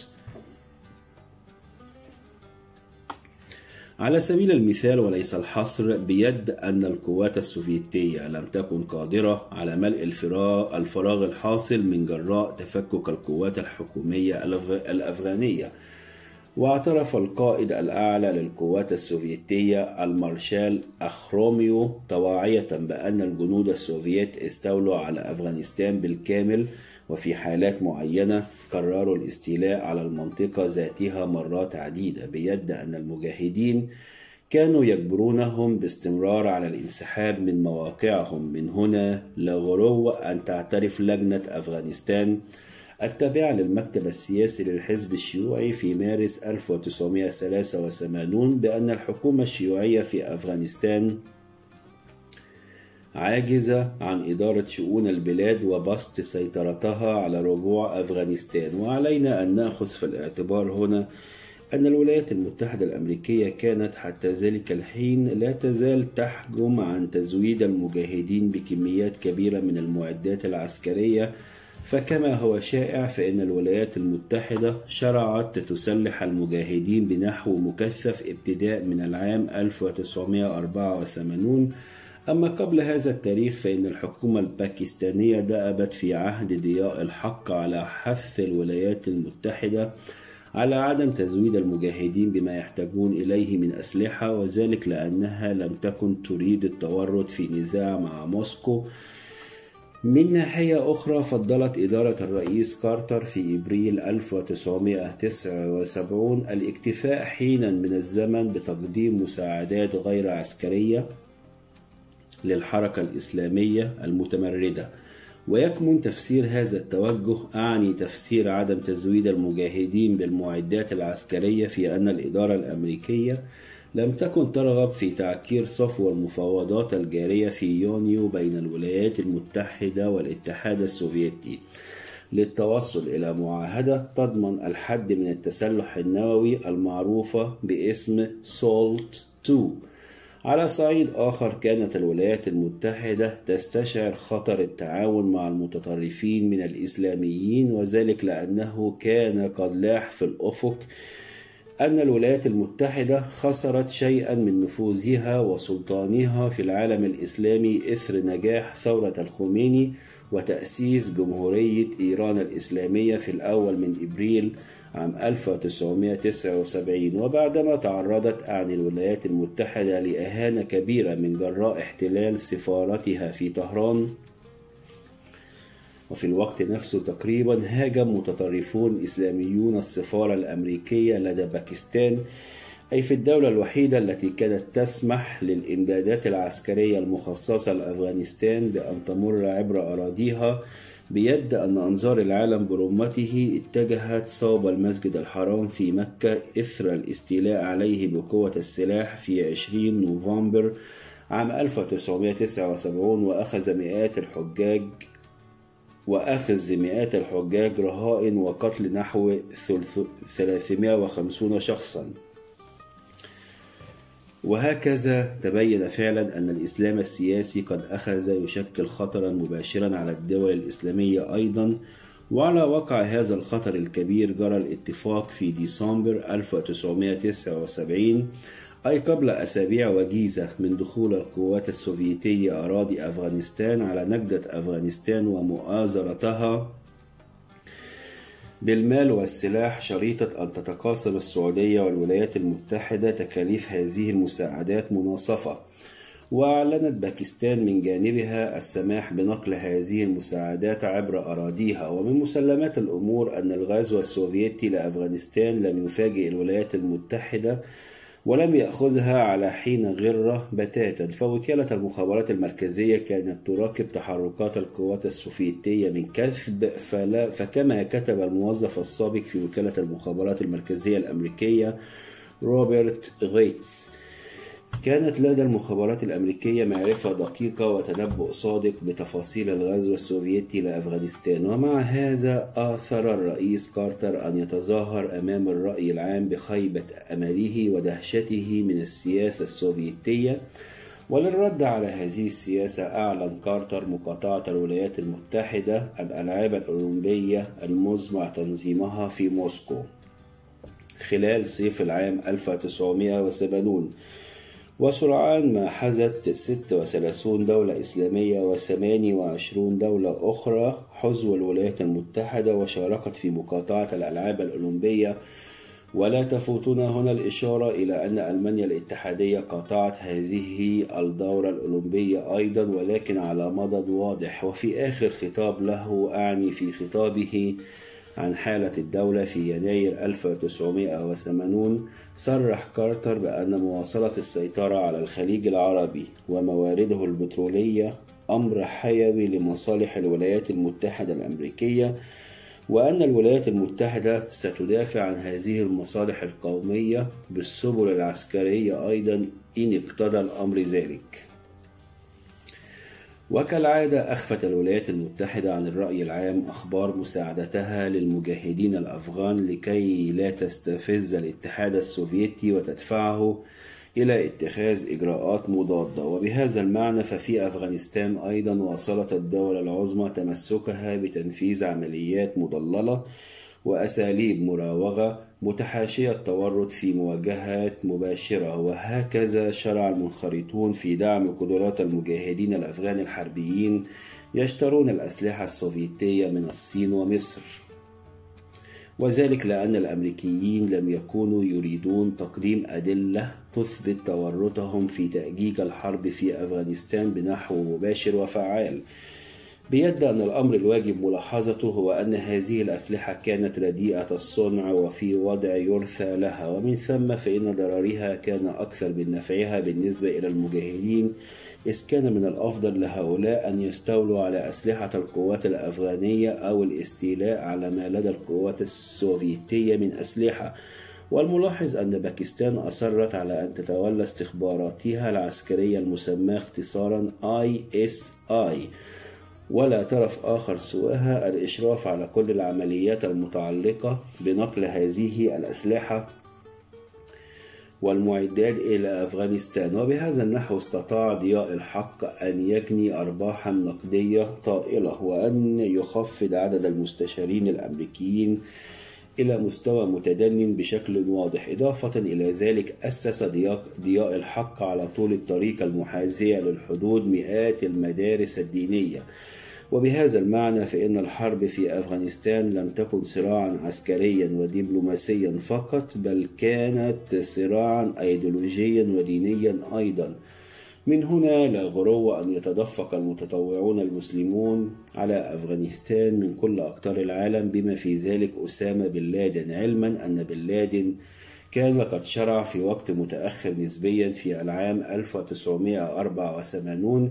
بتدريب وتمويل المتطوعين للقتال في صفوف المجاهدين فقبل ذلك التاريخ لم تكن له أهمية تذكر في الحركة الجهادية. وعلى واقع انتقال سلطان الحكم في واشنطن من جيمي كارتر إلى رونالد ريغان ازدادت الحرب الباردة عنفوانا واكتسبت روحا جديدة وتسري هذه الحقيقة بصفة خاصة على العمليات المموهة أي العمليات السرية التي تنفذها أجهزة المخابرات الأمريكية. من هنا لا عجب أن يتحدث العديد من المؤلفين المتخصصين في المادة التي نحن بصدد الحديث عنها عن حرب كيسي قاصدين بذلك ويليام كيسي رئيس وكالة المخابرات المركزية CIA وقت ذاك فكيسي كانت لديه تصورات رومانسية عن الكفاح ضد الشيوعية وكان يقتدي في هذا الشأن بالبطولات التي تميزت بها إدارة الرئيسين أيزنهاور وكينيدي. وكان التأييد القوي الذي حصل عليه من برلمانيين كثيرين لا سيما من شارلي ويلسون. أعني البرلماني وعضو الحزب الديمقراطي في تكساس قد شجعه وزاد من إصراره على التصدي للشيوعية فهو كان عازما على أن يجعل من الحرب السرية التي ترعاها وكالة المخابرات المركزية في أفغانستان حربا صليبية أمريكية. وشهد العام 1975 تصعيدا قويا في الحرب الدائرة روحاها في أفغانستان فميخائيل غورباتشوف الرئيس الجديد للحزب الشيوعي في الاتحاد السوفيتي أنظر الجيش بأن لديه فرصة واحدة وأخيرة للانتصار في هذه الحرب وعلى خلفية هذا التهديد كثف السوفيت عملياتهم الحربية بنحو عظيم فعلا وردا منها على التصعيد السوفيتي زادت الولايات المتحدة من حجم مساعدتها العسكرية ومن كمية الأسلحة التي تجود بها على المجاهدين إلى أربعة أضعاف ما كان دارجا في سابق الزمن. وفي صيف العام 1986 زودت الولايات المتحدة المقاتلين الأفغان بأنظمة الدفاع الجوي المحمولة على الأكتاف من صنف ستينغر أي من صنف الصواريخ التي سبق أن أسقطت في سبتمبر 1986 ثلاث طائرات عمودية مقاتلة من السلاح الجوي السوفيتي. وبعدما بات هذا الصنف من الطائرات العمودية في متناول المجاهدين ارتفعت خسائر السوفيت إلى مستويات مثيرة للقلق من وجهة نظر الاتحاد السوفيتي. وبعد فشل القوات السوفيتية في استثمار آخر فرصة لديها بالنحو المطلوب وبعد أن باءت بالفشل كل المحاولات الرامية إلى المحافظة على النظام الأفغاني المخلص في طاعته لموسكو أقال جورباتشوف الرئيس الأفغاني بابراك كارمال من منصبه أمينا عاما للحزب والدولة في أفغانستان ونصب في مكانه رئيس جهاز المخابرات محمد نجيب الله رئيسا جديدا لجمهورية أفغانستان بيد أن جورباتشوف لم ينتظر كثيرا. ففي نوفمبر 1986 أصدر أمرا يقضي بانسحاب الاتحاد السوفيتي من أفغانستان في غضون عامين فقط وأسفرت هذه الحرب عن مصرع أكثر من مليون نسمة. كان من بينهم نحو خمسة عشر ألف عسكري سوفيتي ولم تتوقف الحرب في أفغانستان حتى بعدما انسحب السوفييت خلال العامين 1988 و 1989 إذ حلت مكان الحرب مع الاتحاد السوفيتي حرب أهلية استمرت حتى استيلاء الطالبان على السلطة في العام 1996 وكان الانتصار المزعوم في حرب المخابرات الأمريكية السعودية ضد الاتحاد السوفيتي قد أدى إلى ولادة دولة إسلامية لم تعترف بها دبلوماسيا غير ثلاث دول هي السعودية وباكستان والإمارات العربية المتحدة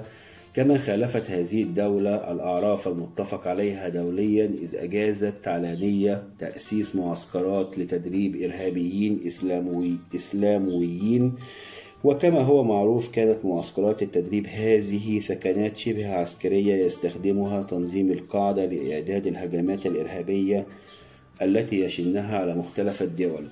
إن الحرب السرية التي نفذتها أجهزة المخابرات الأمريكية في أفغانستان كانت من حيث تكلفتها النقدية أكبر عملية مموهة أنجزتها الولايات المتحدة خلال سنوات الحرب الباردة والملاحظ أن ثمة نقاشات مسهبة بخصوص مساهمة هذه الحرب في انهيار الاتحاد السوفيتي. فبعض المحللين يعتقدون أن المخاطر المحدقة بالولايات المتحدة حاليا هي من جملة النتائج السلبية التي تمخضت عنها النار التي نفخت فيها الولايات المتحدة. مشيرين إلى أن الولايات المتحدة هي التي سبق لها أن استولت استولدت بكامل إرادتها التنظيمات الإسلاموية. مؤكدين أن هجمات الحادي عشر من سبتمبر 2001 كانت النتيجة المباشرة لهذه السياسة الرعناء. كما يرى كثير من المراقبين أن إصرار أجهزة الاستخبارات الأمريكية على استيلاء الحركات الإسلاموية وتوجيهها لمقاتلة السوفييت أسفر في نهاية المطاف عن الهزيمة النقراء. أيضا التي تكبدتها الولايات المتحدة الأمريكية في الحرب على العراق وتستخدم أجهزة المخابرات مصطلح بلو باك للإشارة إلى النتائج الجانبية غير المتوقعة التي تتمخض عن بعض السياسات وتنتج من بعض العمليات الاستخباراتية. عنوان أبرز الجواسيس والخونة في حروب استعرت بين مخابرات القوى العظمى. الموضوعات التي تجد صداها في الأدب الشعبي والروايات والأفلام السينمائية تسلي الجمهور من خلال قصص تدور حول الجاسوسية وتروي أخبار كبار الجواسيس والخونة ولسنا في حاجة إلى تأكيد أننا هنا إزاء ظاهرة مؤسفة فوسائل التسلية هذه لا تولي اهتماما للموضوعات التي تناولتها باربرا. توكمان في العام 1984 في مؤلفها القيم الموسوم مسيرة الحمقى من طروادة إلى فيتنام. The March of Folly from Troy to Vietnam. فهذه المؤلفة القديرة بيّنت أن تكاليف هذا الحاكم أو ذاك أن تكليف هذا الحاكم أو ذاك أجهزة المخابرات والقوات المسلحة أيضا إنجاز مهمات رعناء هو الأمر الأكثر فعالية في تحريك عجلة التاريخ. ويحار المرء لا سيما حينما يكون مؤرخا حين يقرأ ويحار المرء لا سيما حينما يكون مؤرخا حين يقرأ في هذا السياق عبارة كبار. فمن المقصود بهذه العبارة يا ترى؟ أيراد منها الإشارة إلى كمية المعلومات التي جمعها الجاسوس أو أدلى بها العميل المزدوج أم المراد منها الإشارة إلى أهمية هؤلاء الجواسيس والخونة في تحريك عجلة التاريخ أي الإشارة إلى أن لهم أهمية تاريخية أم أن المقصود هو فقط الإشارة إلى شهرة جاسوس أكتشف أمره وافتضح سره ولا شك في أن الأمر الأكثر دقة هو أن نثمن منزلة الجواسيس الكبار انطلاقا من أهميتهم في التاريخ بيد أن اعتماد سلم الأهمية التاريخية ليس ميسورا. فمعلوماتنا عن الزمن التالي للعام 1945 لا تزال منقوصة ولا يجوز النظر إليها على أنها الحقيقة بعينها. وربما لا نزال نجهل كبار الجواسيس وذلك لأنهم لم يكتشفوا بعد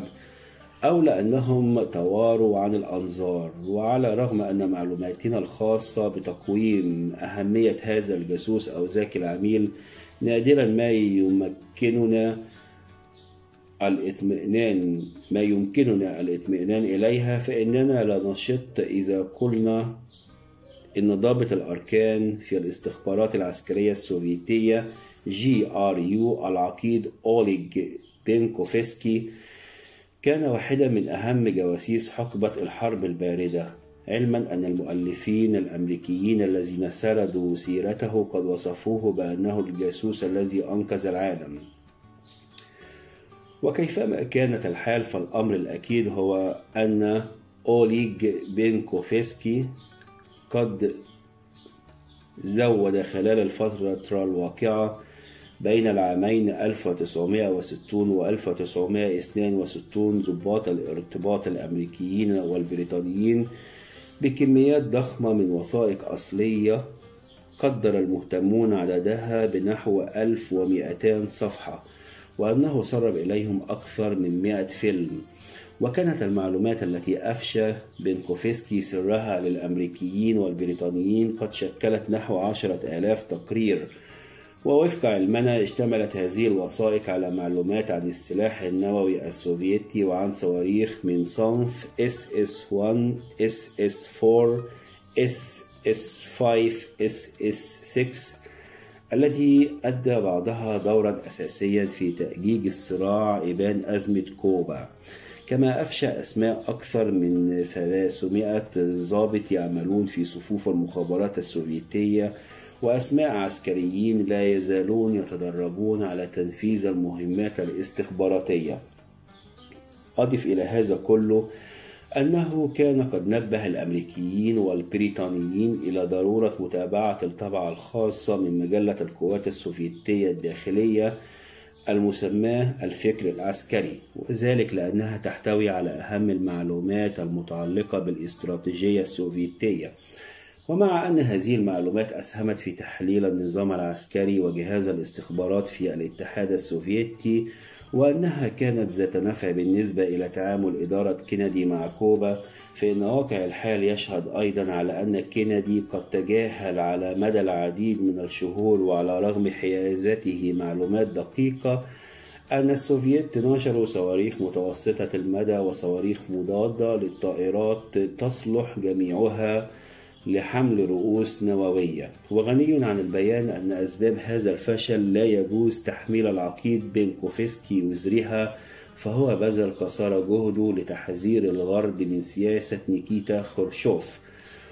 وعلى رغم أننا لا نمتلك معلومات دقيقة ومؤكدة عن الأساليب التي دفعت بنكوفسكي إلى أن يخون بلاده فإن ثمة تكهنات تشير إلى أن السبب يكمن في خيبة أمله من عدم تقدمه في السلم المهني لأسباب لا ذنب له فيها. فأبوه كان ضابطا إبان الحكم القيصري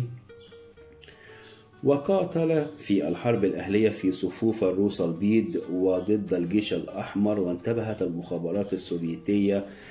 إلى هذه الحقيقة حينما فكرت في منتصف خمسينات القرن الماضي في نقله إلى الهند لينفذ من هناك مهمات تجسسية مختلفة. وحتى ذلك الحين كان بنكوفسكي ضابطا مخلصا للاتحاد السوفيتي وشارك في الحرب وأصيب مرات مختلفة وحصل على أربعة أوسمة تثمينا لما أبدى من بطولات ثم نقل إلى الأكاديمية العسكرية الزائعة الصيت وحصل فيما بعد على مقعد دراسي في الأكاديمية العسكرية الدبلوماسية التابعة للاستخبارات العسكرية السوفيتية بيد أن ولاءه أصيب بنكسة كبيرة حينما رفضت المخابرات السوفيتية في صيف العام 1960 الموافقة على ترقيته إلى رتبة جنرال فهو بات منذ ذلك الحين يضمر عداء داخليا للدولة السوفيتية وهكذا لم يدم الأمر طويلا حتى أعرب للبريطانيين والأمريكيين عن استعداده للعمل معهم. وظل يتجسس لمصلحتهم إلى أن قبضت عليه السلطات السوفيتية في الثاني عشر من أكتوبر عام 1962 وثمة جاسوس آخر منشق لا يقل أهمية عن بينكوفسكي أبدا من حيث كمية وأهمية ما أفشاه من معلومات مسربة أعني الجنرال السوفيتي ديمتري بولي بولياكوف فهذا العميل المنشق عمل أيضا في صفوف الاستخبارات العسكرية السوفيتية. قبل أن ينتهز فرصة إيفاده إلى نيويورك بين العامين 1959 و 1961 ليعرض, خدماته على مكتب التحقيقات الفيدرالي FBI وليخبر إدارة هذا المكتب بأنه يرغب في الكشف عن أسماء الجواسيس السوفيت ويعتقد البعض أن سبب إقدامه على خيانة رفاقه يعود إلى حزنه على وفاة نجله في الاتحاد السوفيتي إثر إصابته بمرض خطير ورفض المسؤولين السوفيت السماح له بالعلاج في الولايات المتحدة الأمريكية. من ناحية أخرى فإنه أخذ يفكر خلال مهمة رسمية قادته إلى بورما والهند في مدى الفساد الإداري المستشري في صفوف القيادة السوفيتية واستفحال الارتشاء في المصالح الحكومية. تقدر الإشارة إلى أن بولياكوف تخابر على مدار 25 عاما مع أجهزة المخابرات الأمريكية ومن خلال المعلومات التي أدلى بها تولد لدى إدارة الرئيس الأمريكي نيكسون اقتناع يفيد بأن النزاع المحتدم بين موسكو وبكين يعكس عداء متغلغلا في أعماق الدولتين وصراعا لن ينتهي قريبا. وانطلاقا من هذا التقييم لما بين الدولتين من عداء شرع نيكسون في تنفيذ سياسة الانفتاح على الصين في العام 1972 كاتبا بذلك سطورا جديدة في صفحة صفحة سياسة تخفيف حدة التوتر في العلاقات بين المعسكرين الشرقي والغربي. على صعيد آخر أدت المعلومات التي حصل عليها الأمريكيون من بولياكوف بشأن خصائص تكنولوجيا خصائص التكنولوجيا التكنولوجيا العسكرية التي يعتمدها الاتحاد السوفيتي في إنتاج المعدات الحربية دورا لا يستهان به في نجاح الأمريكيين في تحقيق نصر سريع في حربهم على العراق في العام 1991 فكما هو معروف كان العراق حتى ذلك الحين يعتمد اعتمادا كبيرا على السلاح السوفيتي ووفقا لما كتبه الموظف الكبير في وكالة المخابرات المركزية ميلتون بيردن فقد أدلى بولياكوف بأغزر المعلومات وأكثر البيانات دقة عن الحالة التي اتسم بها الجيش الأحمر. خلال الحرب الباردة بيد أن بولياكوف انفضح أمره على يد عاملين مزدوجين. كان أحدهما روبرت هانسون يعمل في مكتب التحقيقات الفيدرالي وكان الآخر ألدريتش إيميز يعمل في صفوف وكالة المخابرات المركزية CIA ووفقا لأغلب التكهنات استجوب بولياكوف سرا ونفذ فيه حكم الإعدام بكل تأكيد. ولا مندوحة لنا عن الإشارة هنا إلى العقيد السابق في المخابرات السوفيتية أعني أوليج جوردوفسكي الذي نصبته المخابرات السوفيتية في العام 1982 مديرا لمكتب لندن والملاحظ أن إيمان ووردوفسكي بصواب الأيديولوجية السوفيتية تبدت كلية بعدما احتلت القوات السوفيتية مدينة براغ في أغسطس من العام 1968 وهكذا نراه ينشق عن المخابرات السوفيتية في العام 1974 ويتصل بجهاز المخابرات البريطانية عارضا عليه خدماته. وكان غوريديفسكي عظيم النفع بالنسبة إلى المخابرات البريطانية. وذلك لأن إقامته في لندن بصفة رسمية كانت قد سهلت عليه التخابر مع البريطانيين. ومن المحتمل جدا أن يكون غوريديفسكي قد حال في العام 1983 دون اندلاع مواجهة نووية بين المعسكرين الشرقي والغربي ففي تلك الأيام فسرت القيادة السوفيتية مناورات الحلف الأطلسي المخصصة للتعرف على كفاءة الحلف في الدفاع عن نفسه في حالة تعرضه لهجوم نووي على أنها خديعة يراد منها التستر على جهود الحلف الأطلسي الرامية إلى أخذ المعسكر الشرقي على حين غرة والنجاح في شن الضربة الأولى. وهكذا وانطلاقا من هذا الاعتقاد الزائف أعلن السوفييت حالة التأهب القصوى في صفوف القوات النووية الروسية الموزعة على أراضي ألمانيا وبولندا.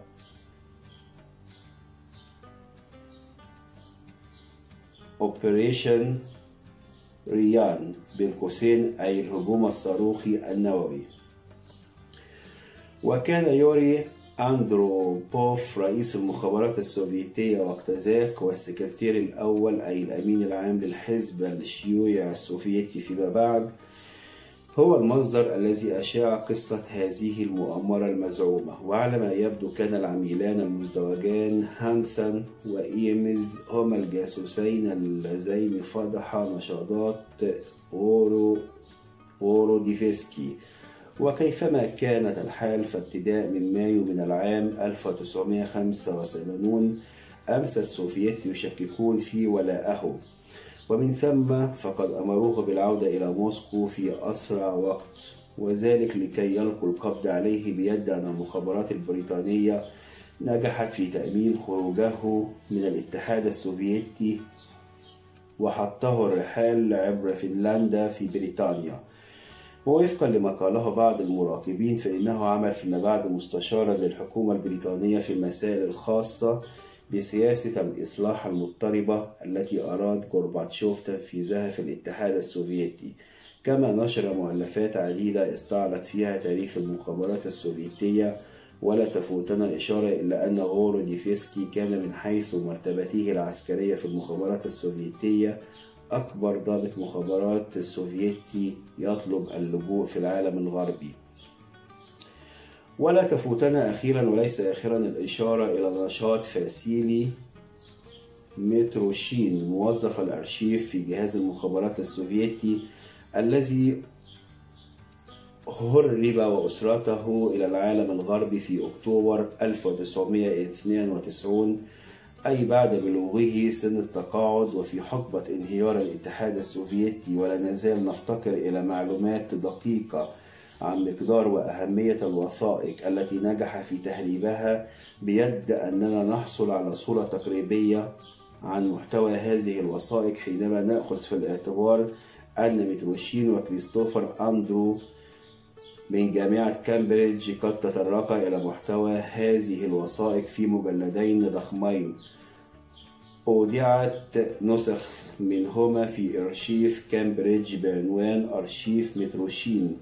بيد أن من المشكوك فيه أن يحالفنا الحظ ونتمكن في المستقبل المنظور من الاطلاع على كل المعلومات التي هربها متروشين وإضافة إلى المعلومات الموضوعية المتعلقة بالجيش والسياسة والاقتصاد والمجتمع في الاتحاد السوفيتي كشف كبار وصغار المخبرين عن أمر مهم بالتأكيد أسماء الجواسيس الذين زرعتهم السوفيت في القوات المسلحة وفي الأجهزة الحكومية التابعة للدول الغربية وفي الشركات والمشروعات الخاصة وفي كل المنظمات الناشطة في المجالات السياسية والاجتماعية أيضا. ورأى أصحاب الشأن أن زرع الجواسيس في الدولة أو الدول المعادية هو لب الرهان الكبير بين أجهزة المخابرات. فالمواطنون يشعرون بالأمان والطمأنينة فقط حينما يكونون واثقين بأن أسرار دولتهم عصية على الاختراق. وغني عن البيان أن تحقيق هذه الحالة لم يكن أمرا يسيرا قط. من هنا كان هناك خطر من أن يضل المرء طريقه ويدخل في متاهات لا آخر لها ولا أول وأن يخسر إمكانية التمييز بين ما هو حقيقي وما هو افتراضي بين ما هو حقيقي وما هو وهم ليس إلا. وحتى الآن استقصى الباحثون بنحو دقيق. جميع النشاطات التي بذلتها شعبة مكافحة الجاسوسية التابعة لوكالة المخابرات المركزية الأمريكية. ولا نشط إذا قلنا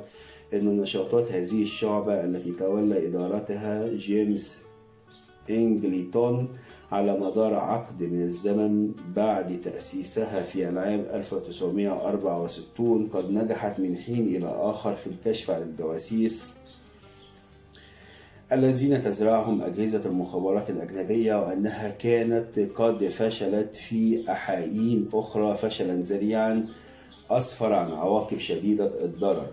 وللتدليل على فشلها في وقائع موثقة نود الاستشهاد بضابط المخابرات السوفيتية الرائد أنانولي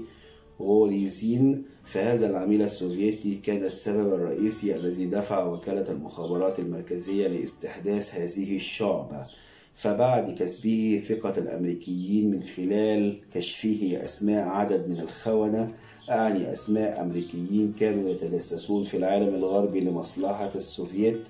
راح غوليزين يدلي بمعلومات مثيرة تزعم أن الغرب يتعرض لمؤامرات مختلفة وشرع يطعن في إخلاص كل شخص تقريبا له دور معين في العلاقات بين الاتحاد السوفيتي والدول الغربية كما وجه أصابع الاتهام لشخصيات سياسية ذات منزلة مرموقة في العالم الغربي أعني شخصيات سياسية ذات وزن كبير من قبيل هارولد ويلسون. رئيس وزراء بريطانيا لاحقا ورئيس وزراء السويد أولوف بالما كما زرع بذور الفرقة وأسباب الشقاق في التعاون الأمني بين فرنسا والولايات المتحدة وتسبب في تعليق تبادل المعلومات الأمنية بين البلدين على مدار سنين كثيرة. ومن منظور اليوم الراهن من الصعوبة بمكان تفسير الأسباب التي دفعت قيادة وكالة المخابرات المركزية إلى أن تأخذ مأخذ الجد الروايات والأساطير التي ينقلها إليها جيمس أنجليتون عن غوليزين لا سيما أن قيادة وكالة المخابرات الأمريكية لم يفتها وفقا لأكثر الاحتمالات أن جيمس أنجلتون كان يعاني مشكلة سيكولوجية تكمن في أنه ارتبط على مدار سنوات كثيرة بصداقة حميمة مع أحد جواسيس جماعة كامبريدج مع كيم فيليبي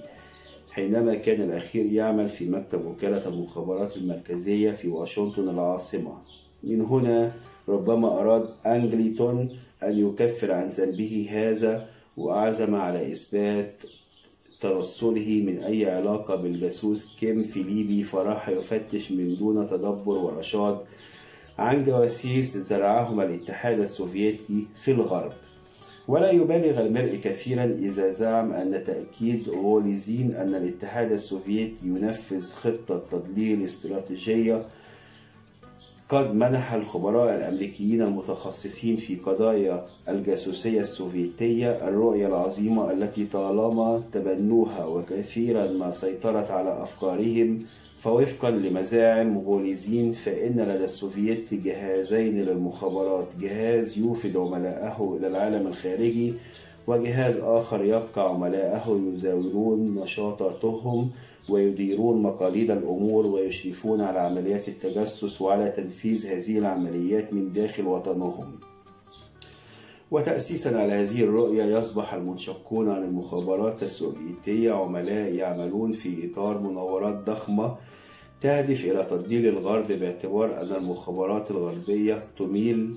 عادة إلى تصديق العملاء السوفيت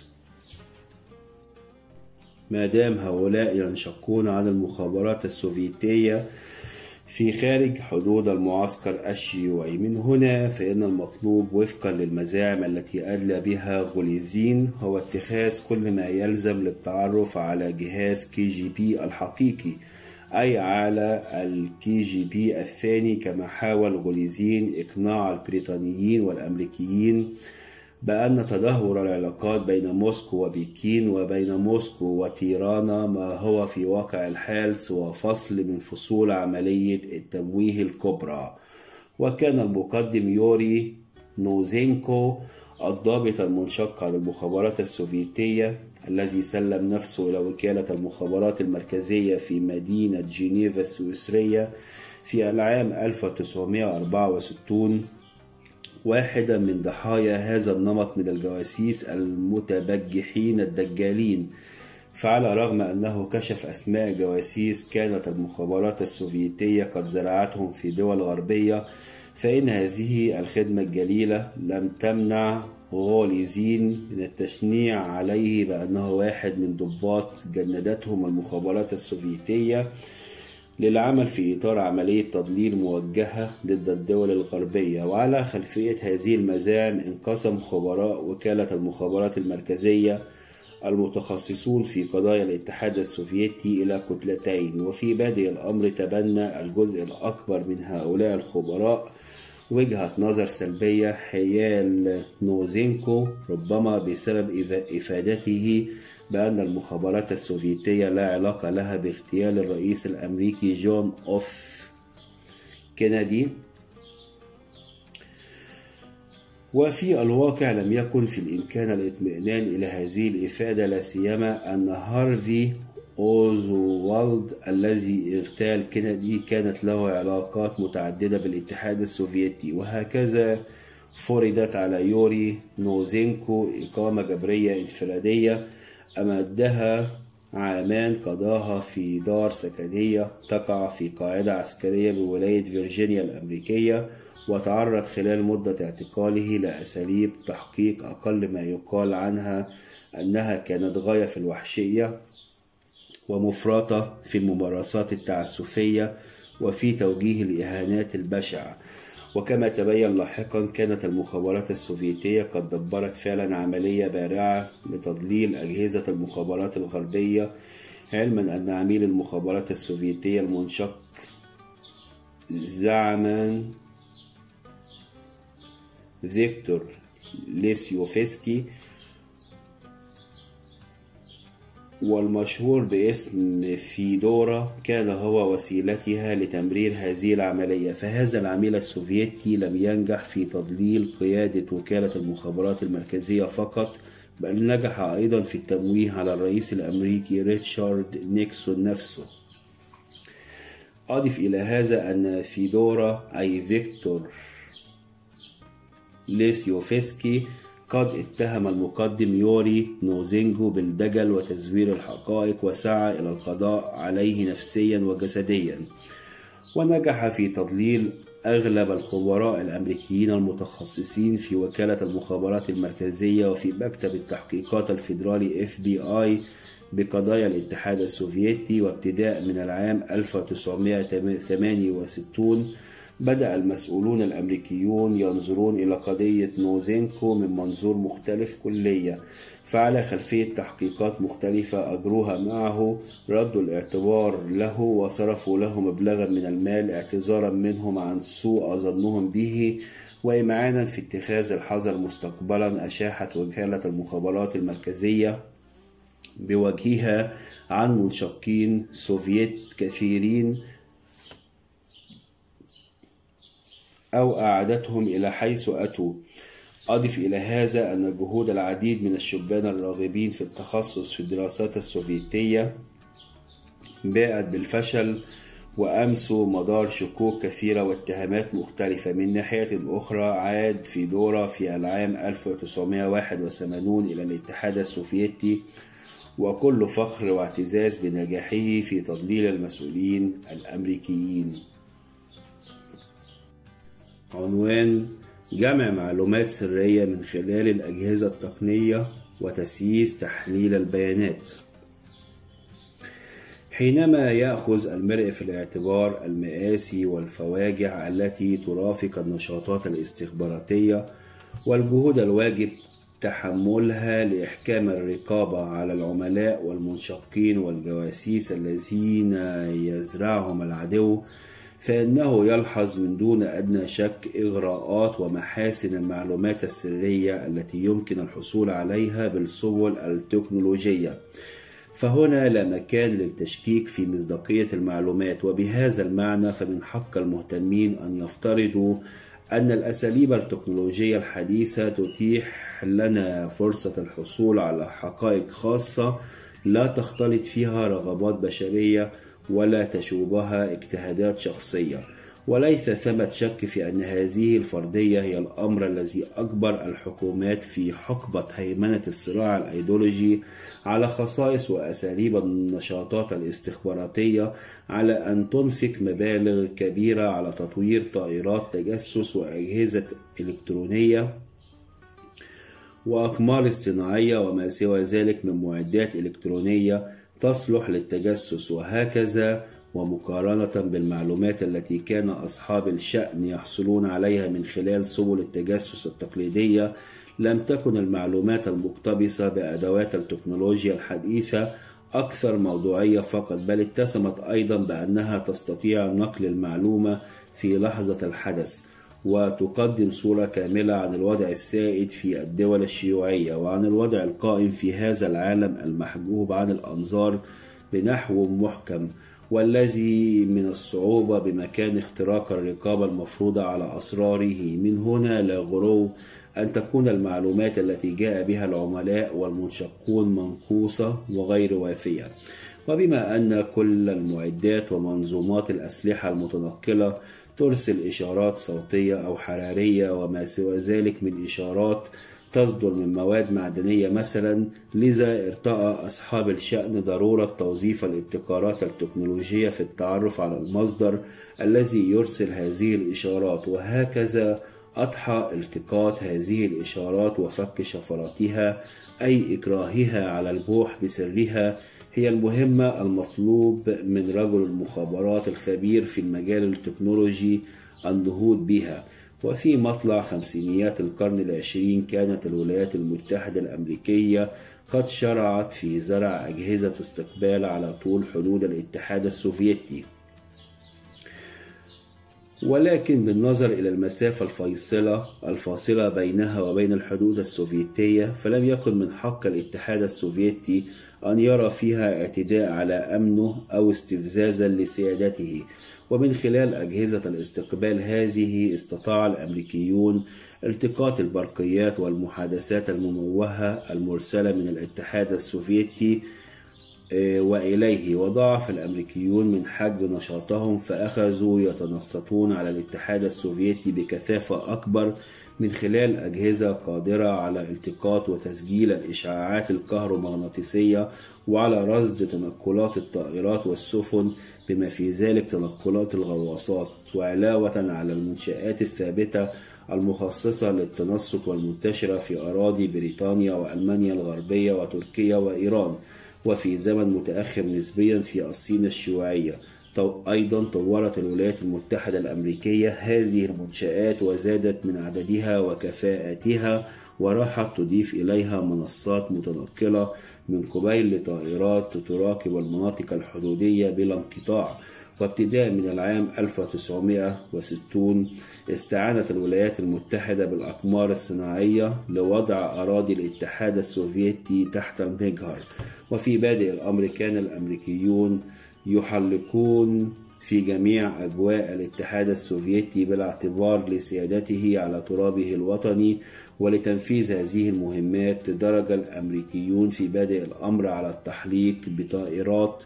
كانوا قد أدخلوا عليها تعديلات كبيرة فتحولت من طائرات للشحن ونقل القنابل الثقيلة إلى طائرات من نوع لوكهيد يو 2 كانت ميزتها تكمن في أنها تستطيع مراقبة المعسكر الشرقي ليلا ونهارا لكن عيبها كان يكمن في أن سرعتها كانت دون سرعة الصوت. من ناحية أخرى كانت هذه الطائرات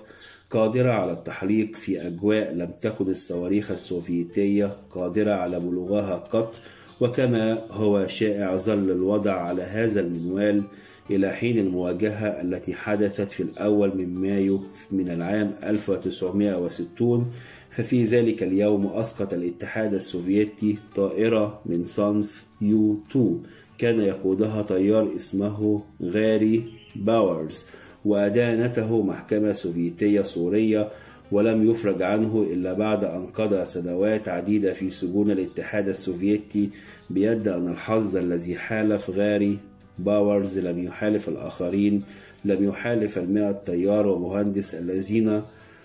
أسقط السوفيت طائرتهم فوفقا للبيانات التي أذاعها السوفيت لاحقا فإن 12 شخصا فقط منهم ألقي القبض عليهم أما الآخرون فإنهم لقوا حتفهم في أراضي الاتحاد السوفيتي. شكرا لكم وإلى اللقاء في الجزء الأخير من قراءة هذا الكتاب الممتع.